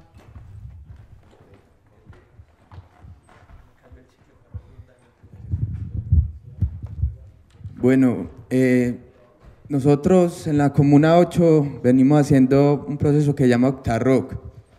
Entonces, en el primer conversatorio, yo escuché que un compañero que hubo por acá comentó que todos los eventos, sea en bares o en donde sea, debían estar como registrados ante el Ministerio de Cultura y que en la publicidad, para certificar ese registro, debía haber como un consecutivo o algo así. Este año nosotros vamos a hacer el festival en la Casa de Cultura eh, de las Estancias. ¿Cómo? Sí, pues eh, este año lo vamos a hacer en las estancias, como en la última estación del tranvía, la estación Oriente, al frente. Entonces, bueno, aprovecho y digo una vez la cuña el 7 de julio y miren en Facebook Festival Octarrock. Entonces, bueno, eh, yo le pregunté al hombre y él me dijo, es que no, vea, eso es muy raro, eso es absurdo porque si no hay patrocinio del Ministerio de Cultura, ellos no tienen que exigir ni logos, ni consecutivos, ni nada de eso en la publicidad. Entonces, nosotros ya la otra semana sacamos la publicidad del evento y queremos, pues, o yo quiero saber cómo es eso para no, pues, que no nos veten la cuestión ni nada. Y bueno, pues, hago otra cuña. Eh, el evento es autogestionado y de todo, entonces, eh, para recoger fondos y demás, estamos vendiendo chocolates, que quiera se acerca y por aquí hay. ¿Quién responde ante esa? Vea, ya que hablan de eso, del consecutivo y todo eso, ha pasado, han pasado un montón de cosas. Los que se dedican al tema de autoproducir, que ahí también se genera un tema también mitológico, ¿no? Así como esta nueva arandela que salió, que es, es que el ingeniero de electricidad y un montón de cosas, ¿sí? No sé eso hasta qué punto entorpezca o no un evento de, de- de mediana envergadura. Bueno, hay cosas que yo creo que sí ponen mucho problema y que yo creo que para ciertos espacios, yo en ese momento estoy montando con unos parceros, también los invito, pues ya lo montamos, llevamos dos meses y medio con algo que se llama la Casa Independencia, es en Sabaneta, eso no tiene pues que ver con la alcaldía, sino que con unos parceros y estamos haciendo conciertos muy pequeñitos porque es una casa y porque es- tenemos vecinos abajo y vecinos a los lados que a la final eh, nos hemos entendido bien con ellos y les decimos, vea, hoy sábado hacemos mucha bulla, pero el resto de semana no tanto. Entonces hemos podido como hacer eso. Pero sí, es algo que llama el código PULEP del, de- del ministerio, pero no sabía que para eventos pequeños también había que hacerlo. Pues realmente nosotros en Casa Independencia nunca hemos hecho código PULEP y yo sé que se tiene que hacer para altavoz, entonces siempre, lo, siempre se hace pero no, no lo hemos hecho. Voy a mirar, voy a, voy a averiguar y si querés me escribís en, en estos días y, y averiguo por ese lado, ¿cierto? A ver qué es. Sin embargo, es un trámite como fácil, pues, es entrar a la página del, del ministerio y ahí puedes, puedes como inscribir el evento. Y eso muchas veces puede tener como ventajas. Otra cosa, ya hablando del ministerio que puede poner trabas, pero también hay unas, también hay convocatorias. Y yo creo que es importante como aprovecharnos de todas las convocatorias, porque nos sirven para viajar, nos sirven para, para organizar eventos. Por ejemplo, la Secretaría aquí para eventos también tiene, tiene convocatoria, entonces para que lo tengan en cuenta. Hay mucha plata por ahí que se puede buscar.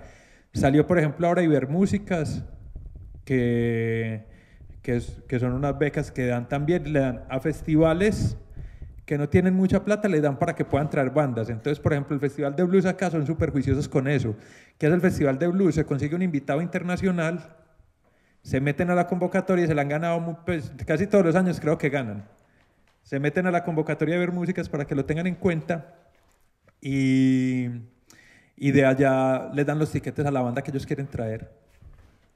Entonces no solo la banda, sino que el mismo festival lo está haciendo y es para que tengan en cuenta. Entonces, si del código PULEP, no sé a partir de cuánto es o de cuántas...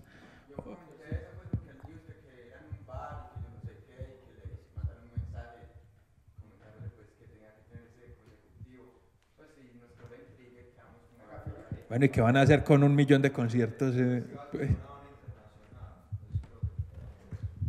Bueno, yo les propongo también que hagamos un conversatorio de esos, porque a los que nos ha tocado sacar eh, festivales eh, así pues con las uñas, por lo menos a mí, como los que estuvieron en el ejército, entienden el, el término que uno tiene que hacer sus perradas. ¿Sí entienden?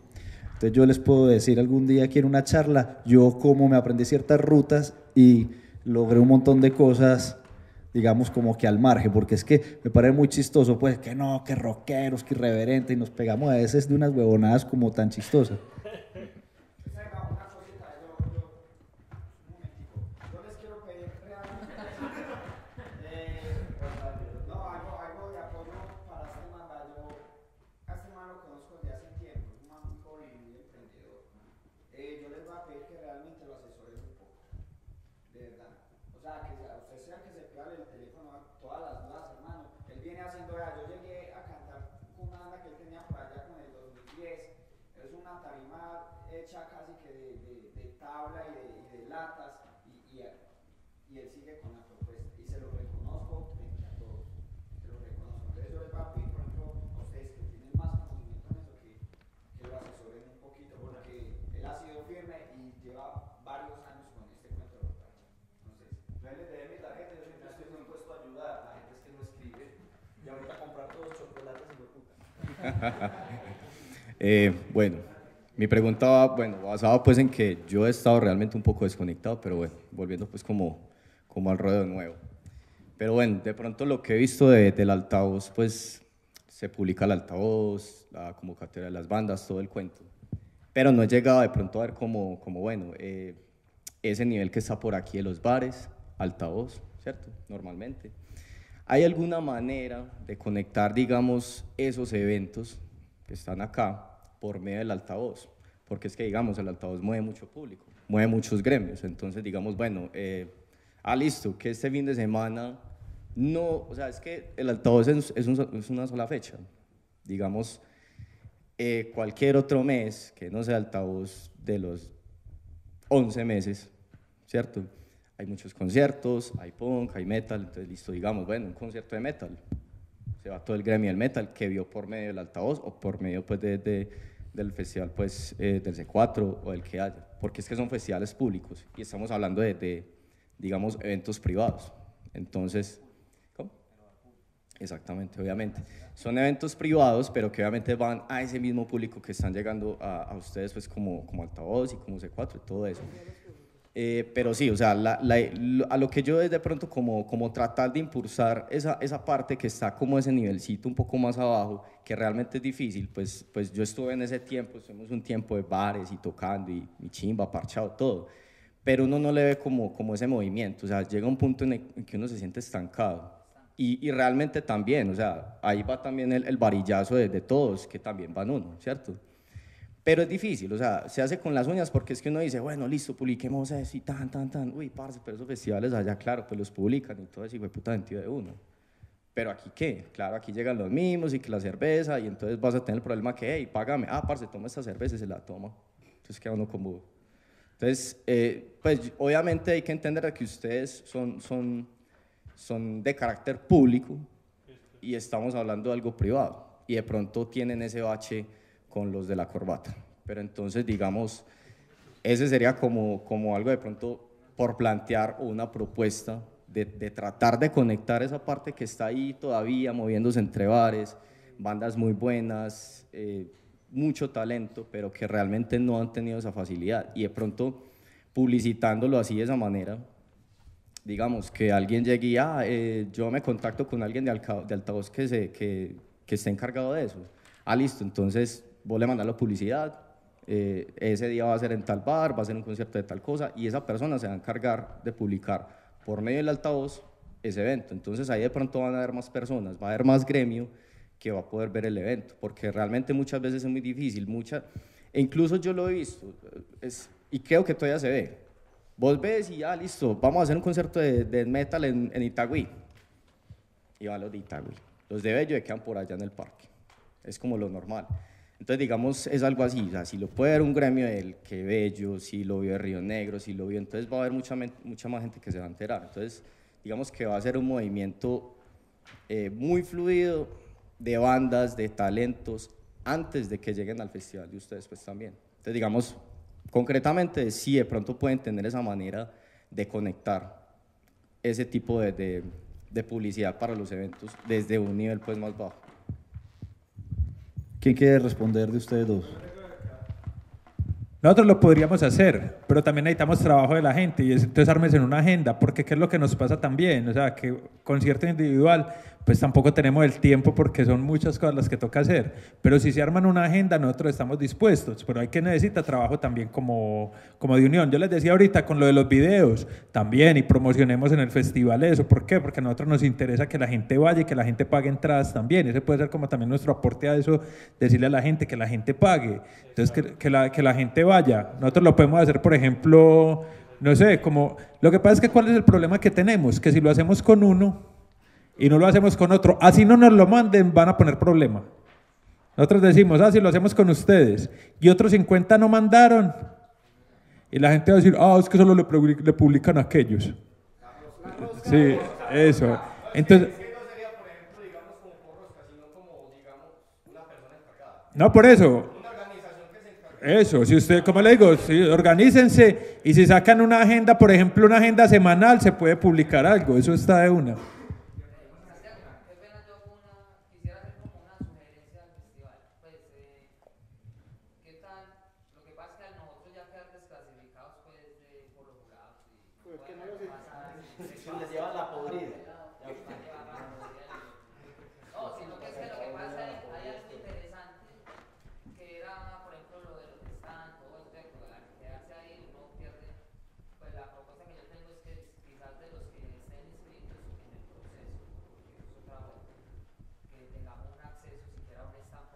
Vea, hay algo, no se puede tener todo el mundo en un stand, pero sí tenemos algo para este año. Y es que vamos a hacer como una carpa grande donde todo, pues, todo el mundo que quiera, no solo los que presentaron al festival, puedan llevar su material. ¿Por qué? Porque queremos que no solo las bandas que estén en el festival puedan venderlo. Entonces, ¿cuál es la idea? Hacer una carpa. El año pasado se hizo como un medio experimento ahí, pero era con las mismas carpas recibiendo material y hubo mucho material de bandas de acá pero queremos hacerlo así. Entonces, ¿cuál es la propuesta este año? Hacer como una carpa más grande donde las bandas van a llevar su material. Entonces, usted quiere, usted quiere llevar a Necropsy, pues lleve, o, o Román quiere llevar, o Neus quiere llevar, o, o Wistrap. Cierto, toquen o no toquen en el festival, puede, que puedan hacerlo, porque sí nos parece importante incentivar. Incluso es que estamos en ese debate porque nos habían dicho pues como que, que hacer algo como de intercambios como hacer una, no, como una zona como de intercambios. Y nosotros dijimos, pero ¿para qué intercambios? Bacano, o sea, a nivel humano muy bonito el intercambio, pero las bandas necesitan también plata, porque usted no puede ir a intercambiar cuando va a grabar, usted no puede intercambiar cuando va a ir a, a Disonex a decirle, hey, miren, vea, pues, yo necesito estos mil discos para que me prense y vamos a intercambiar por una... Entonces, por eso, Pero vamos a tener esa, sí vamos a tener esa carpa de una vez para que lo vamos planeando. Vamos a hacer, llegamos a la hora chimenguenchona cuando la gente se emociona. ¡Ay, me gané! Una ancheta divertida de las de, de allá, las que prepara Daniel Meléndez. Muy bien. Hoy con el apoyo de nuestros delegados de la cultura roja aquí, con la presencia de la familia subterránea, vamos a entregar, como siempre, unos incentivos que nos envían nuestros, nuestros patrocinadores en el día de hoy, Bomber Store y Rockland. Todos a la entrada les, les- dieron un fichito con un número, ¿cierto? Ok, muy bien. Entonces, Daniel, Daniel, eh, venga, vamos a explicarle las dinámicas a las personas. Eh, tenemos infinidad de cosas, qué maravilla, ¿no? Es más, tenemos hasta premios de consolación. Hemos traído unos afiches del nuevo disco de Neus totalmente gratis, por si no se ganan una ancheta maravillosa de estas. Y bueno, y también extenderles un abrazo afectuoso y un beso. Viva el metal de Medellín. Bueno, muy bien. Eh, Daniel, eh, cuéntanos cómo va a ser la dinámica entonces en este momento. Bueno, de las 70 y punta personas que se tomaron la molestia de llenar un formulario e inscribirse, pero solo tenemos 35 más o menos. Entonces, a la entrada se les entregó una contraseña. Quienes recuerdan Sábados Felices en la época de la contraseña, pues aquí tenemos la contraseña para sacarle, que alguien nos dé la suerte, a ver quién se la gana, así vamos a la fija y no pasamos por la de la, de la otra vez que comenzamos a llamar a lista y la gente no venía, ¿cierto? Entonces, bueno, esta vez estamos con el patrocinio de Bomber Store, que nos, que nos ha donado un bono para una prenda de vestir. Usted puede ir y reclamarlas, hombre, mujer, hombre con hombre, mujer con mujer, la talla que quiera, el motivo de la banda que quiera, siempre y cuando sea una banda nacional. Entre semana, desde las 10 de la mañana hasta las 7 de la noche, en el local 217, en el segundo piso del Paseo La Playa, eh, sede extraoficial de Asometal Antioquia. Qué Tan- tan emocionante, Daniel. Vamos a rifarla ya. Y también con el patrocinio de Rockland, que en este nuevo espacio no tuvimos donde colgar el pendón, pero el pendón de Rockland está al derecho, ¿cierto? Sí. La foto, la foto social. Eso, la foto eso, la foto social, por favor. Alguien que me mande una selfie esta maricada para Rockland. Que también nos donó una camiseta de Moonspell para nuestros participantes en esta vez. Entonces tenemos un combo por acá. ¿Qué va a hacer por acá? Esto es Ancient Necropsy. Ancient Ancient Necropsy, una banda de la que no he escuchado hablar en toda la tarde. Pero Esto... cinco. Sí, no, pues que estoy contando y luego armamos los combos, ¿cierto? ¿Qué tenemos por acá, amigo? Ay, mira, esto es un... Ah, el combo neurótico de Neus. Eh, es la, una revista el, que hace un manda aquí en Medellín muy el buena. pack de una tal crónica de estigias. Eh, entonces podemos armar un combito bien interesante de cositas para dar, ¿cierto? La gente quiere ganarse su camiseta de Bomber Store, Daniel. Listo. Entonces vamos a pedirle a Felipe que nos traiga la suerte un minutico acá. Tengo... Está por atrás. Ok. Felipe. Entonces, metes la mano, por favor, y sacas la contraseña número. A ver, la contraseña número 26. Pues puta, ¿quién se la ganó? ¿Quién se la ganó? La Hugo. 26. No, ¿quién? Pues puta, Hugo es tan de buenas que se la gana él. Se fue el 26, entonces aquí en un hotel. ¿Se fue? Ah, bueno. No, ah. Es otra, otra. A verlo, a verlo, a verlo. Se la ganó ¿Quién? Frank. Yo veo, yo veo, a ver si es Mu- verdad. muestra la contraseña. Ay, marica, se la ganó Frank. Eh, Vea. Vea, esto es, un, esto, es un, esto es coincidencia. Hola, ¿cómo estás? Mucho gusto, Frank. Muchachos. sobre su proyecto musical. No, muchachos, a nosotros nos beneficia ahora un proyecto que es a nivel internacional. A muchos lo he escuchado hablar. No sé si algunos están con el Music Coin o lo han escuchado hablar. Bueno, eso es un. es Como el Bitcoin, pero que todos los